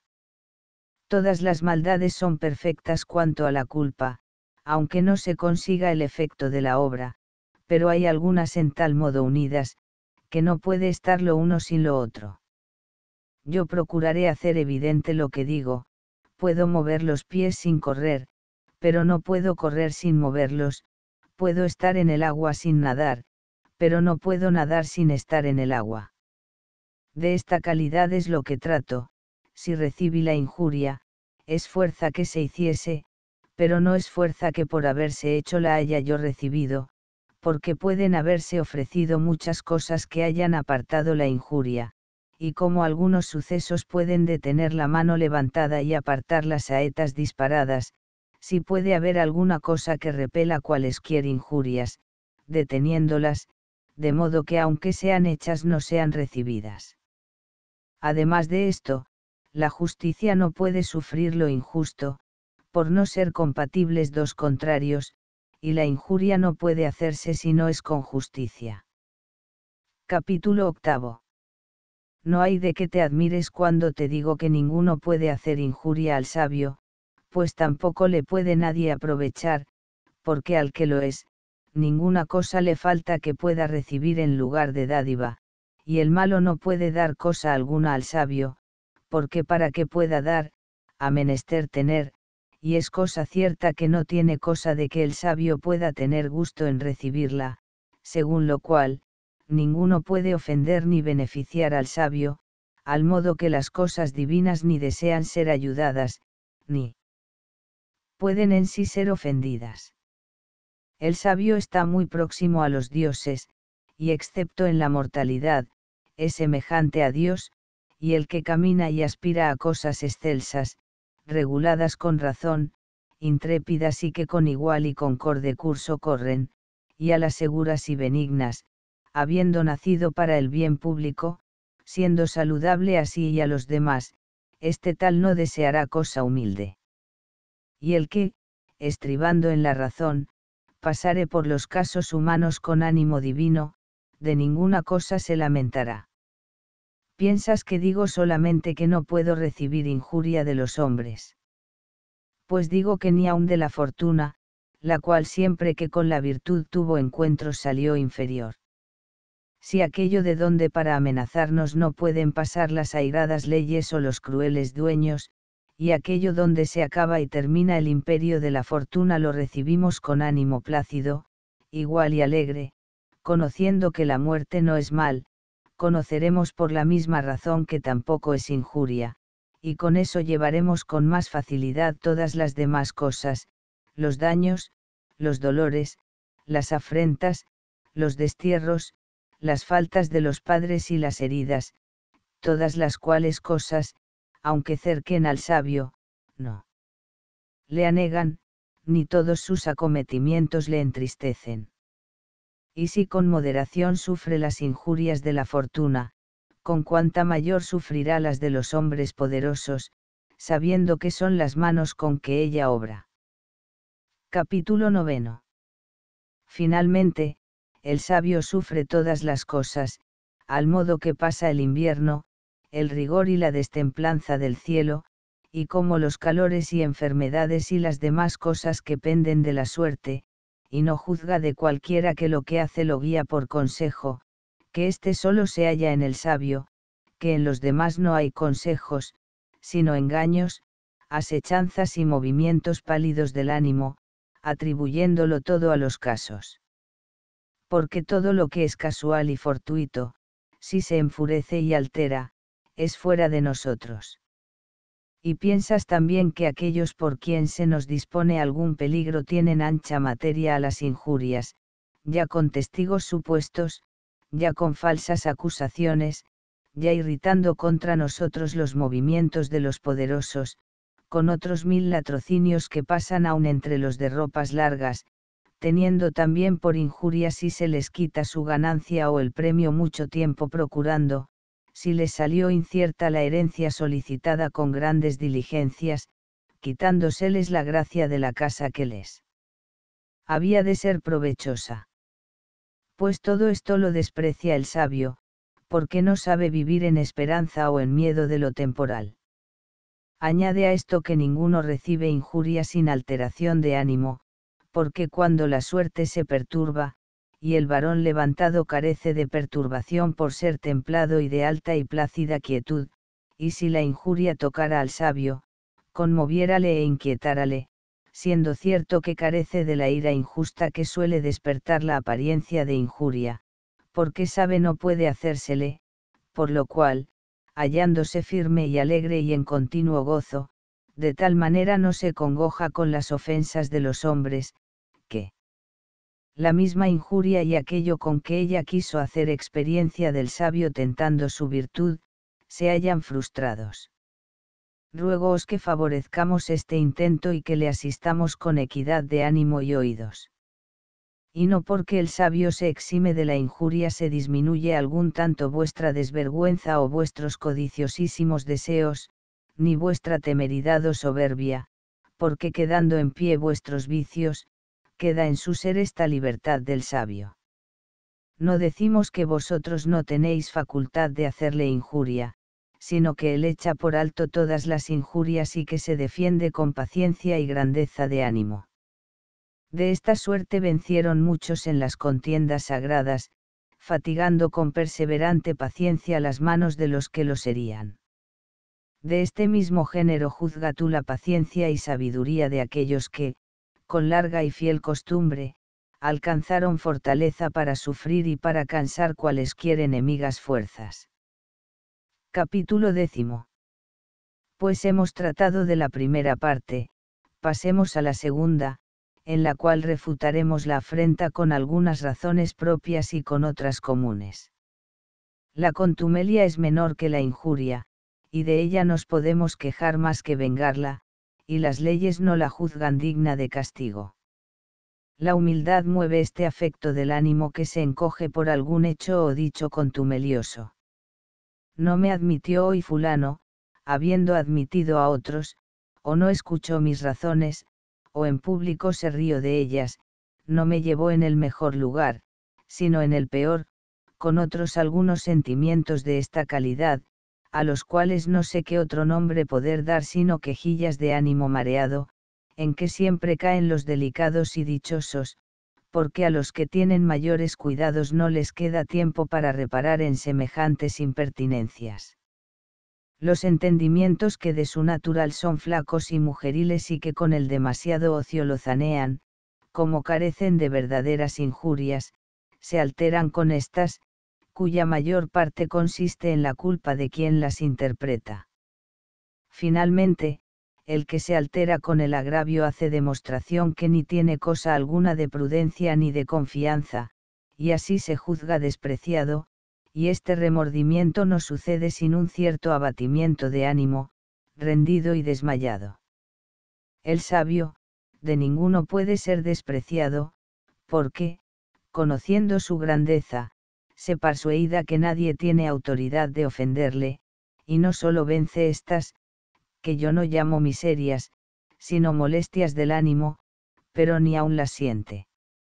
Hay otras cosas que aunque no derriban al sabio, le hieren, como son los dolores del cuerpo, la flaqueza, la pérdida de hijos y amigos y la calamidad de la patria abrasada en guerras. No niego que el sabio siente estas cosas, porque no le doy la dureza de las piedras o del hierro, pero tampoco fuera virtud sufrirlas no sintiéndolas. Capítulo 11. Pues ¿qué es lo que hace el sabio?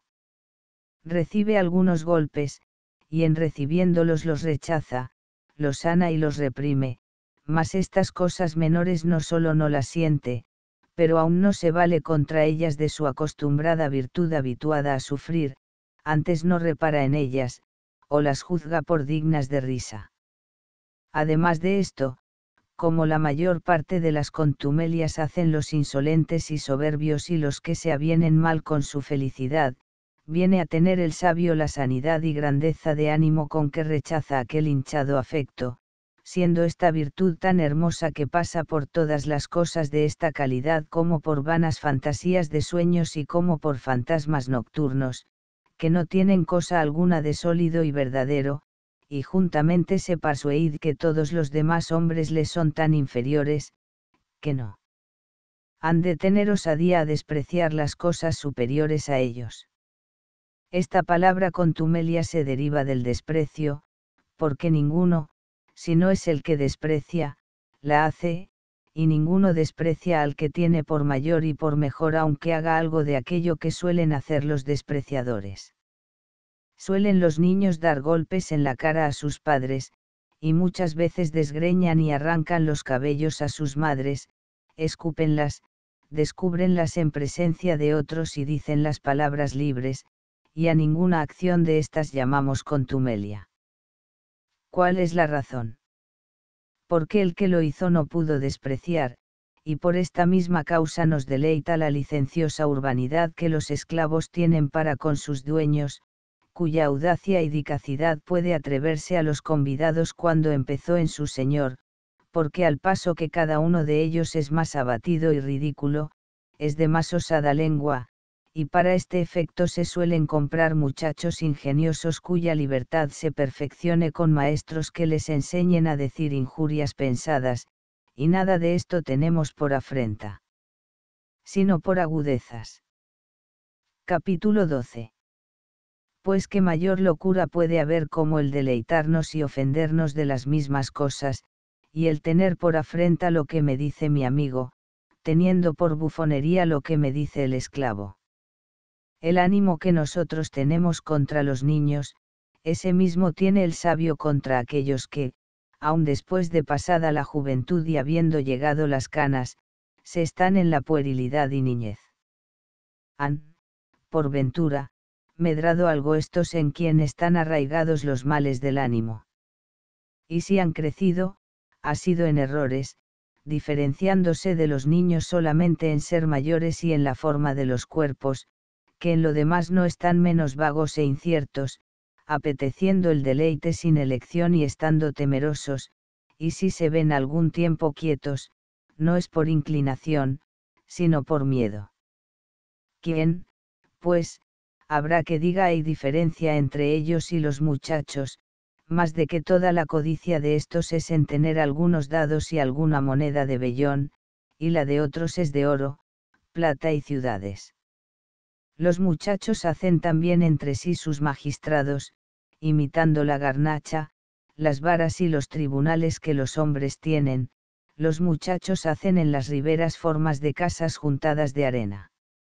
Los hombres, como si emprendiesen alguna cosa grande, se ocupan en levantar piedras, paredes y techos, que habiendo sido inventados para defensa de los cuerpos, se convierten en peligro suyo, iguales, pues, son a los muchachos, y si en algo se les adelantan en algunas cosas mayores, todo al fin es error, y así, no sin causa el sabio recibe las injurias de estos como juegos, y tal vez los amonesta con el mal y con la pena como a muchachos, no porque él haya recibido la injuria, sino porque la hicieron ellos, y para que desistan de hacerla, al modo que cuando los caballos rehusan la carrera, les da el caballero con el azote, y sin enojarse con ellos los castiga para que el dolor venza la rebeldía. Con lo cual juntamente verás que está disuelto el argumento que se nos pone, que el sabio no recibe injuria ni afrenta porque castiga a los que se la hacen, porque esto no es vengarse, sino enmendarlos. Capítulo 13. ¿Qué razón, pues, hay para que no creas que tiene esta firmeza de ánimo el varón sabio, teniendo licencia de confesarla en otros, aunque no sea precedida de la misma causa? ¿Qué médico se enoja con el frenético? quien tiene por injurias las quejas de aquel a quien estando con la fiebre se le deniega el agua. Advierte que el sabio tiene el mismo oficio con todos que el médico con sus enfermos, sin que éste se desdeñe de tocar las obscenidades, ni mirar los excrementos, cuando de ello necesita el enfermo, y sin que se enoje de escuchar las palabras ásperas de los que, frenéticos, se enfurecen. Conoce el sabio que muchos de los que andan con la toga y la púrpura, aunque tienen buen color y parece que están fuertes, están malsanos, y así, los mira como a enfermos destemplados, y con esto no se ensaña, aunque desvergonzadamente se atrevan a intentar con la enfermedad alguna cosa contra el que los cura, y como hace poca estimación de los honores que el enfermo le da, tampoco hace caudal de las acciones contumeliosas, y como hace poco aprecio de que un mendigo le honre, tampoco tiene por injuria si algún hombre de los de la ínfima. Plebe, siendo saludado, no le pagó la cortesía, ni se estima en más porque muchos ricos le estiman, porque conoce que en ninguna cosa se diferencian de los mendigos, antes son más desdichados, porque los pobres necesitan de poco y los ricos de mucho, y, finalmente, no se sentirá el sabio de que el rey de los Medos, o Atalo, rey de Asia, pase con silencio y con arrogante rostro cuando él le saluda. Porque conoce que el estado de los reyes no tiene otra cosa de que se tenga envidia más que la que se tiene de aquel a quien, en una gran familia, le cupo el cuidado de regir los enfermos y enfrenar los locos.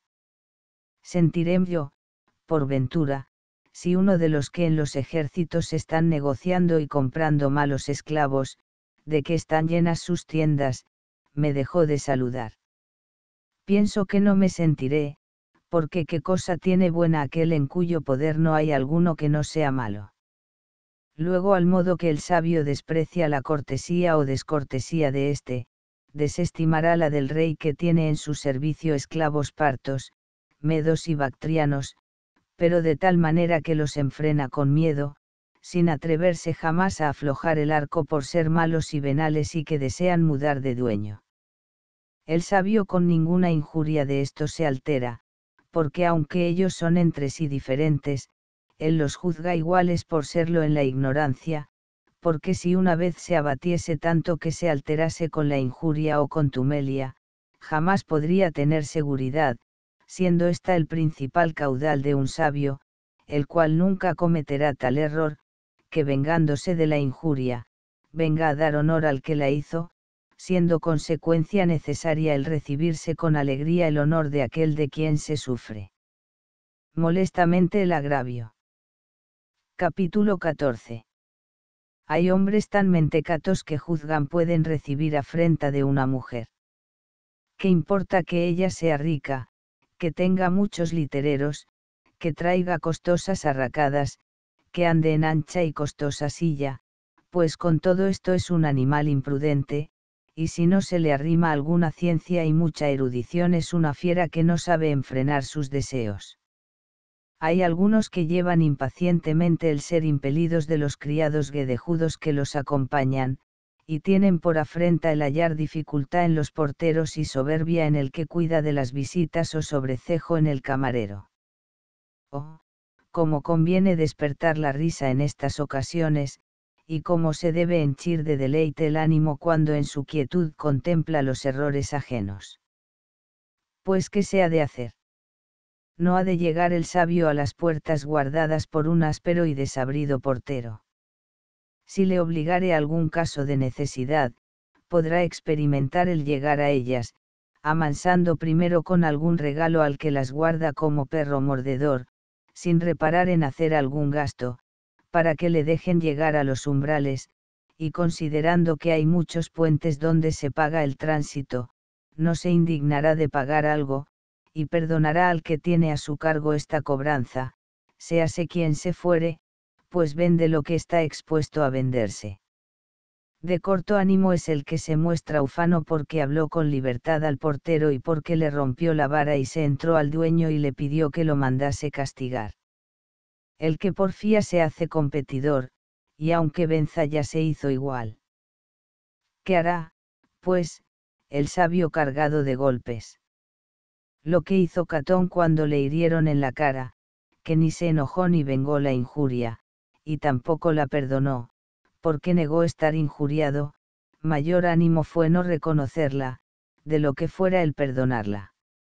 Y no nos detendremos mucho en esto, porque quien hay que ignore que de estas cosas que se tienen por buenas o por malas hace el sabio diferente concepto que los demás. No pone los ojos en lo que los hombres tienen por malo y desdichado, porque no camina por donde el pueblo y al modo que las estrellas hacen su viaje contrario al mundo, así el sabio camina contra la opinión de todos. Capítulo 15. Dejad, pues, de preguntarme cómo el sabio no recibe injurias y le hieren no le sacan los ojos, y que no recibe afrentas y le llevan por las plazas, oyendo oprobios de la gente soez, y si le mandan que en los convites reales coma debajo de la mesa con los esclavos de más bajos ministerios, y finalmente, si fuere forzado a sufrir cualquier otra ignominia de las que aún solo pensadas son molestas a cualquier ingenua vergüenza. En la forma que éstas se aumentan, ora sea en número, ora en grandeza, serán siempre de la misma naturaleza, con lo cual, si las pequeñas no ofenden, tampoco han de ofender las grandes, y si no las pocas, tampoco las muchas. De vuestra flaqueza sacáis conjeturas para el ánimo grande, y cuando pensáis en lo poco que vosotros podéis sufrir, ponéis poco más extendidos términos al sabio, a quien su propia virtud le colocó en otros diferentes parajes del mundo, sin que tenga cosa que sea común con vosotros, por lo cual no se anegará con la venida de todas las cosas ásperas y graves de sufrir, ni con las dignas de que de ellas huyan el oído y la vista, y en la misma forma que resistirá a cada una de por sí, resistirá. Todas juntas. Mal discurre el que dice, esto es tolerable al sabio, y esto es intolerable, y el que pone coto y límite a la grandeza de su ánimo. Porque la fortuna nos vence, cuando de todo punto no la vencemos. Y no te parezca que esto es una aspereza de la doctrina estoica, pues Epicuro, a quien vosotros tenéis por patrón de vuestra flojedad, y de quien decís que os enseña doctrina muelle y floja, encaminada a los deleites, dijo que raras veces asiste la fortuna al sabio, razón poco varonil. ¿Quieres tú decirlo con mayor valentía, y apartar de todo punto la fortuna del sabio?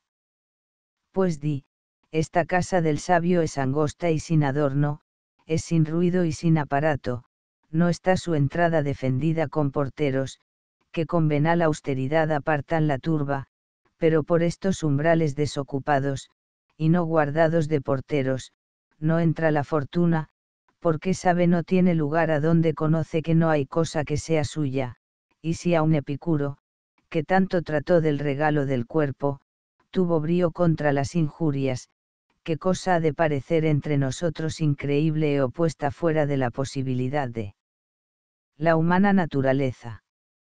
Aquel dijo que las injurias eran tolerables al sabio, y nosotros decimos que para el sabio no hay injurias.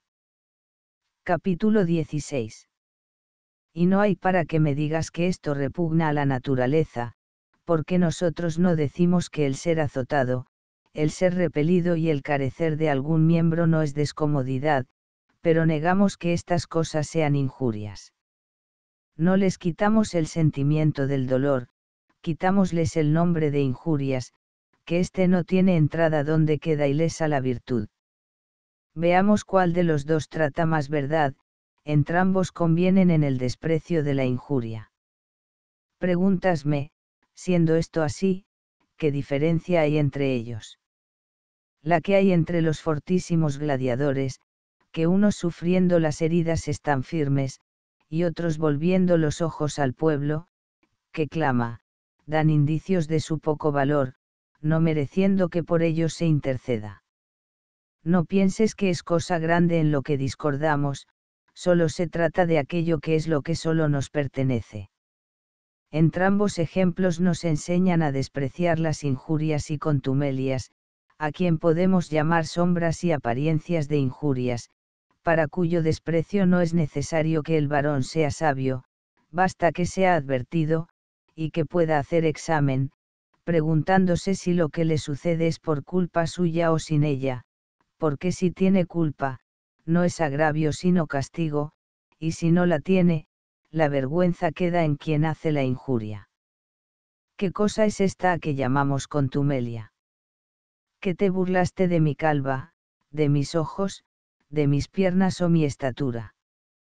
Qué agravio es decirme lo que está manifiesto de muchas cosas que nos dicen delante de una persona nos reímos, y si nos la dicen delante de muchas, nos indignamos, quitando la libertad a que otros nos digan lo que nosotros mismos nos decimos muchas veces.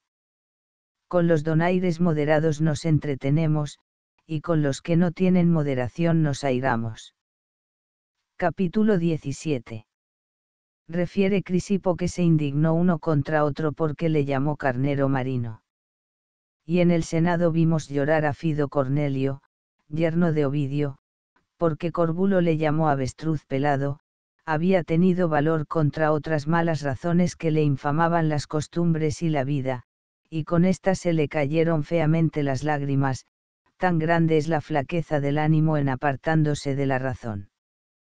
¿Qué diremos de que nos damos por ofendidos si alguno remeda nuestra habla y nuestros pasos o si declara algún vicio nuestro en la lengua o en el cuerpo?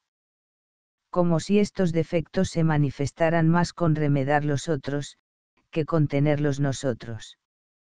Muchos oyen con sentimiento la vejez y las canas a que llegaron con deseos, otros se ofendieron de que les notaron su pobreza, escondiéndola de los otros cuando entre sí se lamentan de ella según lo cual, a los licenciosos que con decir pesadumbres tratan de hacerse graciosos, se les quitará la materia si tú, voluntaria y anticipadamente, te adelantares a decirte lo que ellos te podrán decir, porque el que comienza a reírse de sí, no da lugar a que otros lo hagan.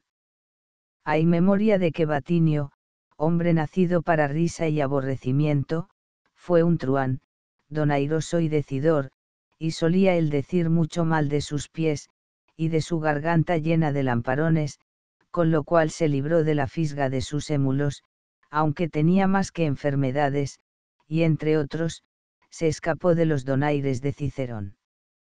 Si aquel con la desvergüenza, y con los continuos oprobios con que se habituó a no avergonzarse, pudo conseguirlo, porque no lo ha de alcanzar el que con estudios nobles y con el adorno de la sabiduría hubiere llegado a alguna perfección. Añade que es un cierto género de venganza quitar al que quiso hacer la injuria el deleite de ella, suelen los que las hacen decir, desdichado de mí, pienso que no lo entendió, porque el fruto de la injuria consiste en que se sienta y en la indignación del ofendido, y demás de esto, no hayas miedo que falte otro igual que te vengue. Capítulo 18. Entre los muchos vicios de que abundaba Cayo César, era admirablemente notado en ser insigne en picar a todos con alguna nota, siendo el materia tan dispuesta para la risa, porque era tal su pálida fealdad, que daba indicios de locura, teniendo los torcidos ojos escondidos debajo de la arrugada frente, con grande deformidad de una cabeza calva destituida de cabellos, y una cerviz llena de cerdas, las piernas muy flacas, con mala hechura de pies, y con todas estas faltas sería proceder en infinito si quisiese contar las cosas en que fue desvergonzado para sus padres y abuelos y para todos estados, referiré solo lo que fue causa de su muerte. Tenía por íntimo amigo asiático Valerio, varón feroz y que apenas sabía sufrir ajenos agravios. A este, pues, le objetó en alta voz en un convite y una conversación pública, cuál era su mujer en el acto venereo.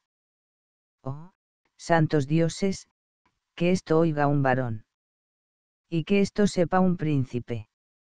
Y que llegase su licencia a tanto, que no digo a un varón consular, no a un amigo, sino a cualquier marido, se atreviese un príncipe a contar su adulterio y su fastidio.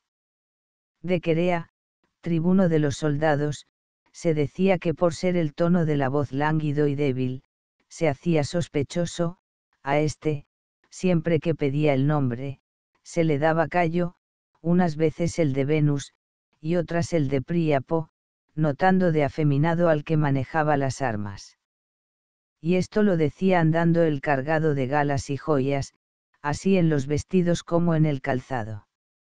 Forzóle con esto a disponer con el hierro el no llegar más a pedirle el nombre. Este fue el primero que levantó la mano entre los conjurados, él le derribó de un golpe la media cerviz, y luego llegaron infinitas espadas a vengar las públicas y particulares injurias, pero el que primero mostró ser varón, fue el que no se lo parecía. Y siendo Cayo tan amigo de decir injurias, era impaciente en sufrirlas, juzgándolo todo por injuria. Enojóse con Erenio Macro, porque saludándolo le llamó solamente Cayo. Y no se quedó sin castigo un soldado aventajado porque le llamó Calígula, siendo este el nombre que se le solía llamar, por haber nacido en los ejércitos y ser alumno en las legiones y él, que con este apellido se había hecho familiar a los soldados, puesto ya en los coturnos de la grandeza, juzgaba por oprobio y afrenta que le llamasen Calígula.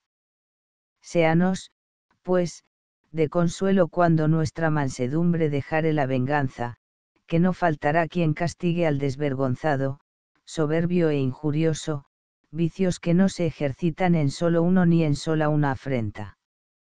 Pongamos los ojos en los ejemplos de aquellos cuya paciencia alabamos, como fue Sócrates, que tomó en buena parte los dicterios contra él esperados y publicados en las comedias, y se rió de ellos, no menos que cuando su mujer Santipa le roció con agua sucia, e Hipicrates cuando se le objetó que su madre Tresa era bárbara respondió que también la madre de los dioses era de Frigia. Capítulo 19 No hemos de venir a las manos, lejos hemos de sacar los pies, despreciando todo aquello que los imprudentes hacen, porque tales cosas no las pueden hacer sino los que lo son. Hemos de recibir con indiferencia los honores y las afrentas del vulgo, sin alegrarnos con aquellos ni entristecernos con éstas, porque de esta suerte dejaremos de hacer muchas cosas necesarias por el temor o fastidio de las injurias, y no acudiremos a los públicos o particulares ministerios y tal vez a los importantes a la salud, mientras nos congoja un afeminado temor de oír algo contra nuestro ánimo. Y otras veces, estando airados contra los poderosos, descubriremos este afecto con destemplada desenvoltura. Y si pensamos que es libertad el no padecer algo, estamos engañados, que antes lo es el oponer el ánimo a las injurias, y hacerse tal que espere de sí solo las cosas dignas de gozo, apartando las exteriores por no pasar vida inquieta, temiendo la fisga y las lenguas de todos porque cuál persona hay que no pueda hacer una afrenta, si la puede hacer cada uno. Pero el sabio y el amador de la sabiduría usarán de diferentes remedios. A los imperfectos, y que todavía se encaminan a los tribunales públicos, se les debe proponer que su vida ha de ser siempre entre injurias y afrentas, los que las han esperado, todas las cosas les parecen más tolerables. Cuanto más aventajado es uno en nobleza, en fama y en hacienda, tanto con mayor valor se ha de mostrar, trayendo a la memoria que las más esforzadas legiones toman la vanguardia. Las afrentas, las malas palabras, las ignominias y los demás denuestos sufralos como vocería de los enemigos, y como armas y piedras remotas, que sin hacer herida hacen estruendo cerca de los morriones, súfrelas sin mostrar flaqueza y sin perder el puesto, las unas como heridas dadas en las armas y las otras en el pecho, y aunque te aprieten, y con molesta violencia te compelan, es torpeza el rendirte, defiende, pues, el puesto que te señaló la naturaleza. Y si me preguntas qué puesto es este, te responderé que el de varón. El sabio tiene otro socorro diverso del vuestro, porque vosotros estáis en la pelea, y para él está ya ganada la victoria, no hagáis repugnancia a vuestro bien, y mientras llegáis al que es verdadero, alentad en vuestros ánimos esta esperanza, y recibid con gusto lo que es mejor, y confesad con opinión y con deseos el decir que en la república del linaje humano hay alguno invencible y en quien no tiene imperio la fortuna. Libro V. A Paulino de la brevedad de la vida. Capítulo primero. La mayor parte de los hombres, o Paulino, se queja de la naturaleza, culpándola de que nos haya criado para edad tan corta, y que el espacio que nos dio de vida corra tan veloz, que vienen a ser muy pocos aquellos a quien no se les acaba en medio de las prevenciones para pasarla. Y no es sola la turba del imprudente vulgo la que se lamenta de este opinado mal, que también su afecto ha despertado quejas en los excelentes varones, habiendo dado motivo a la ordinaria exclamación de los médicos, que siendo corta la vida, es largo y difuso el arte. De esto también se originó la querella, indigna de varón sabio, que Aristóteles dio, que siendo la edad de algunos animales brutos tan larga, que en unos llega a cinco siglos y en otros a diez, sea tan corta y limitada la del hombre, criado para cosas tan superiores. El tiempo que tenemos no es corto, pero perdiendo mucho de él, hacemos que lo sea, y la vida es suficientemente larga para ejecutar en ella cosas grandes, si la emplearemos bien.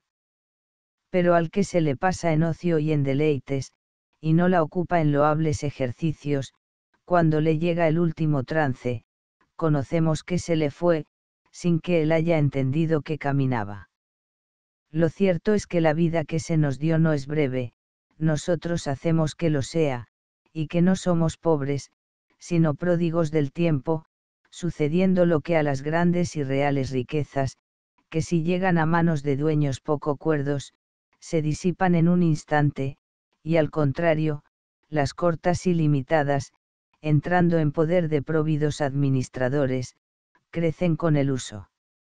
Así nuestra edad tiene mucha latitud para los que usaren bien de ella.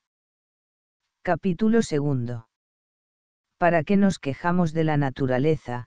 Pues ella se hubo con nosotros benignamente.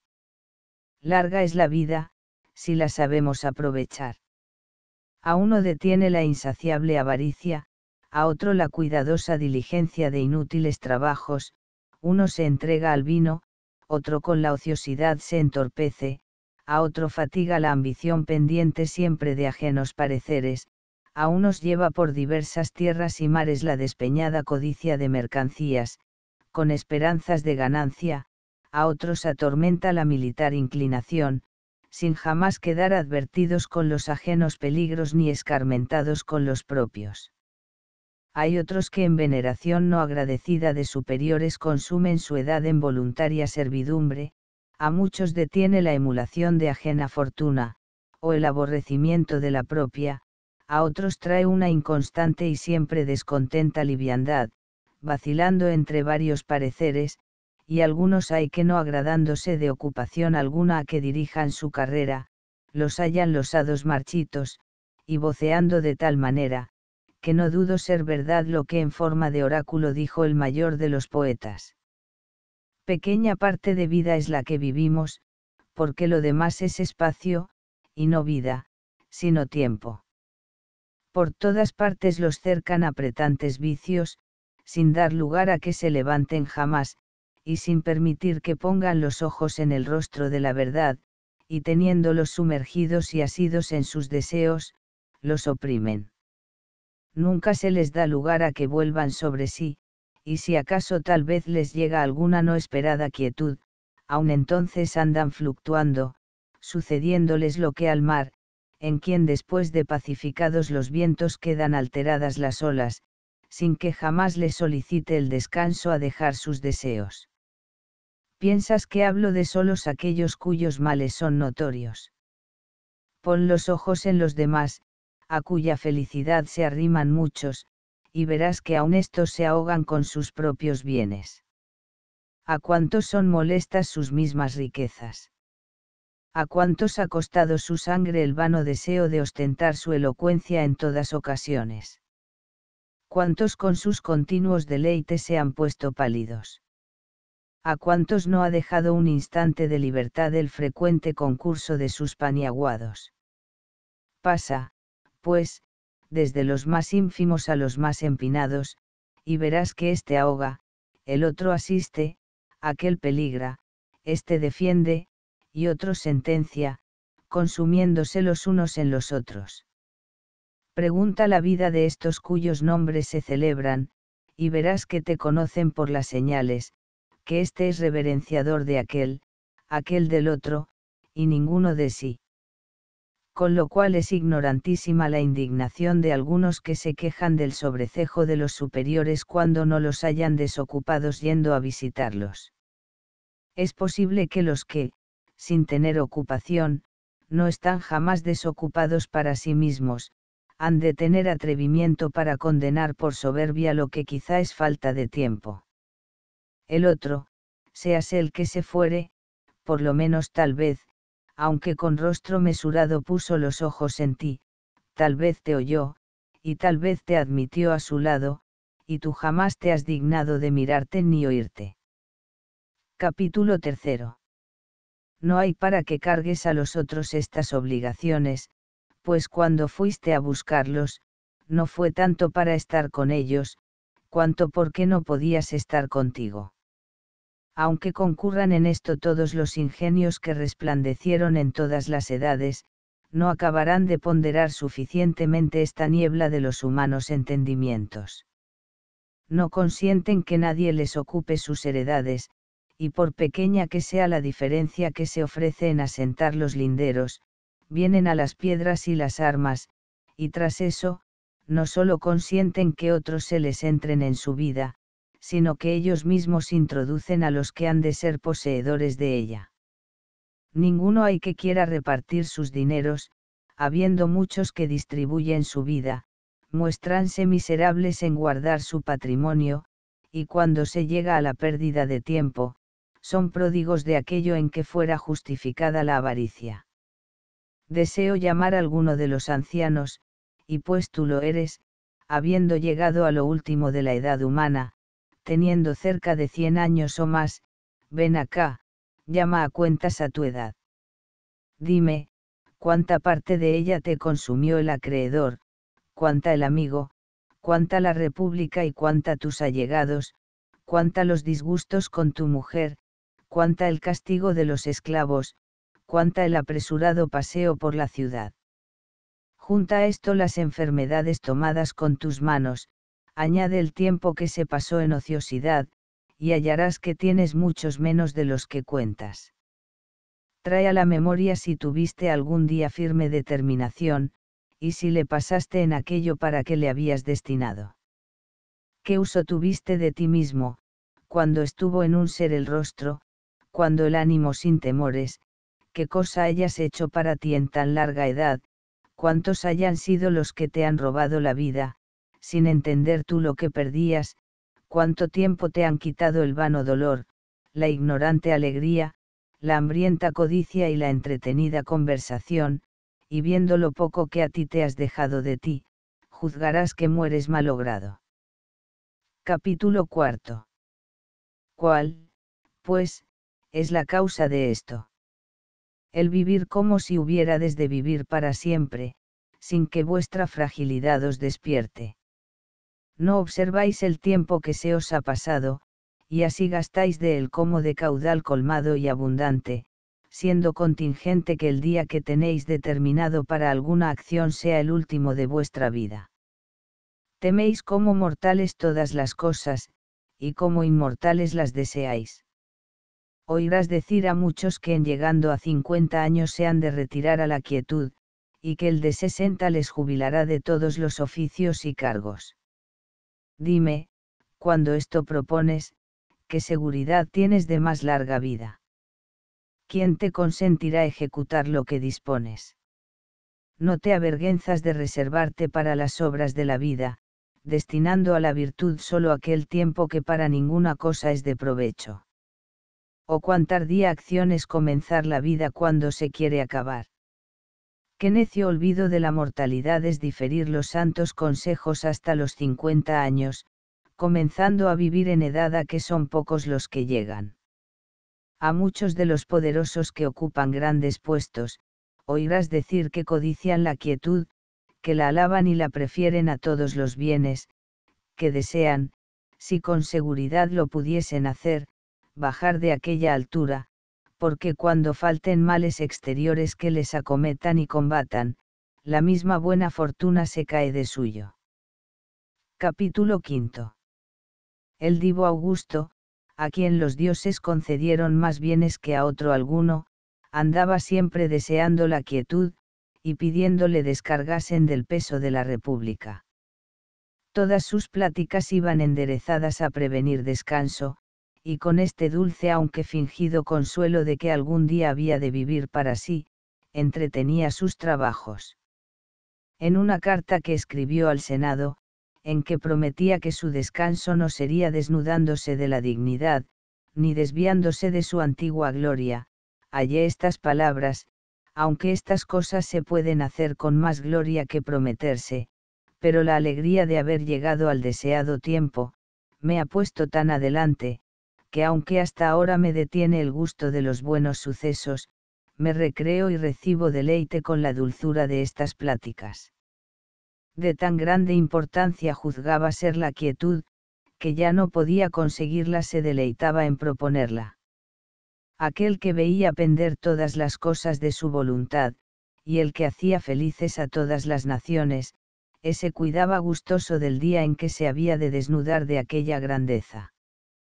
Conocía con experiencia cuánto sudor le habían costado aquellos bienes, que en todas partes resplandecen, y cuánta parte de encubiertas congojas encierran, habiéndose hallado forzado a pelear primero con sus ciudadanos, después con sus compañeros, y últimamente con sus deudos, en que derramando sangre en mar y tierra, acosado por Macedonia, Sicilia, Egipto, Siria y Asia, y casi por todas las demás provincias del orbe, pasó a batallas externas los ejércitos cansados de mortandad romana, mientras pacifica los Alpes, y doma los enemigos mezclados en la paz y en el imperio, y mientras ensancha los términos pasándolos del Reno, Éufrates y Danubio, se estaban afilando contra él en la misma ciudad de Roma las espadas de Murena, de Escipión, de Lépido y los Ignacios,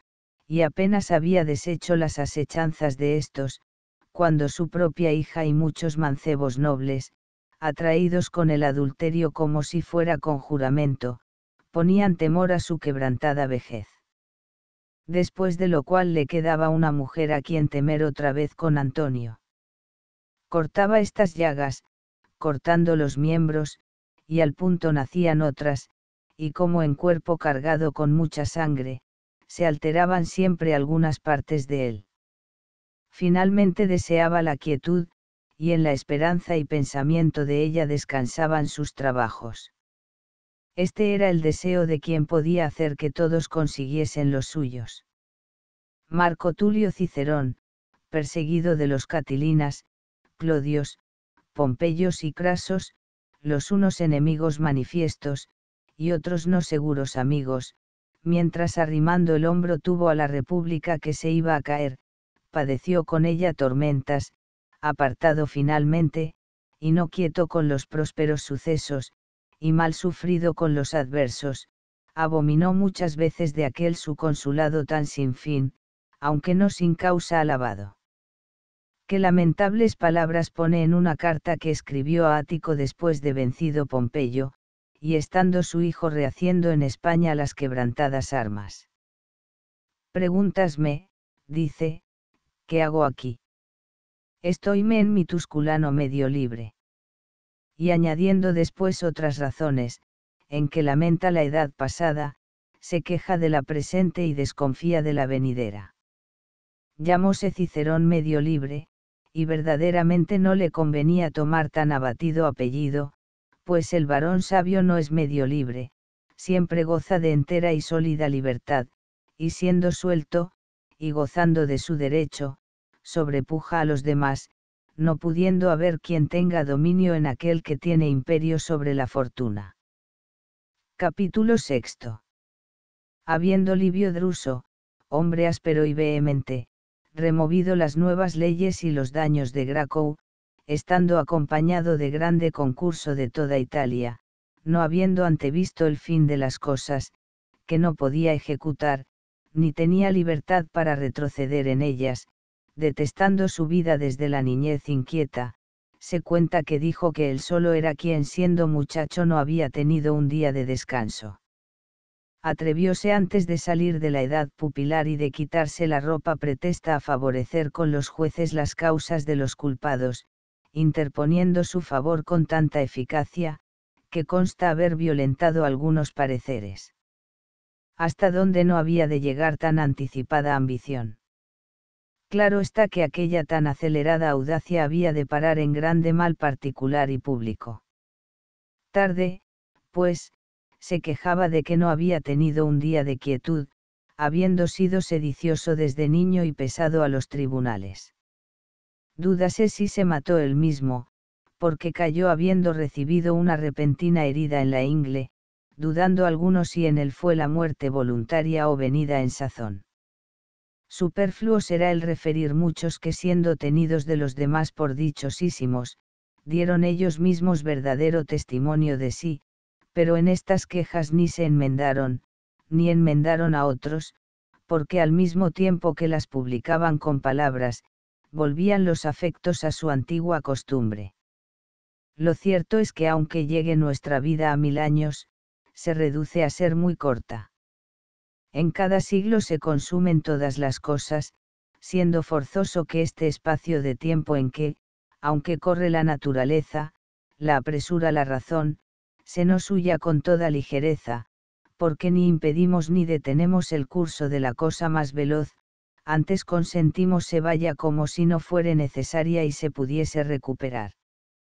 En primer lugar pongo aquellos que jamás están desocupados sino para el vino y Venus, porque estos son los más torpemente entretenidos, que los demás que pecan engañados con apariencia de gloria vana, yerran con cubierta de bien. Ora me hables de los avarientos, ora de los airados, ora de los guerreros, todos estos pecan más varonilmente, pero la mancha de los inclinados a sensualidad y deleites es torpe. Examina los días de estos, mira el tiempo que se les va en contra, en acechar, en temer, en reverenciar, y cuánto tiempo les ocupan sus conciertos y los ajenos, cuánto los convites, que ya vienen a tenerse por oficio, y conocerás que ni sus males ni sus bienes los dejan respirar, finalmente, es doctrina comúnmente recibida que ninguna acción de los ocupados en estas cosas puede ser acertada, no la elocuencia ni las artes liberales, porque el ánimo estrechado no es capaz de cosas grandes, antes.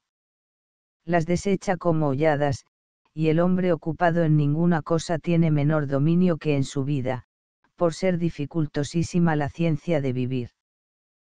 Capítulo séptimo. De las demás artes donde quiera se encuentran muchos profesores, y algunas hay que aún los muy niños las han aprendido de modo que las pudieran enseñar, más la de vivir, toda la vida se ha de ir estudiando, y lo que más se debe ponderar es que toda ella se ha de gastar en aprender a morir. Muchos grandes varones, habiendo dejado todos los embarazos, renunciando las riquezas, oficios y entretenimientos, no se ocuparon en otra cosa hasta el remate de su vida, sino en el arte de saber vivir, y muchos de ellos murieron confesando que aún no habían llegado a conseguirlo, como, pues, lo sabrán los que no lo estudian. Créeme que es de hombres grandes, y que sobrepujan a los humanos errores, no consentir que se les usurpe un instante de tiempo, con lo cual viene a ser larguísima su vida, porque todo lo que ella se extendió fue para ellos, no consintiendo hubiese cosa ociosa y sin cultivar, no entregaron parte alguna al ajeno dominio, porque no hallaron equivalente recompensa con que permutar el tiempo, y así fueron vigilantísimos guardadores de él, con lo cual les fue suficiente, al contrario, es forzoso les. Falte a los que el pueblo ha quitado mucha parte de la vida. Y no entiendas que estos dejan de conocer que de aquella causa les procede este daño, a muchos de estos, a quien la grande felicidad apesga, oirás exclamar entre la caterva de sus paniaguados, o en el despacho de los negocios, o en las demás honrosas miserias, que no les es permitido vivir. Qué maravilla que no se les permita. Todos aquellos que se te aligan te apartan de ti. ¿Cuántos días te quitó el preso? ¿Cuántos el pretendiente? ¿Cuántos la vieja cansada de enterrar herederos? cuantos el que se fingió enfermo para despertar la avaricia de los que codician su herencia, cuantos el amigo poderoso que te tiene, no para amistad sino para ostentación. Haz, te ruego, un avanzo, y cuenta los días de tu vida y verás cuán pocos y desechados han sido los que has tenido para ti. El otro que llegó a conseguir el consulado que tanto pretendió, desea dejarlo y dice, ¿cuándo se acabará este año? tiene el otro a su cargo las fiestas, habiendo hecho gran aprecio de que le cayó por suerte la comisión, y dice, ¿cuándo saldré de este cuidado? Escogen a uno para abogado entre todos los demás, y llénase el tribunal de gente para oírle, aun hasta donde no alcanza su voz, y dice, cuando se acabará de sentenciar este pleito. Cada cual precipita su vida, trabajando con el deseo de lo futuro y con el hastío de lo presente. Pero aquel que aprovecha para sí todo su tiempo, y el que ordena todos sus días para que le sean de vida, ni desea ni teme al día venidero, porque qué cosa le puede arrancar que le sea disgusto. Conocidas tiene con Artura todas las cosas, en lo demás disponga la fortuna como quisiere, que ya la vida de éste está en puerto seguro, podrásele añadir algo, pero quitar no, sucediéndole lo que al estómago, que estando satisfecho, y no cargado, admite algún manjar sin haberle apetecido. Capítulo octavo. No juzgues, pues, que alguno ha vivido mucho tiempo por verle con canas y con arrugas, que aunque ha estado mucho tiempo en el mundo, no ha vivido mucho. Dirás tú, por ventura, que navegó mucho aquel que habiendo salido del puerto le trajo la cruel tempestad de una parte a otra, y forzado de la furia de encontrados vientos, anduvo dando bordos en un mismo paraje. Este, aunque padeció mucho, no navegó mucho. Suélome admirar cuando veo algunos que piden tiempo, y que los que lo han de dar se muestran fáciles. Los unos y los otros ponen la mira en el negocio para que se pide el tiempo, pero no la ponen en el mismo tiempo, y como si lo que se pide y lo que se da fuera de poquísimo valor, se desprecia una cosa tan digna de estimación. Engáñalos el ver que el tiempo no es cosa corpórea, ni se deja comprender con la vista, y así le tienen por cosa vilísima y de ningún valor. Algunos carísimos varones reciben gajes de otros, y por ellos alquilan su trabajo, su cuidado y su diligencia, pero del tiempo no hay quien haga aprecio, usan de él pródigamente, como de cosa dada gratuitamente. Pon los ojos en los que esto hacen, y míralos cuando están enfermos, y cuando se les acerca el peligro de la muerte y temen el capital suplicio, y verás que dicen, tocando las rodillas de los médicos, que están dispuestos a dar toda su hacienda por conservar la vida, tan diversa es en ellos la discordia de los afectos. Y si cómo podemos traer a cada uno a la memoria el número de los años que se le han pasado, pudiésemos tener certeza de los que le quedan, o cómo temblarían aquellos a quien les quedasen pocos, y cómo huirían de disiparlos.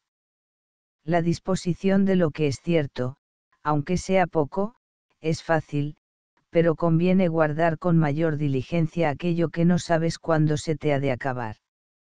Y no pienses que ellos ignoran que el tiempo es cosa preciosa, pues para encarecer el amor que tienen a los que aman mucho, les suelen decir que están prontos a darles parte de sus años. Lo cierto es que, sin entenderlo se los dan, pero danlos quitándoselos a sí mismo, sin que se acrezcan a los otros, pero como ignoran lo que pierden, vieneles a ser más tolerable la pérdida del no entendido daño.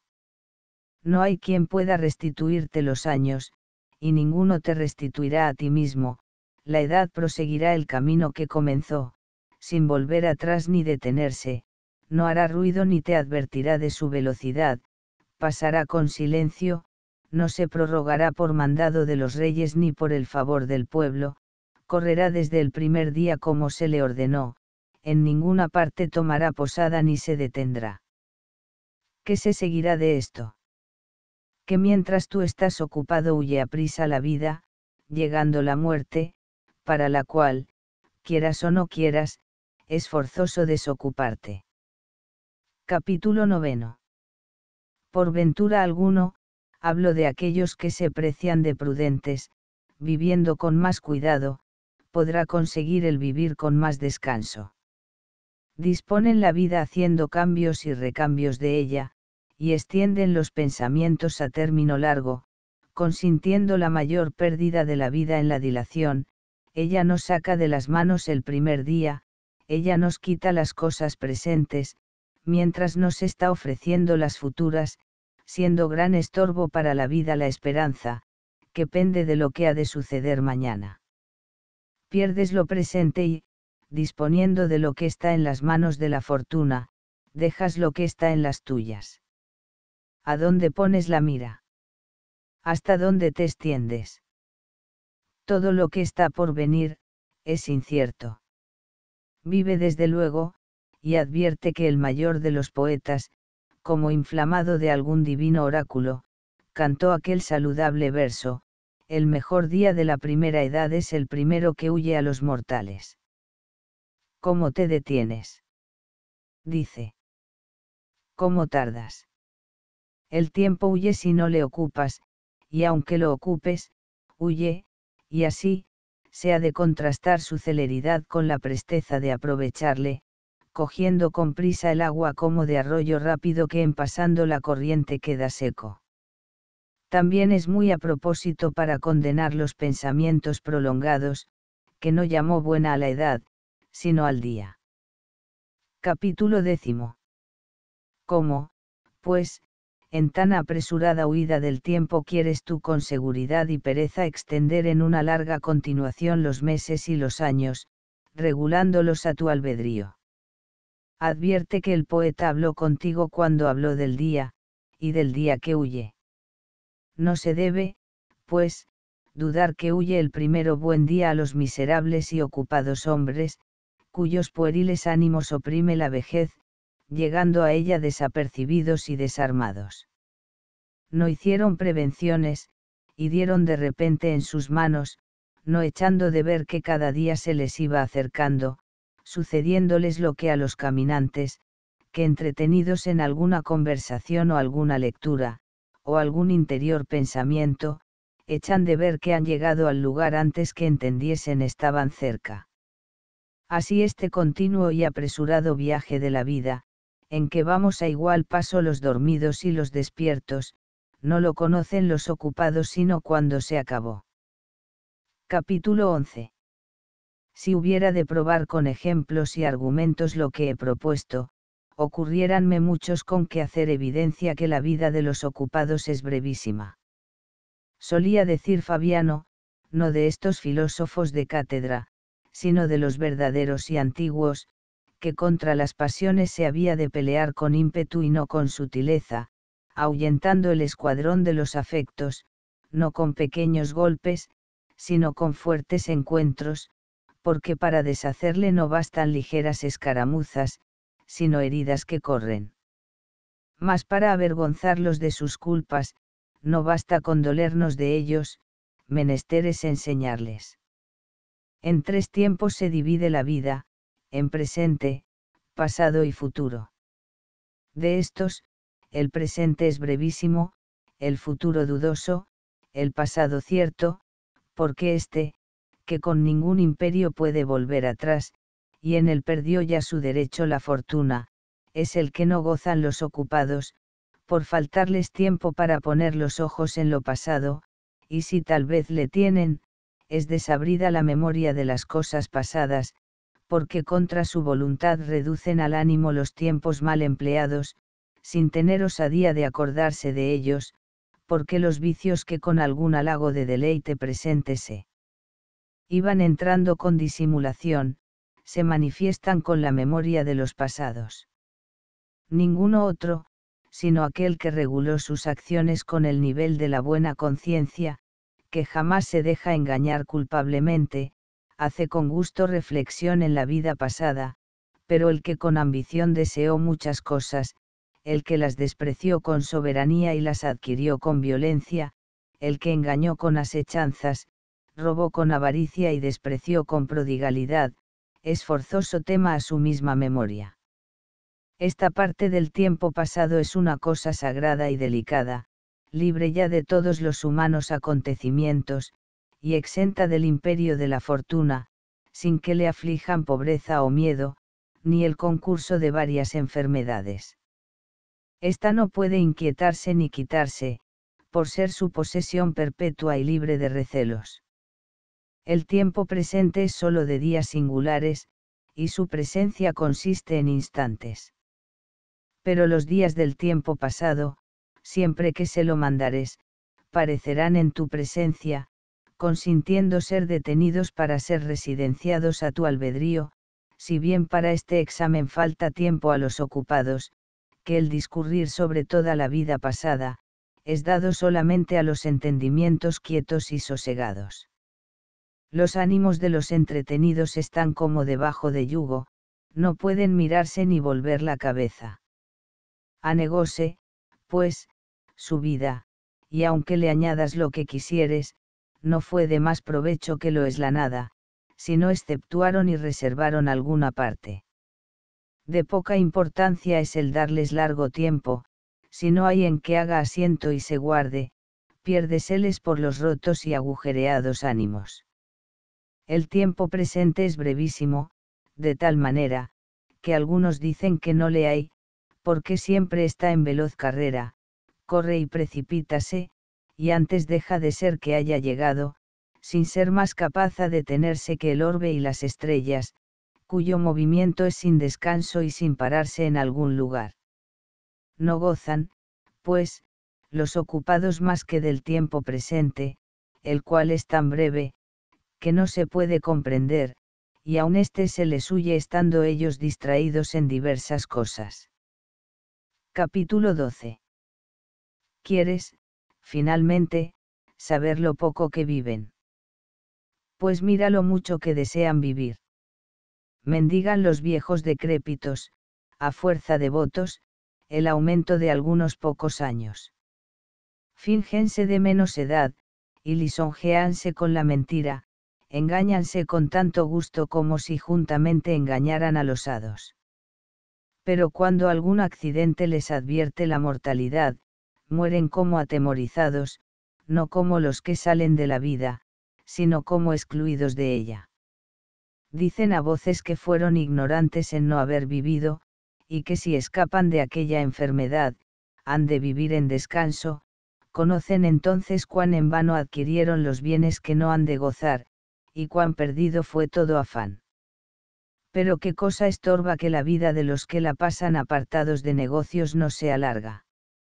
Ninguna parte de ella se emplea en diferente fin, nada se desperdicia, nada se da a la fortuna, nada con negligencia se pierde, nada se disminuye con dádivas, nada hay infructuoso, y para decirlo en una palabra, toda ella está dando réditos, y así, por pequeña que sea, es suficiente. ¿De qué se seguirá que cada y cuando que al varón sabio se llegare el último día, no se detendrá en ir a la muerte con paso deliberado? Preguntarásme, por ventura, a qué personas llamo ocupadas. No pienses que hablo solo de aquellos que para que desocupen los tribunales es necesario soltar los perros, y que tienen por honrosos los encontrones que les dan los que los siguen, y por afrentosos los que reciben de los que no les acompañan, ni aquellos a quienes sus oficios los sacan de sus casas para chocar con las puertas ajenas, ni aquellos a quienes enriquece la vara del juez con infames ganancias, que tal vez crían pastema. El ocio de algunos está ocupado en su aldea o en su cama, pero en medio de la soledad, aunque se apartaron de los demás, ellos mismos se son molestos, y así de estos no hemos de decir que tienen vida descansada, sino ocupación ociosa. Capítulo 13.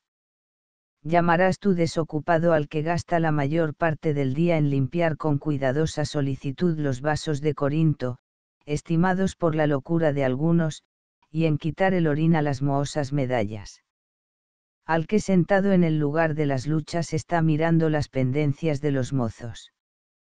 Porque ya, o grave mal, no solo enfermamos con vicios romanos.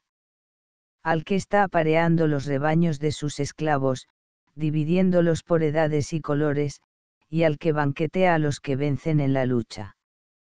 Porque llamas descansados a aquellos que pasan muchas horas con el barbero mientras les corta el pelo que creció la noche pasada, y mientras se hace la consulta sobre cualquiera cabello, y mientras las esparcidas guedejas se vuelven a componer, o se compele a los desviados pelos que de una y otra parte se junten para formar copete.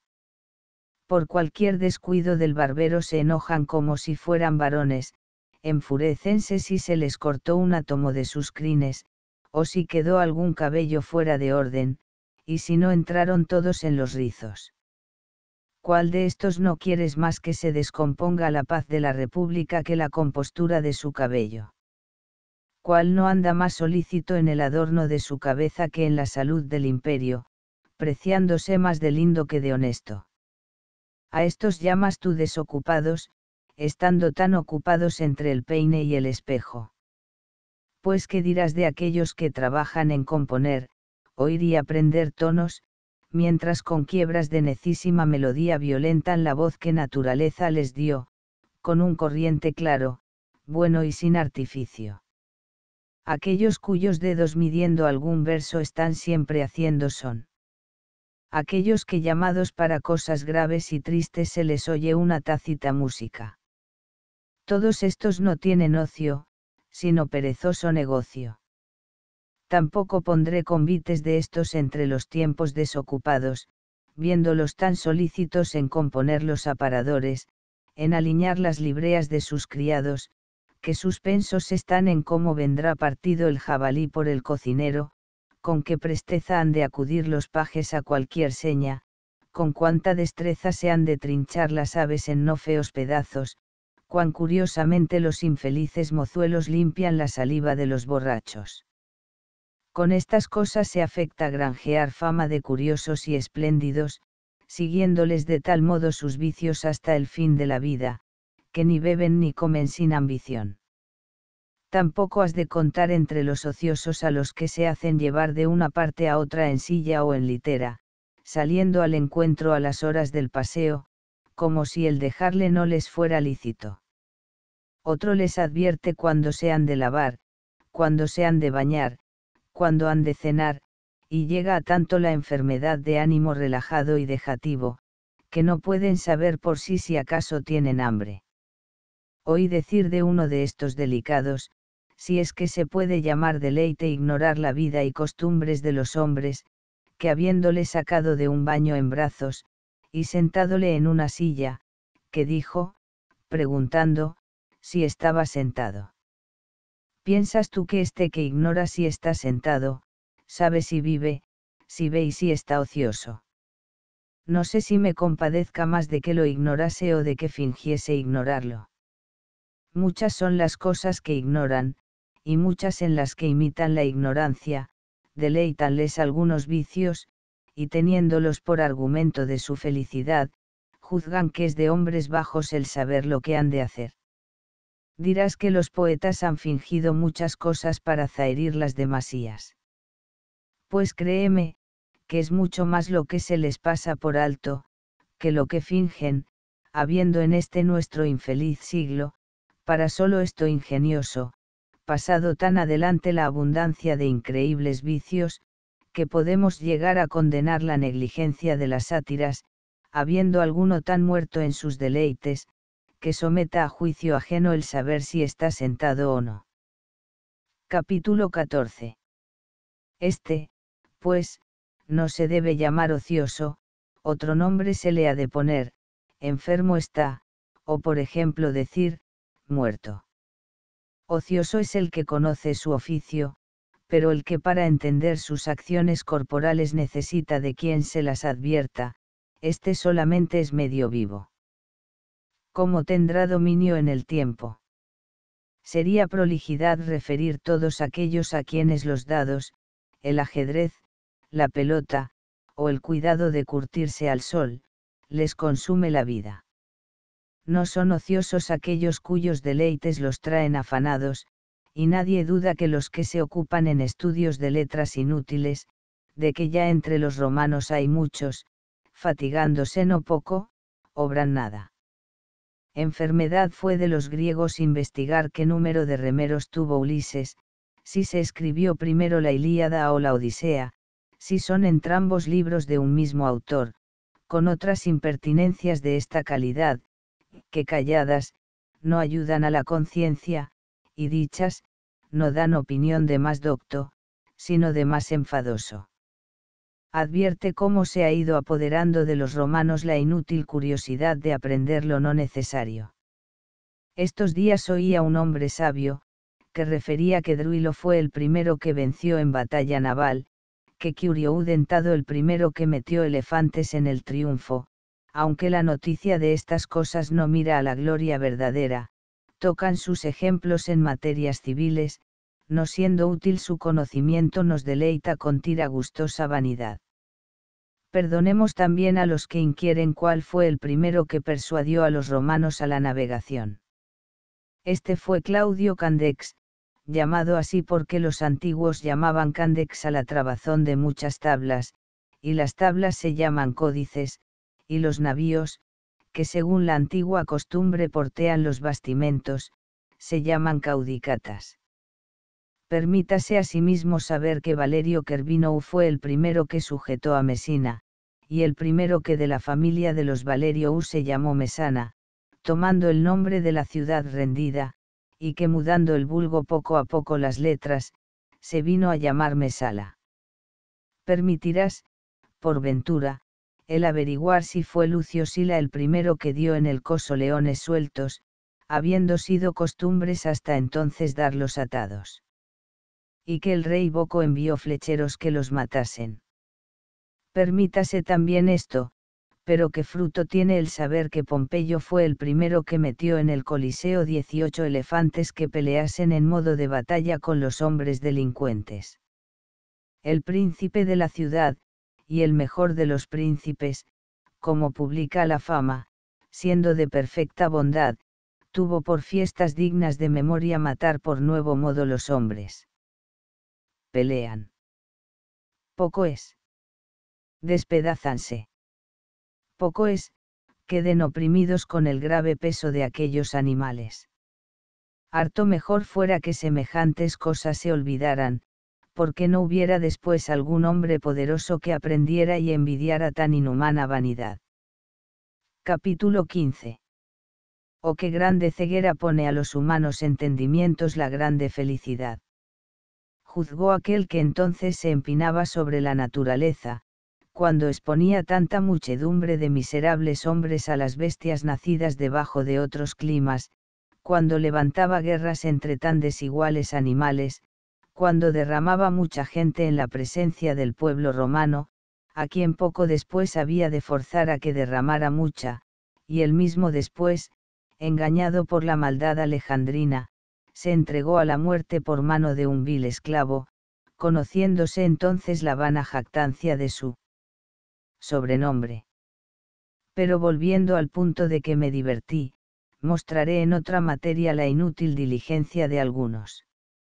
Contaba este mismo sabio que triunfando Mételo de los cartagineses, vencidos en Sicilia, fue solo entre los romanos el que llevó delante del carro 120 elefantes cautivos. Que Sila fue el último de los romanos que extendió la ronda de los muros, no habiendo sido costumbre de los antiguos alargarla cuando se adquiría nuevo campo en la provincia, sino cuando se ganaba en Italia. El saber esto es de más provecho que averiguar si el monte Aventino está fuera de la ronda, como éste mismo afirmaba, dando dos razones, o porque la plebe se retiró a él, o porque consultando remo en aquel lugar los agüeros, no halló favorables las aves, diciendo otras innumerables cosas que, o son fingidas, o semejantes a ficciones, porque aunque les concedas escriban estas cosas con buena fe y con riesgo de su crédito, dime, ¿qué culpas se enmendarán con esta doctrina? ¿Qué deseo se enfrena? ¿A quien hace más justo y más liberal? Solía decir nuestro Fabiano que dudaba si era mejor no ocuparse en algunos estudios o embarazarse en estos. Solos aquellos gozan de quietud que se desocupan para admitir la sabiduría, y solos ellos son los que viven, porque no solo aprovechan su tiempo, sino que le añaden todas las edades, haciendo propios suyos todos los años que han pasado, porque si no somos ingratos, es forzoso confesar que aquellos clarísimos inventores de las sagradas ciencias nacieron para nuestro bien y encaminaron nuestra vida, con trabajo ajeno somos adiestrados al conocimiento de cosas grandes, sacadas de las tinieblas a la luz. Ningún siglo nos es prohibido, a todos somos admitidos, y si con la grandeza de ánimo quisiéramos salir de los estrechos límites de la imbecilidad humana, habrá mucho tiempo en que poder espaciarnos. Podremos disputar con Sócrates, dificultar con Carneades, aquietarnos con Epicuro, vencer con los estoicos la inclinación humana, adelantarla con los cínicos, y andar juntamente con la naturaleza en compañía de todas las edades. ¿Cómo, pues, en este breve y caduco tránsito del tiempo no nos entregamos de todo corazón en aquellas cosas que son inmensas y eternas y se comunican con los mejores. Estos que andan pasando de un oficio en otro, inquietando así y a los demás, cuando hayan llegado a lo último de su locura, y cuando hayan visitado cada día los umbrales de todos los ministros, y cuando hayan entrado por todas las puertas que hallaron abiertas, cuando hayan ido por diferentes casas, haciendo sus interesadas visitas, a cuantos podrán ver en tan inmensa ciudad, divertida en varios deseos, que de ellos encontrarán, cuyo sueño, cuya lujuria o cuya descortesía los desechen. Cuantos que después de Haverals tormentado con hacerles esperar, se les escapen con una fingida prisa. Cuantos que, por no salir por los zaguanes, llenos de sus paniaguados, huirán por las secretas puertas falsas, como si no fuera mayor inhumanidad engañar que despedir. Cuántos soñolientos y pesados con la embriaguez, contraída la noche antes con un arrogante bocezo, abriendo apenas los labios, pagarán a los miserables que perdieron su sueño por guardar el ajeno, las salutaciones infinitas veces repetidas.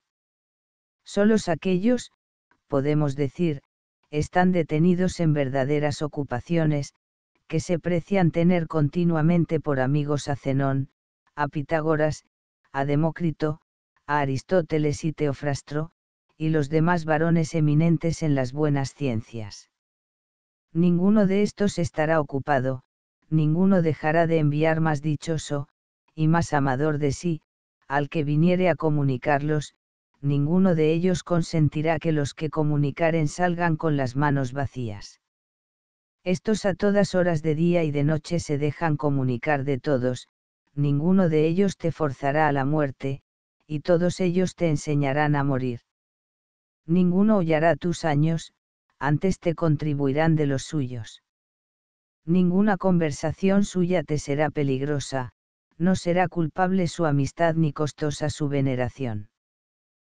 Capítulo 16. De su comunicación sacarás el fruto que quisieres, sin que por ellos quede el que consigas más cuanto más sacares. Qué felicidad y qué honrada vejez espera al que se puso debajo de la protección de ésta.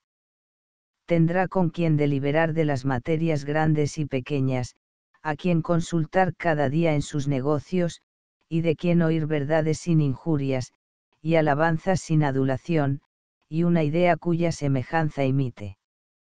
Solemos decir que no estuvo en nuestra potestad elegir padres, habiéndonoslos dado la fortuna, con todo eso, habiendo tantas familias de nobilísimos ingenios, nos viene a ser lícito nacer a nuestro albedrío. Escoge a cuál de ellas quieres agregarte, que no solo serás adoptado en el apellido, sino para gozar aquellos bienes que no se dan para guardarlos con malignidad y bajeza, siendo de calidad que se aumentan más cuando se reparten en más. Estas cosas te abrirán el camino para la eternidad, colocándote en aquella altura de la cual nadie será derribado. Solo este medio hay con que extender la mortalidad, o para decirlo mejor, para convertirla en inmortalidad. Las honras y las memorias, y todo lo demás, que o por sus decretos dispuso la ambición, o levantó con fábricas, con mucha brevedad se deshace, no hay cosa que no destruya la vejez larga, consumiendo con más prisa lo que ella misma consagró. Solo a la sabiduría es a quien no se puede hacer injuria, no la podrá borrar la edad presente, ni la disminuirá la futura, antes la que viene añadirá alguna parte de veneración, porque la envidia siempre hace su morada en lo cercano, y con más sinceridad nos admiramos de lo más remoto. Tiene, pues, la vida del sabio grande latitud, no la estrechan los términos que a la de los demás, él solo es libre de las leyes humanas, sírvenle todas las edades como a Dios, comprende con la recordación el tiempo pasado, aprovechándose del presente, y dispone el futuro, con lo cual, la unión de todos los tiempos hace que sea larga su vida, siendo muy corta y llena de congojas la de aquellos que se olvidan de lo pasado, no cuidan de lo presente y temen lo futuro, y cuando llegan a sus postrimerías, conocen tarde los desdichados que estuvieron ocupados mucho tiempo en hacer lo que en sí es nada.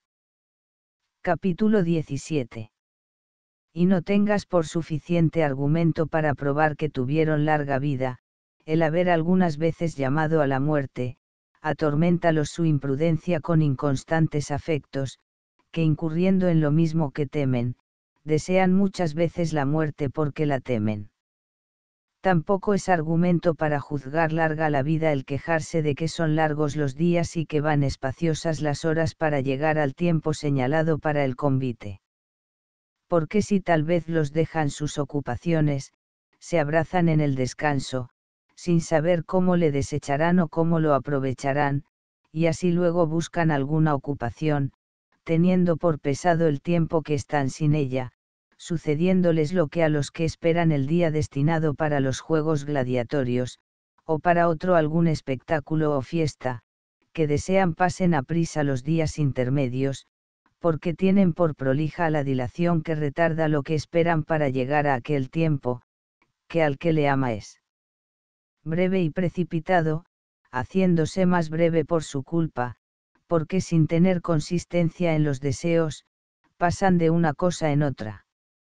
A estos no son largos, sino molestos los días, y al contrario, tienen por cortas las noches los que las pasan entre los lascivos abrazos de sus amigos o en la embriaguez, de que tuvo origen la locura de los poetas, que alentaron con fábulas las culpas de los hombres fingiendo que Júpiter, enviciado en el adulterio de Alcmena, había dado duplicadas horas a la noche.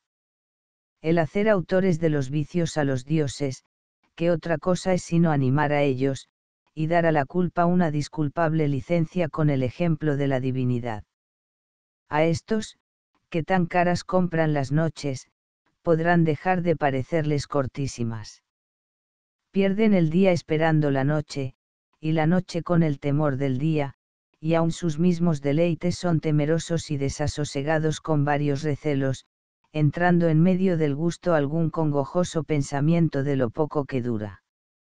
De este afecto nació el llorar los reyes su poderío, y sin que la grandeza de su fortuna los alegrase, les puso terror el fin que les esperaba extendiendo el insolentísimo rey de los persas sus ejércitos por largos espacios de tierras, sin poder comprender su número ni medida, derramó lágrimas considerando que dentro de cien años no había de haber vivo alguno de tan florida juventud, siendo el mismo que los llora el que les había de apresurar la muerte, y habiendo de consumir en breve tiempo a unos en tierra, y a otros en mar, a unos en batallas, a otros en huidas, ponía el temor en el centésimo año. Capítulo 18. Son, pues, sus gustos cargados de recelos, porque no estriban en fundamentos sólidos, y así, con la misma vanidad que les dio principio se deshacen. ¿Cuáles, pues, juzgarás son aquellos tiempos, aun por su misma confesión miserables, pues aun en los que se levantan, sobrepujando el ser de hombres, son poco serenos. Los mayores bienes son congojosos, y nunca se ha de dar menos crédito a la fortuna que cuando se muestra favorable. Para conservarnos en una buena dicha, necesitamos de otra y de hacer votos para que duren los buenos sucesos, porque todo lo que viene de mano de la fortuna es inestable, y lo que subió más alto está en mayor disposición de caída, sin que cause deleite lo que amenaza ruina, y así es forzoso que no solo sea brevísima, sino miserable la vida de aquellos que con gran trabajo adquieren lo que con mayor han de poseer. Consiguen con su sudor lo que desean, y poseen con ansias lo que adquirieron con trabajo, y con esto no cuidan del tiempo, que pasando una vez, jamás ha de volver. A las antiguas ocupaciones sustituyen otras de nuevo, una esperanza despierta a otra, y una ambición a otra ambición, no se busca el fin de los trabajos, pero múdase la materia. Nuestras honras nos atormentan, pero más tiempo nos consumen las ajenas, acábase el trabajo de nuestra pretensión, y comenzamos el de las intercesiones.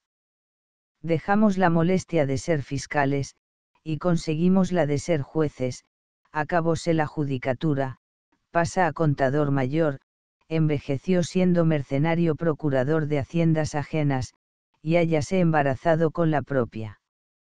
Dejó a Mario la milicia, y ocupóle el consulado. Solicita Quintio el huir de la dictadura, y sacaránle para ella desde el arado. Irá Escipión a las guerras de África sin madura edad para tan gran empresa, volverá vencedor de Aníbal y de Antíoco, será honor de su consulado y fiador del de su hermano. Y si él no lo impidiere, le harán igual a Júpiter, y a este que era el amparo de la patria acosarán civiles sediciones. Y al que supo en la juventud desechar los debidos honores, le deleitará en la vejez la ambición de un pertinaz destierro. Nunca han de faltar causas de cuidado, ora felices, ora infelices, con las ocupaciones se cierra la puerta a la quietud, deseándose siempre sin llegar a conseguirse. Capítulo 19. Desvíate, pues, oh clarísimo Paulino, del vulgo, y recógete a más seguro puerto, y no sea como arrojado por la vejez. Acuérdate de los mares que has navegado, las tormentas propias que has padecido y las que, siendo públicas, has hecho tuyas.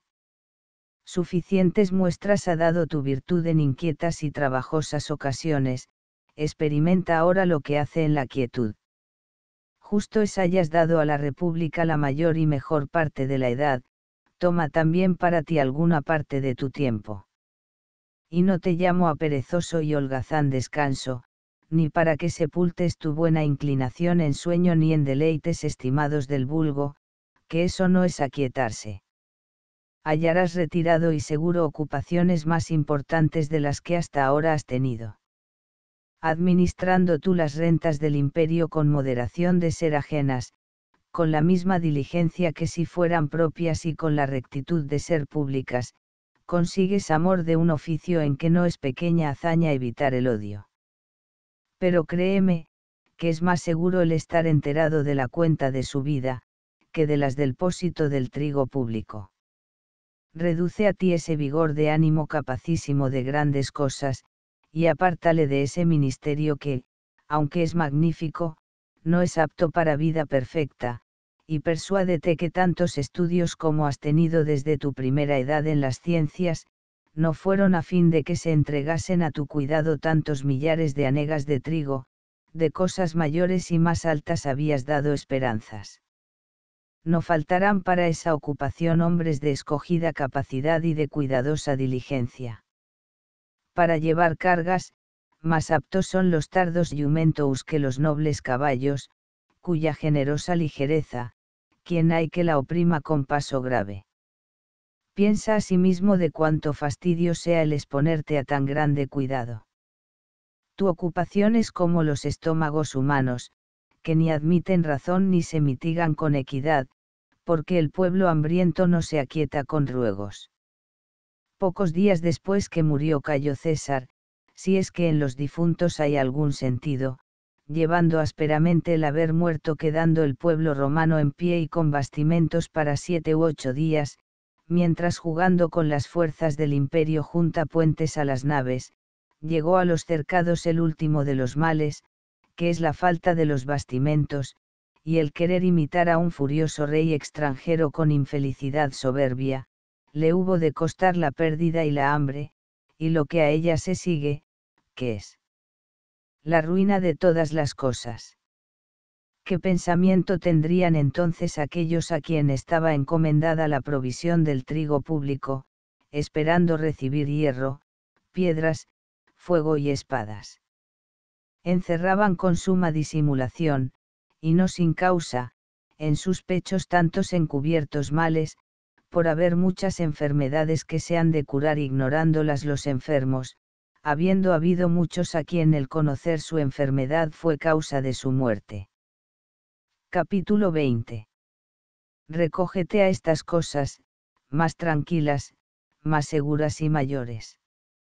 Piensas que es igual ocupación cuidar que el trigo se eche en los graneros, sin que la fraude o negligencia de los que le portean le hayan maleado, atendiendo a que con la humedad no se dañe o escaliente, para que responda al peso y medida, o el llegarte a estas cosas sagradas y sublimes, habiendo de alcanzar con ellas la naturaleza de los dioses. Y qué deleite, qué estado, qué fortuna, qué suceso espera tu alma, y en qué lugar nos ha de poner la naturaleza cuando estemos apartados de los cuerpos. Qué cosa sea la que sustenta todas las cosas pesadas del mundo, levantando al fuego a lo alto, moviendo en su curso las estrellas, con otras mil llenas de maravillas quieres tú, dejándolo terreno, mirar con el entendimiento estas superiores. Ahora, pues, mientras la sangre está caliente, los vigorosos han de caminar a lo mejor. En este género de vida te espera mucha parte de las buenas ciencias, el amor y ejercicio de la virtud, el olvido de los deleites, el arte de vivir y morir y, finalmente, un soberano descanso. El estado de todos los ocupados es miserable, pero el de aquellos que aún no son suyas las ocupaciones en que trabajan, es miserabilísimo, duermen por sueño ajeno, andan con ajenos pasos, comen con ajena gana, hasta el amar y aborrecer, que son acciones tan libres, lo hacen mandados. Si estos quisieren averiguar cuán breve es su vida, consideren qué parte ha sido suya. Cuando vieres, pues, a los que van pasando de una a otra judicatura, ganando opinión en los tribunales, no les envidies, todo eso se adquiere para pérdida de la vida, y para que solo se cuente el año de su consulado, destruirán todos sus años. A muchos desamparó la edad mientras trepando a la cumbre de la ambición luchaban con los principios, a otros, después de haber arribado por mil indignidades a las dignidades supremas, les llega un miserable desengaño de que todo lo que han trabajado ha sido para el epitafio del sepulcro. A otros desamparó la cansada vejez, mientras como juventud se dispone entre graves y perversos intentos para nuevas esperanzas. Capítulo XXI. Torpe es aquel a quien, estando en edad mayor, coge la muerte ocupado en negocios de no conocidos litigantes, procurando las lisonjas del ignorante vulgo, y torpe aquel que, antes cansado de vivir que de trabajar, murió entre sus ocupaciones. Torpe el enfermo de quien, por verle ocupado en sus cuentas, se ríe el ambicioso heredero. No puedo dejar un ejemplo que me ocurre. Hubo un viejo, llamado Turanio, de puntual diligencia, y habiéndole Cayo César jubilado en oficio de procurador sin haberlo el pedido, por ser de más de 90 años, se mandó echar en la cama y que su familia le llorase como ha muerto. Lloraba, pues, toda la casa el descanso de su viejo dueño, y no cesó la tristeza hasta que se le restituyó aquel su trabajo, tanto se estima el morir en ocupación. Muchos hay de esta opinión, durando en ellos más el deseo que la potencia, para trabajar pelean con la imbecilidad de su cuerpo, sin condenar por pesada a la vejez por otro algún título más de por qué la aparta del trabajo.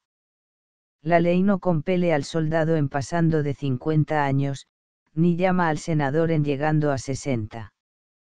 Más dificultosamente alcanzan los hombres de sí mismos el descanso que de la ley, y mientras que son llevados o llevan a otros, y unos a otros se roban la quietud, haciendo los unos a los otros alternadamente miserables, pasan una vida sin fruto, sin gusto y sin ningún aprovechamiento del ánimo. Ninguno pone los ojos en la muerte, todos alargan las esperanzas, y algunos disponen también lo que es para después de la vida grandes máquinas de sepulcros, epitafios en obras públicas, ambiciosas dotaciones para sus exequias. Ten por cierto que las muertes de estos se pueden reducir a hachas y cirios, como entierro de niños. Libro sexto. Apolibio. De consolación. Capítulo 20. Nuestros cuerpos comparados con otros son robustos, pero si los reduces a la naturaleza, que destruyendo todas las cosas las vuelve al estado de que las produjo, son caducos, porque manos mortales, ¿qué cosa podrán hacer que sea inmortal? Aquellos siete milagros, y si acaso la ambición de los tiempos venideros levantare otros más admirables, se verán algún día arrasados por tierra. Así que no hay cosa perpetua, y pocas que duren mucho. Unas son frágiles por un modo, y otras por otro, los fines se varían, pero todo lo que tuvo principio ha de tener fin. Algunos amenazan al mundo con muerte, y, si es lícito creerlo, vendrá algún día que disipe este universo, que comprende todas las cosas humanas, sepultándolas en su antigua confusión y tinieblas. Salga, pues, alguno a llorar estas cosas y las almas de cada uno. Laméntese también de las cenizas de Cartago, Numancia y Corinto, y si alguna otra cosa hubo que cayese de mayor altura, pues aun lo que no tiene dónde caer, ha de caer salga asimismo otro, y quejese de que los hados, que tal vez se han de atrever a empresas inefables, no le perdonaron a él. Capítulo XXI.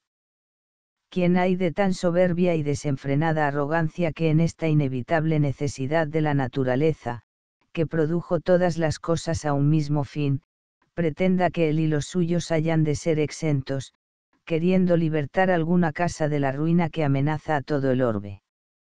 Será, pues, de grande consuelo pensar cada uno que le sucede lo que padecieron todos los que pasaron, y lo que han de padecer todos los que vinieren, y juzgo que por esta causa quiso la naturaleza que fuese común todo aquello que hizo más acervo, porque la igualdad sirviese de consuelo en las asperezas de lado y no te ayudará poco el considerar que el dolor ni a ti ni a la persona que te faltó ha de ser de provecho, con lo cual no has de querer dure lo que a entrambos ha de ser infructuoso.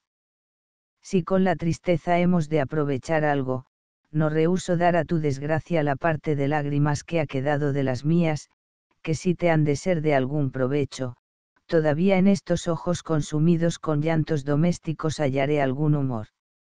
No ceses, lloremos, que yo quiero tomar por mía esta causa, a juicio de todos fuiste, oh fortuna, reputada por acervísima en haberte desviado de aquel que por beneficio tuyo había llegado a tanta estimación, que ya su felicidad, cosa que pocas veces sucede, estaba libre de la envidia. Ves aquí a quien diste el mayor dolor que pudo recibir viviéndole César, y después de haberle cercado por todas partes, conociste que sola ésta quedaba descubierta a tus heridas. ¿Por qué cuál otro daño le podías hacer? Habíasle de quitar las riquezas. Nunca vivió sujeto a ellas, y ahora en cuanto puede las desechas de sí, y en medio de tan gran felicidad en adquirirlas, ningún otro mayor fruto saca de ellas que la ocasión de despreciarlas. Habías de quitarle los amigos. ¿Sabías tú que era tan amable que con facilidad podría sustituir otros en lugar de los que le quitases? Porque de todas las personas poderosas que yo he conocido en las casas de los príncipes, a solo este he visto cuya amistad, con ser tan útil, se busque más por afición que por interés. Habíasle de quitar la buena opinión. Teníala tan asentada que no eras poderosa a desacreditarle habías de privarle de la salud. Conocías que su ánimo, no solo criado, sino nacido en las ciencias, estaba de tal manera fundado, que se levantaba sobre todos los dolores del cuerpo. Habías de quitarle la vida. ¿Qué tan grande daño piensas que le hacías, habiéndole prometido la fama larguísima edad? Él hizo de modo que ésta le durase en la mejor parte, porque habiendo hecho excelentes obras de elocuencia, se libró de la mortalidad. Todo el tiempo que durare el dar honor a las letras, y mientras se conservare el vigor de la lengua latina y la gracia de la griega, vivirá entre los insignes varones cuyos ingenios igualó, y si rehusare esto su modestia, entre aquellos a que se aplicó. Capítulo XXI. Pusiste, pues, la mira en aquellos en que más le podías ofender, porque cuando cada uno es mejor, sabe por la misma razón sufrirte más cuando te ve enfurecida sin causa y tremenda entre los halagos. ¿Qué te costaba dejar libre de injurias aquel varón a quien parece había venido tu liberalidad movida más por razón que por tu acostumbrado antojo? Añadamos, si te parece, a estas quejas la buena inclinación de aquel mancebo que cortaste entre sus primeros acrecentamientos. El difunto, o Polibio, fue digno de tenerte por hermano, y tú eres dignísimo de no tener ocasión de dolerte aun por muerte de algún indigno hermano.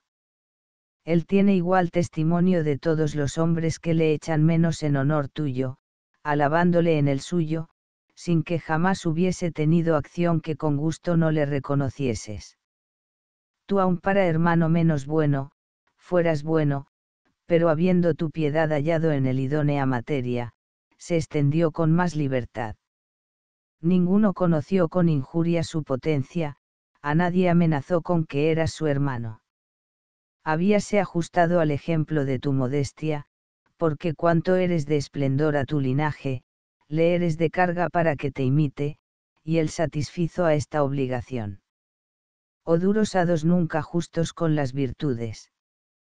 Antes que tu hermano conociese su felicidad, fue arrebatado bien veo que esta mi indignación no es suficiente, porque no hay cosa tan dificultosa como hallar palabras proporcionadas a un gran dolor, pero, ea, si nos ha de ser de algún provecho, quejémonos. ¿Qué es lo que quisiste hacer, oh injusta y violenta fortuna? Oh. Tan presto te arrepentiste de tus dádivas. ¿Qué crueldad es esta? hiciste división entre dos hermanos, deshaciendo con sangriento robo la concordísima compañía, y turbando la casa adornada de tan cancourdes mancebos, sin que en ellos hubiese alguno que degenerase, sin razón alguna la sacrificaste. Según esto, no es de provecho la inocencia ajustada con las leyes, ni la antigua frugalidad, no la potencia de grande felicidad, no la observada abstinencia, no el sincero y puro amor de las letras, ni la conciencia limpia de toda mancha. Llora Polibio, y advertido con la muerte de un hermano de lo que puede temer en los demás, viene a tener temor en lo mismo que es el consuelo de su dolor. Hazaña indigna. Llora Polibio teniendo propicio a César. Sin duda, oh fortuna, emprendiste esta crueldad para ostentar que ninguno puede ser defendido de tus manos, aun por el mismo César. Capítulo 23. Podemos quejarnos muchas veces de los hados, pero no los podemos mudar, porque son duros e inexorables. Nadie los mueve ni con oprobios, ni con lágrimas, ni con razones. A ninguno perdonan, ni remiten cosa alguna. Dejemos, pues, las lágrimas que no aprovechan, y el dolor con más facilidad nos llevará a donde está el difunto, que volverle a que le gocemos.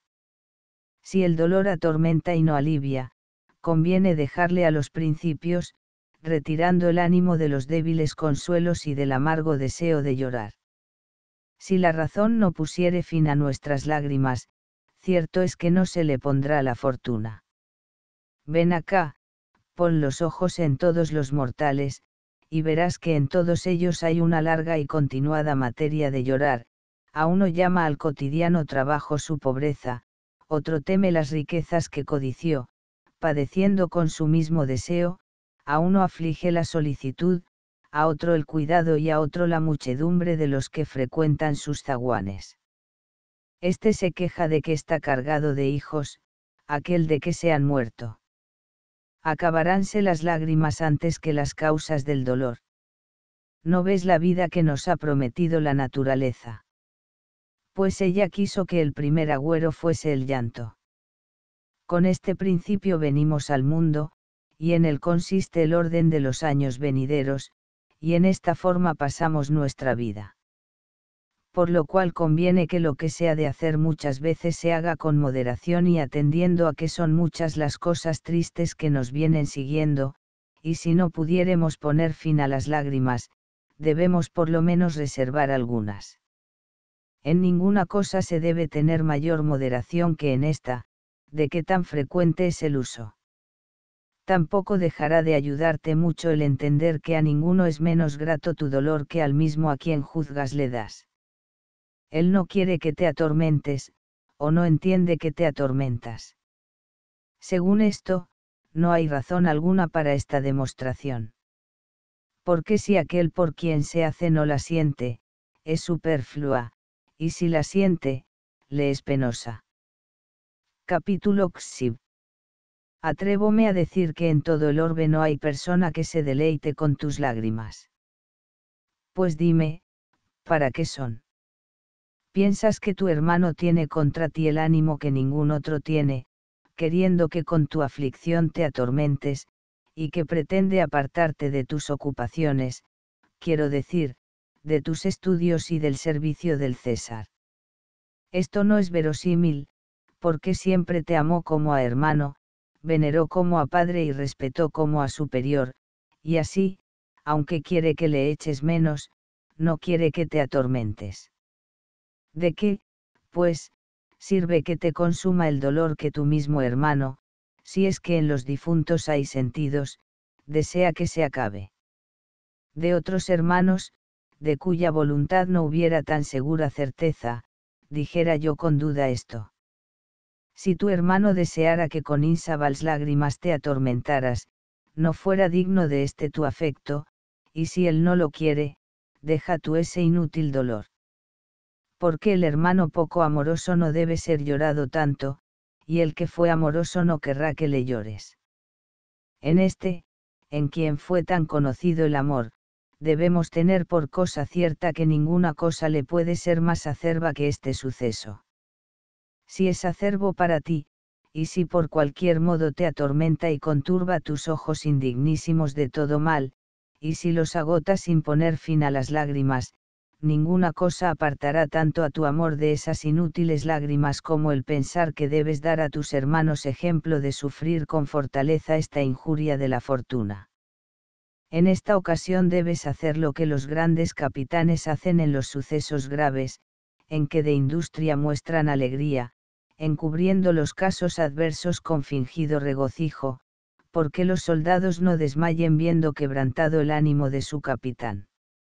Lo mismo has de hacer tú, mostrando el rostro disímil del ánimo, y si pudieres acabarlo contigo, debes desechar de todo punto el dolor, y si no pudieres, enciérralo al menos en lo interior, encarcelándolo, para que no se deje ver, procura que te imiten tus hermanos, porque ellos tendrán por justo todo lo que vieren haces, y formarán su ánimo de tu rostro, y habiéndoles de ser el consuelo y el consolador, no podrás impedirles su dolor si dieres largas riendas al tuyo. Capítulo XXV. También apartará de ti el excesivo dolor el persuadirte que ninguna de las cosas que haces se pueden encubrir. Grande estimación te ha dado el común aplauso de los hombres, conviene conservarla. Toda esta muchedumbre de consoladores que te tiene cercado atendiendo a tu ánimo, mira qué fuerzas tiene contra el dolor, y especulando si sabes visar de tanta destreza en las cosas prósperas que sepas sufrir varonilmente las adversas, pone sus ojos en los tuyos. Más libres son las acciones de aquellos cuyos afectos se pueden encubrir. Para ti no hay secreto libre, por haberte puesto la fortuna en mucha luz. Todos sabrán cómo te has gobernado en esta herida, y si en recibiéndola rendiste las armas, o si estuviste firme en el puesto. Días a que el amor de César te levantó al más alto estado a que te trajeron tus estudios. Ninguna acción plebeya y humilde te es decente. ¿Qué cosa hay tan ratera y afeminada como entregarte al dolor para que te consuma? En igual sentimiento no te es lícito lo que es a tus hermanos. La opinión recibida de tus estudios y costumbres no te permite muchas cosas. Mucho es lo que los hombres quieren y esperan de ti. Si querías que todo te fuese lícito, no habías de haber atraído a ti los ojos de todos. Ahora es forzoso que des todo lo que prometiste a los que alaban y celebran las obras de tu ingenio, que aunque algunos no necesitan de tu fortuna, necesitan muchos de tu talento. Atalayas son de tu ánimo, con lo cual jamás podrás hacer acción alguna indigna de varón perfecto y erudito, sin que muchos se arrepientan de lo que de tus partes se admiraron no te es lícito llorar con demasía, y no es esto solo lo que te es lícito, pues aún no lo es el extender el sueño a una mínima parte del día, ni lo es el huir de la muchedumbre de los negocios retirándote al ocio de tu jardín, ni el recrear con algún voluntario paseo el cuerpo fatigado con la asistencia del trabajoso oficio, ni alentar el ánimo con la variedad de espectáculos, ni disponer el día a tu albedrío. Capítulo XXVI muchas cosas no te son lícitas, que lo son a los hombres humildes que están despreciados en los rincones. La grande fortuna es servidumbre muy grande. No te es lícito hacer cosa alguna por tu gusto. Has de dar audiencia a tantos millares de hombres, has de disponer tantos memoriales, has de acudir al despacho de tantas cosas como de todas partes del mundo ocurren para poder cumplir por orden de oficio de ministerio tan importante, y esto requiere un ánimo quieto. Digo que no te es lícito llorar, porque para tener tiempo de oír los lamentos de muchos que padecen, y para que aprovechen las lágrimas de los que desean llegar a la misericordia del piadosísimo César, has de enjugar las tuyas. Considera la fe y la industria que debes a su amor, y entenderás que no te es lícito el retirarte, como no lo es a aquel que, según dicen las fábulas, tiene sobre sus hombros el mundo. Al mismo César a quien es lícito todo, no le son por esta causa lícitas muchas cosas. Su cuidado defiende las casas de todos, su industria los deleites de todos y su ocupación el descanso de todos desde el día que César se dedicó al gobierno del mundo, se privó del uso de sí mismo, al modo que a los otros que deben sin cesar hacer su curso, sin serles lícito ni detenerse ni ocuparse en cosa suya. Así a ti, en cierto modo, te incumbe la misma obligación, no siéndote lícito volver los ojos a tus utilidades ni a tus estudios. Poseyendo César el mundo, no puede repartirse al deleite ni al dolor, ni a ninguna otra cosa, porque te debes todo a César. Añade que confesando que amas tú a César más que a tu vida, no te es lícito viviendo, el quejarte de la fortuna. Viviendo César están salvos todos tus deudos, ninguna pérdida has hecho, y así, no solo has de tener enjutos los ojos, sino alegres. En César lo tienes todo, y él te basta para todos. Poco agradecido serás a la fortuna, cosa que está muy lejos de tus prudentísimos sentidos, si viviéndote César diers permisión a las lágrimas. También te quiero dar otro remedio, sino más firme, al menos más familiar. Cuando te recoges en tu casa es el tiempo que podrás temer la tristeza, porque el que estuvieres mirando a César, no tendrá ella entrada en ti, pues él te poseerá todo, pero en apartándote de su vista, entonces, gozando de la ocasión, pondrá el dolor asechanzas a tu soledad, y poco a poco se entrará en tu ánimo, hallándote desocupado. Conviene que no permitas estar tiempo alguno apartado de los estudios, entonces las letras, tanto tiempo y con tanta felicidad amadas de ti, te serán gratas defendiendo a su presidente y su venerador. Entonces Homero y Virgilio, a quien tanto debe el género humano, como ellos te deben a ti por haberlos hecho conocidos de más naciones de aquellas para quien escribieron, te asistirán muchos ratos, y con eso estará seguro todo el tiempo que les entregaren para que te le defiendan. Entonces podrás componer las obras de tu César, para que con pregón doméstico se canten en todas edades. Escribe todo lo que pudieres, pues él te dará materia y ejemplo para escribir todos los sucesos. Capítulo 27. No me atrevo a pasar tan adelante, aconsejándote que con tu acostumbrada elocuencia enlaces fábulas y apologías, obra aún no intentada por los ingenios romanos. Porque es cosa difícil que un ánimo tan fuertemente herido pueda tan presto pasar a estudios regocijados ten por señal cierta de estar el ánimo fortalecido y vuelto a su ser, si de los estudios graves y serios pudiere pasar a estos más libres, porque en aquellos, aunque la austeridad de las cosas que trata le llaman aun estando enfermo y contra su voluntad, no admitirá estos otros que se han de tratar con frente desarrugada si no es cuando de todo punto estuviere convalecido. Así que a los principios les ha de ejercitar en materias más severas, y templarle después con otras más alegres. También te será de grande alivio si te hicieres esta pregunta, ¿el dolor que tengo es en mi nombre o en el del difunto? Si es en el mío, acábase la jactancia que de mi sufrimiento solía tener, y comience el dolor, sin que haya en él otra excusa más que el ser honesta, porque el desechar el sentimiento, mira a utilidad propia, y ninguna cosa hay menos decente al varón bueno, que llorar por cuenta y razón en la muerte de su hermano. Si me duelo en su nombre, es necesario que uno de los dos sea juez, porque si a los difuntos no les queda sentido alguno, mi hermano, libre ya de todas las incomodidades de la vida, está restituido al lugar donde estuvo antes que naciese, y exento de todo mal, no hay cosa que tema, ninguna que desee y ninguna que padezca. Pues qué locura es no dejar jamás de dolerme por el que jamás ha de tener dolor.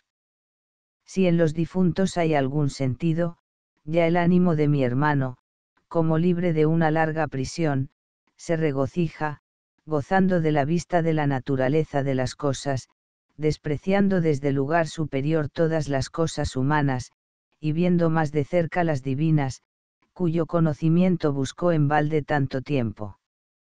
Pues ¿por qué me aflijo por el que o es bienaventurado o deja de tener ser? Llorar por el bienaventurado, es envidia, y por el que no tiene ser, es locura. Capítulo 28. Muévete, por ventura, el ver que carece de los grandes bienes que le rodeaban. Cuando pusieres el pensamiento en las muchas cosas que dejó, ponte en que son muchas las que deja de temer. No le atormentará la ira ni le afligirá la enfermedad, no le congojará la sospecha, no le perseguirá la tragadora envidia enemiga de ajenos acrecentamientos, no le dará cuidado el miedo, ni le inquietará la liviandad de la fortuna, que en un instante transfiere en otros sus dádivas. Si haces bien la cuenta, mucho más es lo que se le perdonó que lo que se le quitó. No gozará de las riquezas, ni de su gracia y la tuya, no recibirá beneficios ni los dará. Juzgase desdichado porque perdió estas cosas o dichoso porque no las desea. Créeme, que es más feliz aquel que no necesita de la fortuna, que el que la tiene propicia. Todos estos bienes que con hermoso aunque falaz deleite nos alegran, el dinero, las dignidades, la potencia y las demás cosas a que con pasmo mira la ciega codicia del linaje humano, se poseen con trabajo y se miran con envidia, quebrantando a los mismos a quien adornan, y siendo más lo que amenazan que lo que prometen. Estas cosas son deslizaderas e inciertas, y jamás se tienen con seguridad, porque cuando cesasen los temores de lo futuro, la misma conservación de la grande felicidad es en sí solícita. Si quieres dar crédito a los que más altamente ponen los ojos en la verdad, toda nuestra vida es un castigo. Estamos arrojados en este profundo y alterado mar, que con alternados otoños es recíproco, que levantándonos ya con repentinos crecimientos y desamparándonos luego con mayores daños, nos descompone, sin permitirnos estar en lugar firme.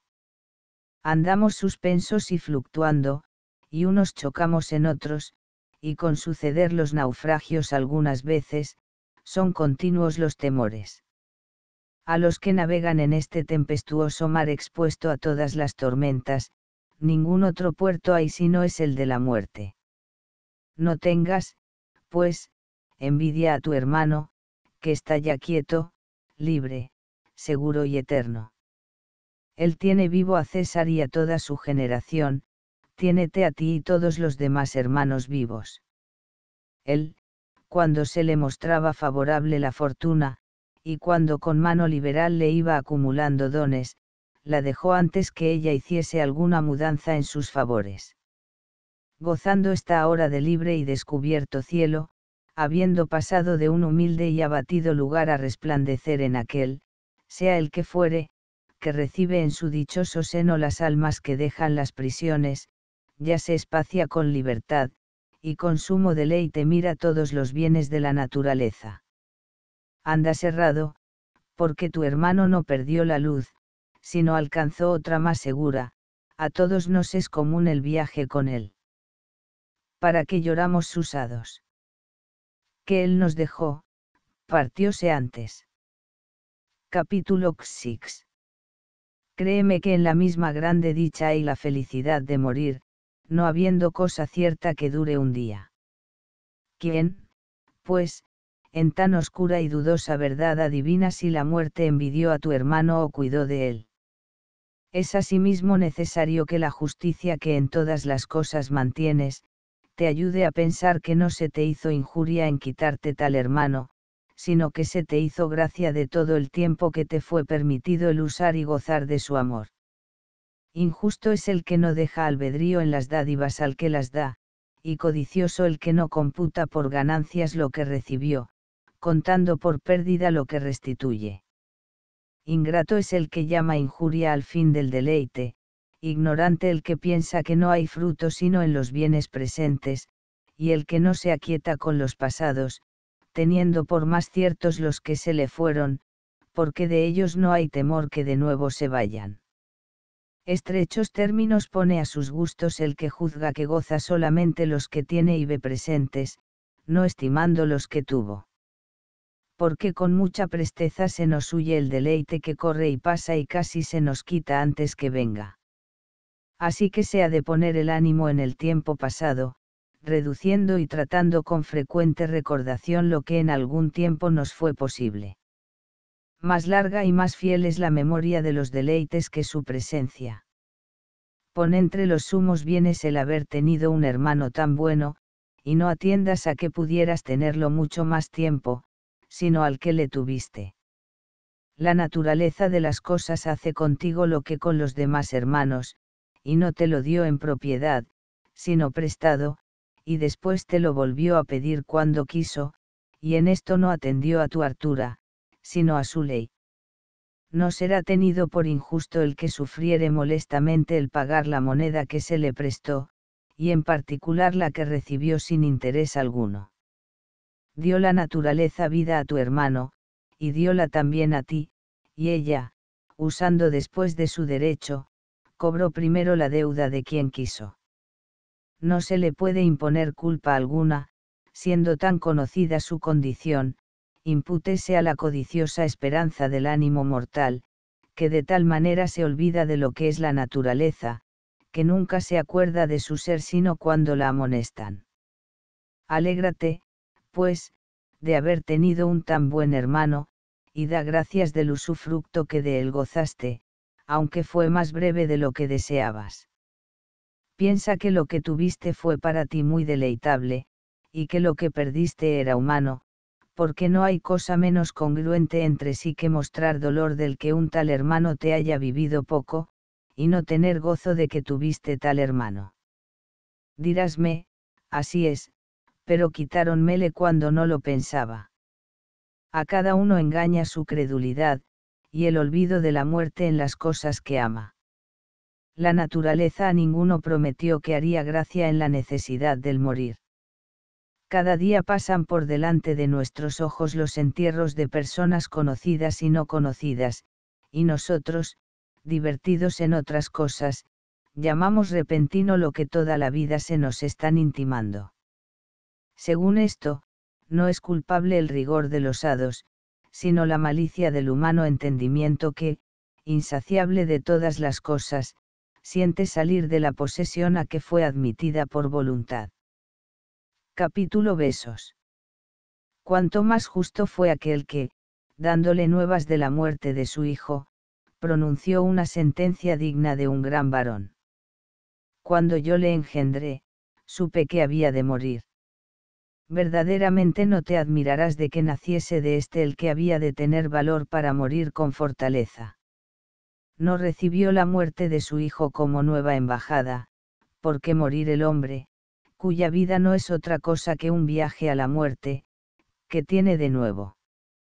Cuando yo le engendré, supe que había de morir.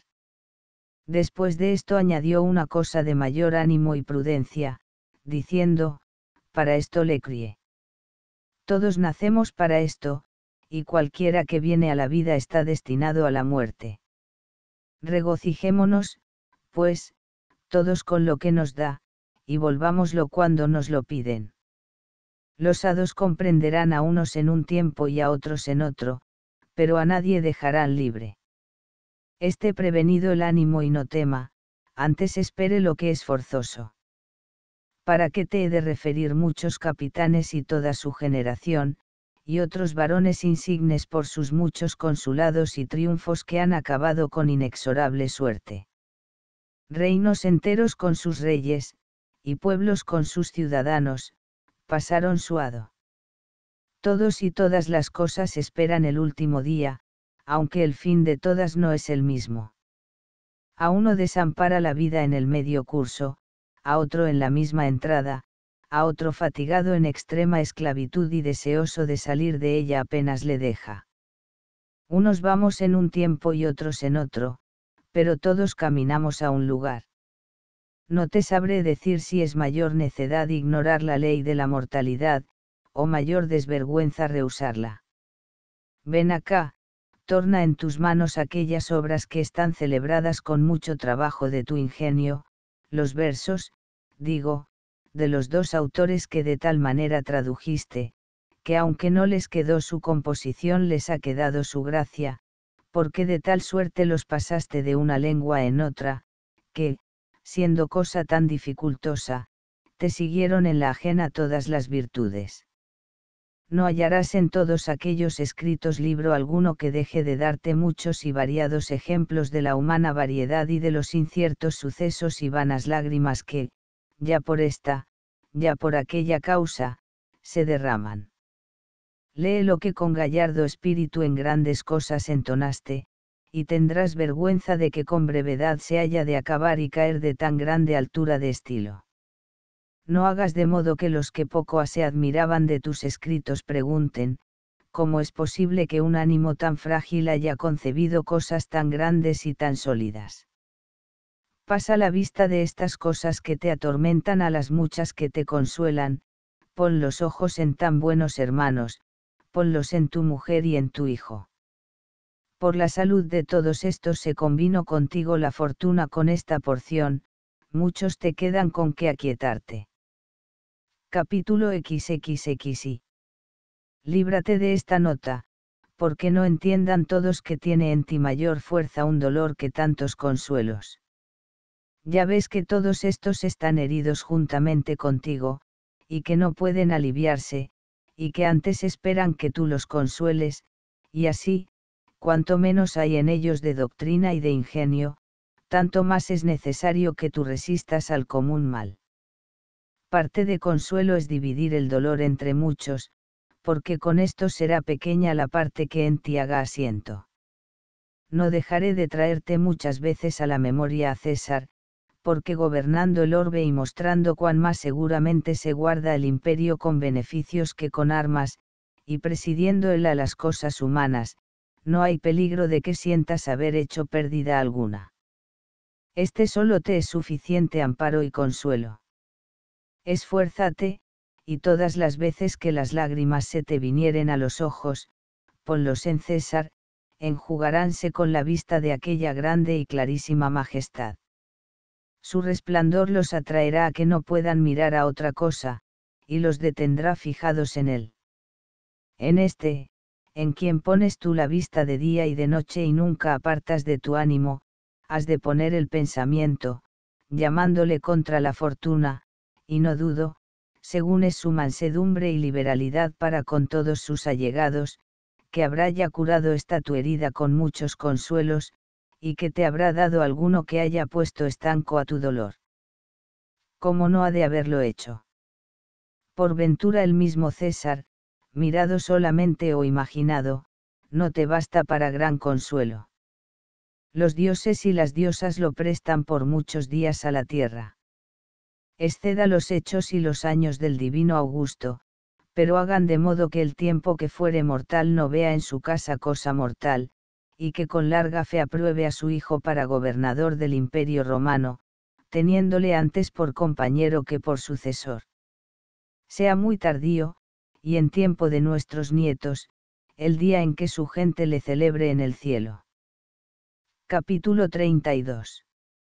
Aparta, oh fortuna, tus manos de este varón, y no muestres en él tu potencia si no es por la parte que le has de ser provechosa. Permite que él remedie al género humano, que a mucho tiempo está enfermo y fatigado. Permite que éste repare todo lo que la locura de su antecesor descompuso. Resplandezca siempre esta estrella, que salió a dar luz al orbe cuando estaba despeñado en el profundo y anegado en tinieblas pacifique a Germania, abra el paso de Bretaña, y lleve juntos los triunfos de su padre y los suyos.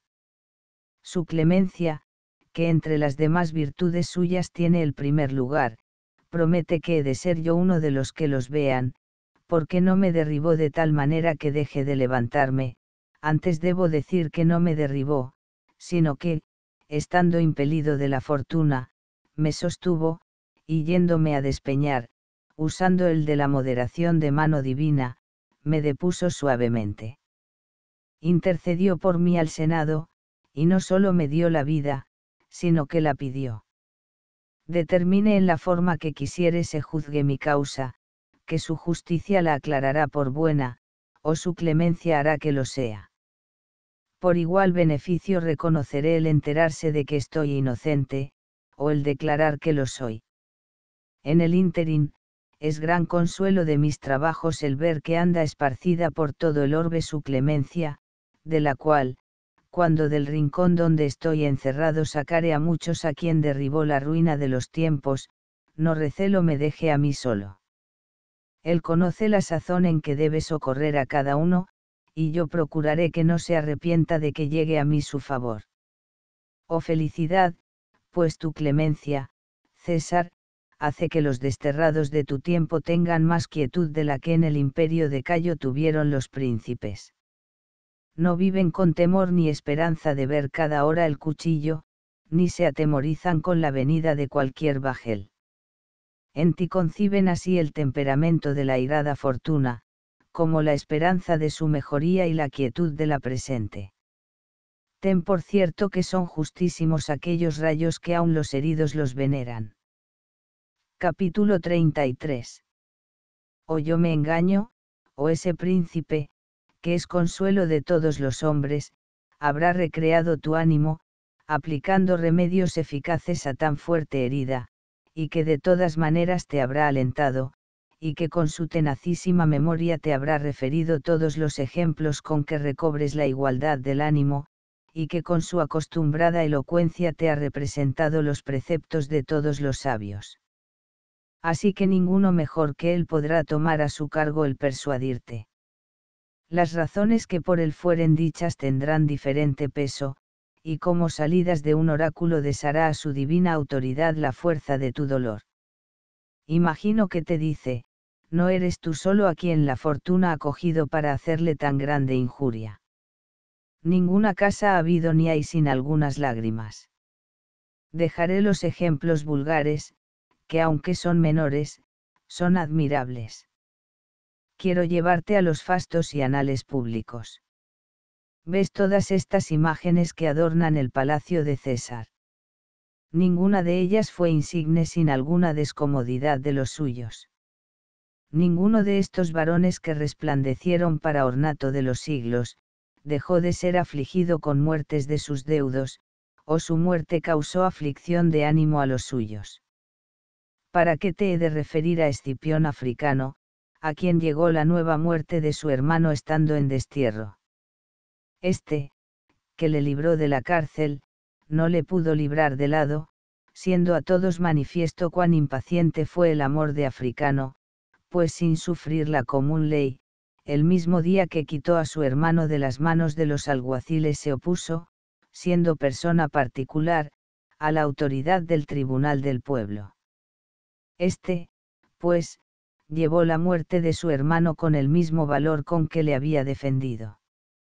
¿Para qué te he de referir a Esmiliano Escipión, que vio casi en un mismo tiempo el triunfo de su padre y el entierro de dos hermanos, y con ser mancebo, y en edad pueril, sufrió aquella repentina calamidad de su casa que cayó sobre el triunfo de Paulo, llevándola con tan grande ánimo como convenía a un varón que había nacido para que ni faltase a Roma un Escipión ni quedase en pie Cartago.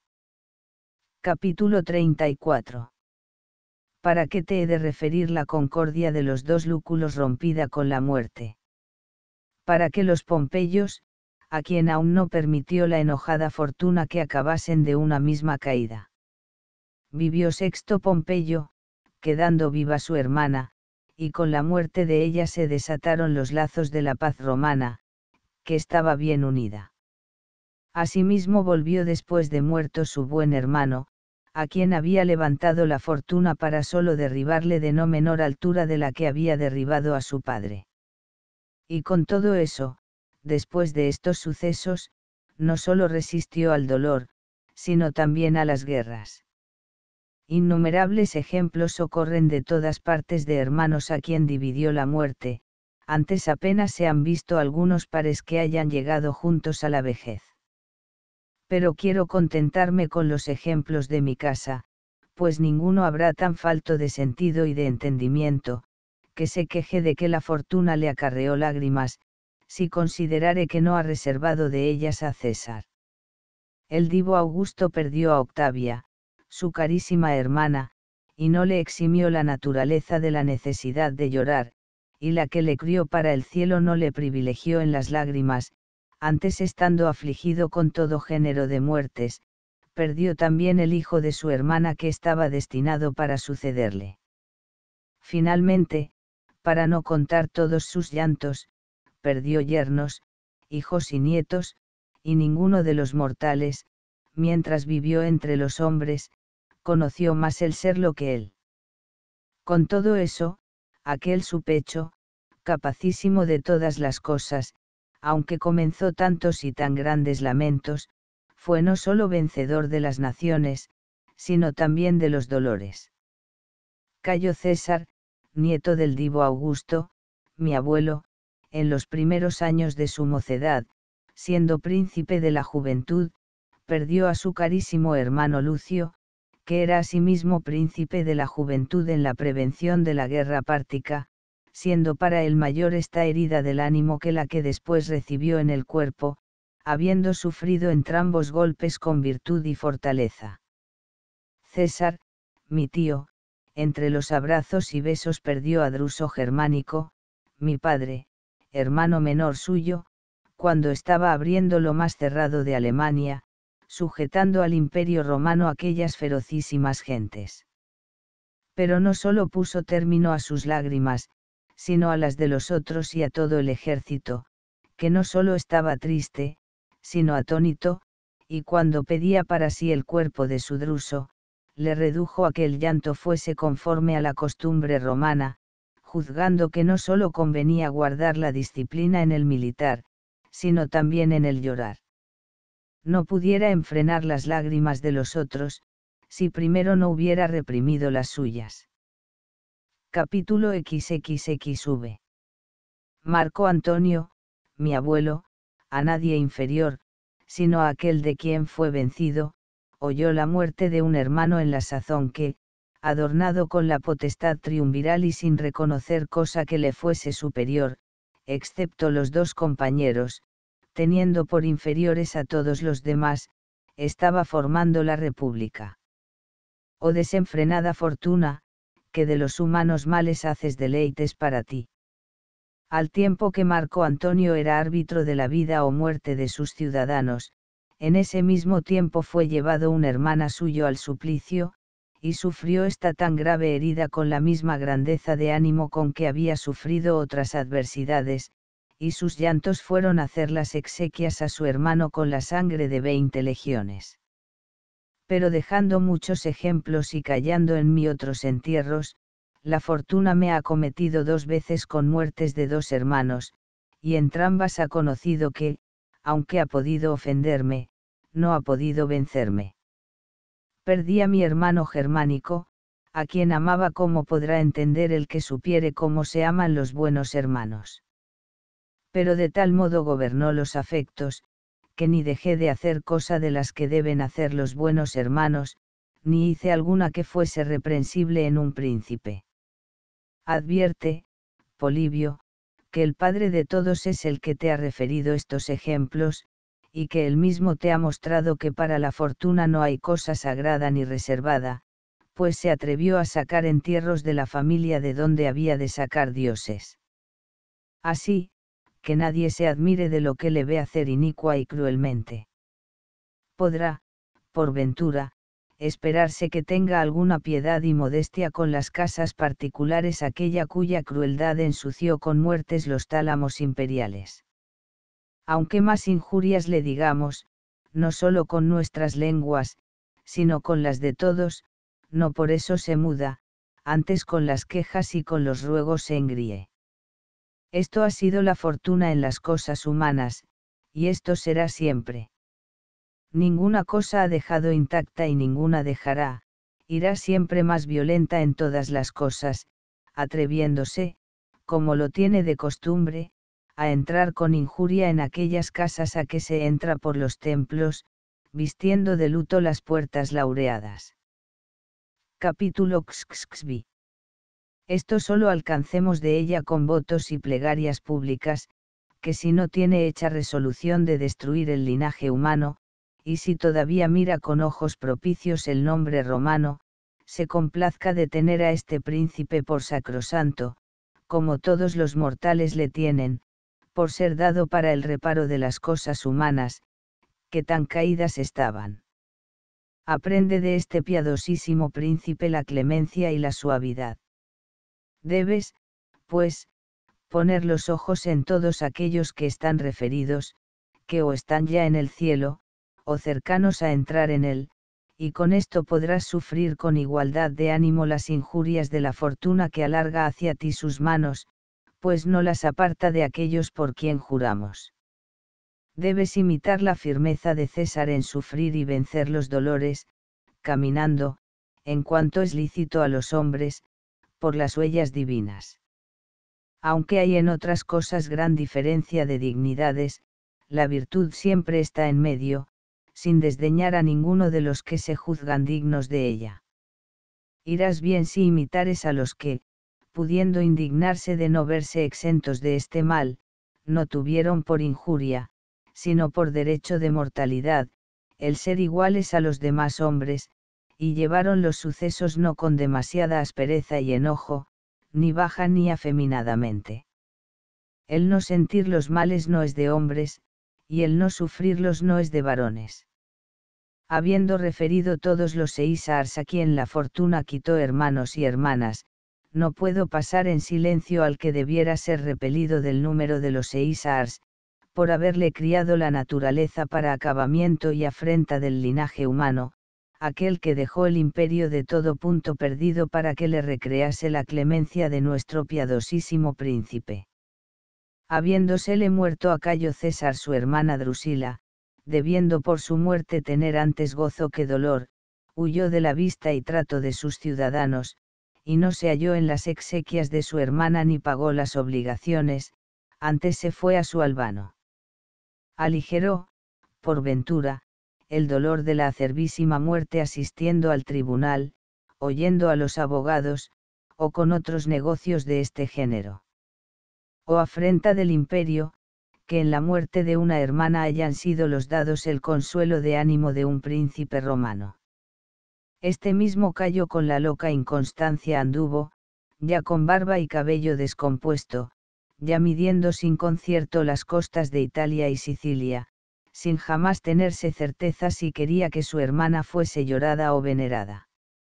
Porque en la misma sazón que determinaba edificarle templos y altares, castigó con cruelísima demostración a los que vio estaban poco tristes porque con la misma destemplanza de ánimo sufría los golpes de sucesos adversos, con que, levantado de los prósperos, se ensoberbecía fuera del humano modo.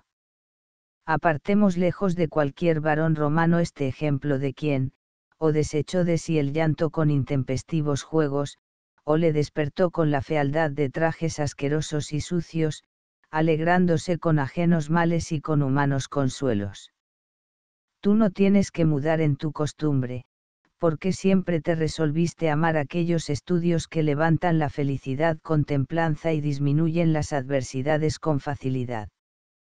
Y estos estudios, junto con ser grande adorno de los hombres, son asimismo grandes consuelos. Capítulo XXB.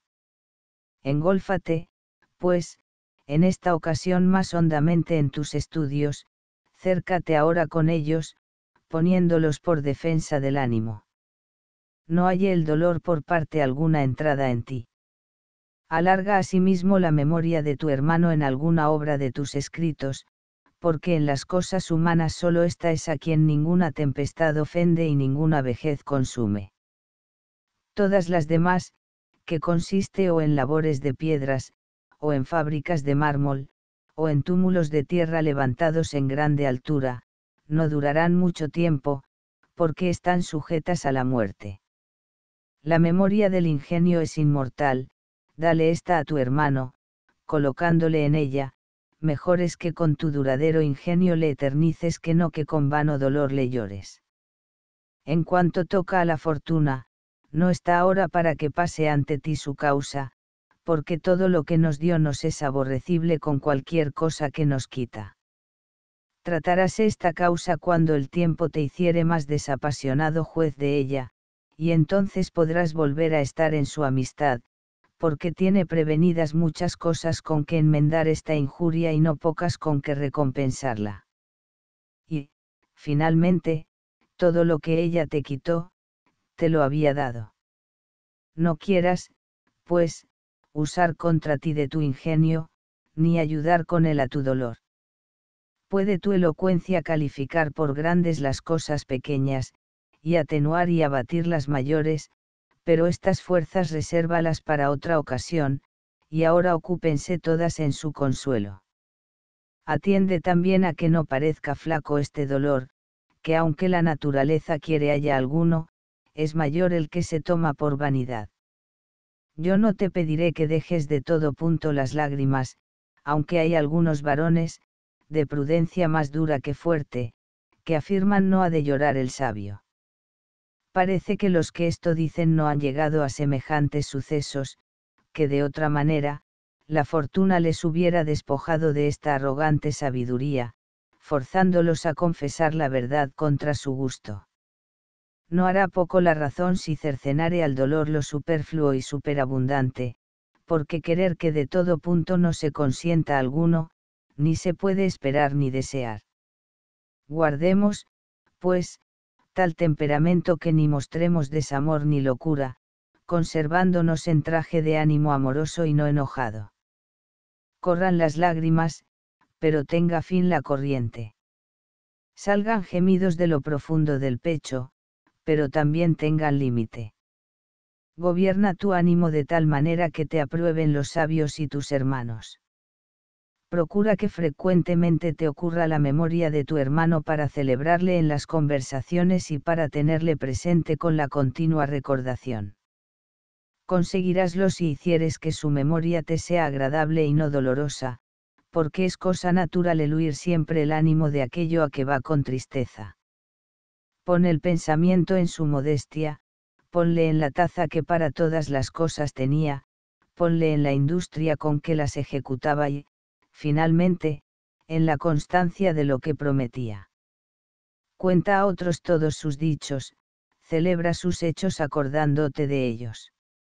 Acuérdate que fue y lo que se esperaba había de ser, porque de tal hermano, qué cosa no se podía esperar con seguridad. Estas cosas he compuesto en la forma que he podido con mi ánimo desusado y entorpecido en este tan apartado sitio, y si pareciere que satisfacen poco a tu ingenio o que remedian poco tu dolor, considera que no socorren con facilidad las palabras latinas al que atruena la descompuesta y pesada vocería de bárbaros. Libro séptimo. De la pobreza. Compuesto de varias sentencias. Epicuro dijo que la honesta pobreza era una cosa alegre, y debiera decir que siendo alegre, no es pobreza, porque el que con ella se aviene bien, ese solo es rico, y no es pobre el que tiene poco, sino el que desea más, pues aprovecha poco al rico lo que tiene encerrado en el arca y en los graneros, los rebaños de ganado y la cantidad de censos, si tras eso anhela lo ajeno, y si tiene el pensamiento, no solo en lo adquirido, sino en lo que codicia adquirir. Pregúntasme cuál será el término de las riquezas. Lo primero es tener lo necesario, y lo segundo poseer lo que basta. No habrá quien goce de vida tranquila mientras cuidare con demasía de aumentar su hacienda, y ninguna aprovechará al que la poseyere, si no tuviere dispuesto el ánimo para la pérdida de ella. Por ley de naturaleza se debe juzgar rico el que goza de una compuesta pobreza, pues ella se contenta con no padecer hambre, sed, ni frío y para conseguir esto no es necesario asistir a los soberbios umbrales de los poderosos, ni surcar con tempestades los no conocidos mares, ni seguir la sangrienta milicia, pues con facilidad se halla lo que la naturaleza pide. Para lo superfluo y no necesario se suda, por esto se humillan las garnachas, y esto es lo que nos envejece en las pretensiones y lo que nos hace naufragar en ajenas riberas porque lo suficiente para la vida, con facilidad se halla, siendo rico aquel que se aviene bien con la pobreza, contentándose de una honesta moderación. El que no juzga sus cosas muy amplias, aunque se vea señor del mundo, se tendrá por infeliz. Ninguna cosa es tan propia del hombre, como aquella en que no hay útil considerable para quien se la quita. En tu cuerpo hay muy corta materia para robos, pues nadie, o por lo menos pocos derraman la sangre humana por solo derramarla. El ladrón deja pasar al desnudo pasajero, y para el pobre aún en los caminos sitiados hay seguridad. Aquel abunda más de riquezas que menos necesita de ellas.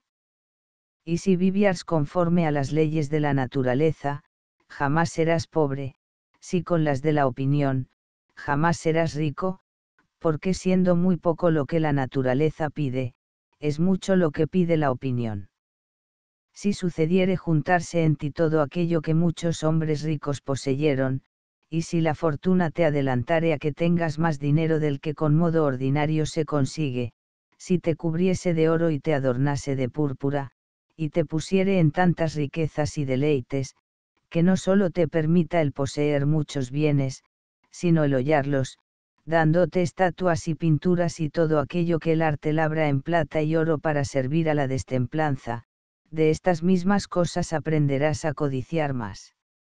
Los deseos naturales son finitos, y al contrario, los que se originan de falsa opinión no tienen fin, porque a lo falso no hay límites, habiéndole para la verdad. Apártate, pues, de las cosas vanas, y cuando quieras conocer si el deseo que tienes es natural o ambicioso, considera si tiene algún término fijo donde parar, y si después de haber pasado muy adelante le quedare alguna parte más lejos a donde aspire, entenderás que no es natural. La pobreza está despejada, porque está segura y sabe que cuando se tocan las cajas, no la buscan, cuando es llamada a alguna parte, no cuida de lo que ha de llevar, sino cómo ha de salir. Y cuando ha de navegar, no se inquietan las riberas con estruendo ni acompañamiento, no le cerca la turba de hombres, para cuyo sustento sea necesario desear la fertilidad de las provincias transmarinas. El alimentar a pocos estómagos, que no apetecen otra cosa más que el sustento natural, es cosa fácil. El hambre es poco costo y es lo mucho el fastidio. La pobreza se contenta con satisfacer a los deseos presentes. Sano está el rico, que si tiene riquezas, las tiene como cosas que le tocan por de fuera. Pues porque has de rehusar tener por compañera a aquella cuyas costumbres imita el rico que se halla sano. Si quieres estar desocupado y librar el ánimo, conviene que desees ser pobre, o al menos, semejante a pobre. No puede haber estudio saludable sin que intervenga cuidado de la frugalidad, y esta es una voluntaria pobreza que muchos hombres la sufrieron, y muchos reyes bárbaros vivieron con solas raíces, pasando una hambre indigna de decirse, y esto lo padecieron por el reino, y lo que más admiración te causará es el padecer por reino ajeno.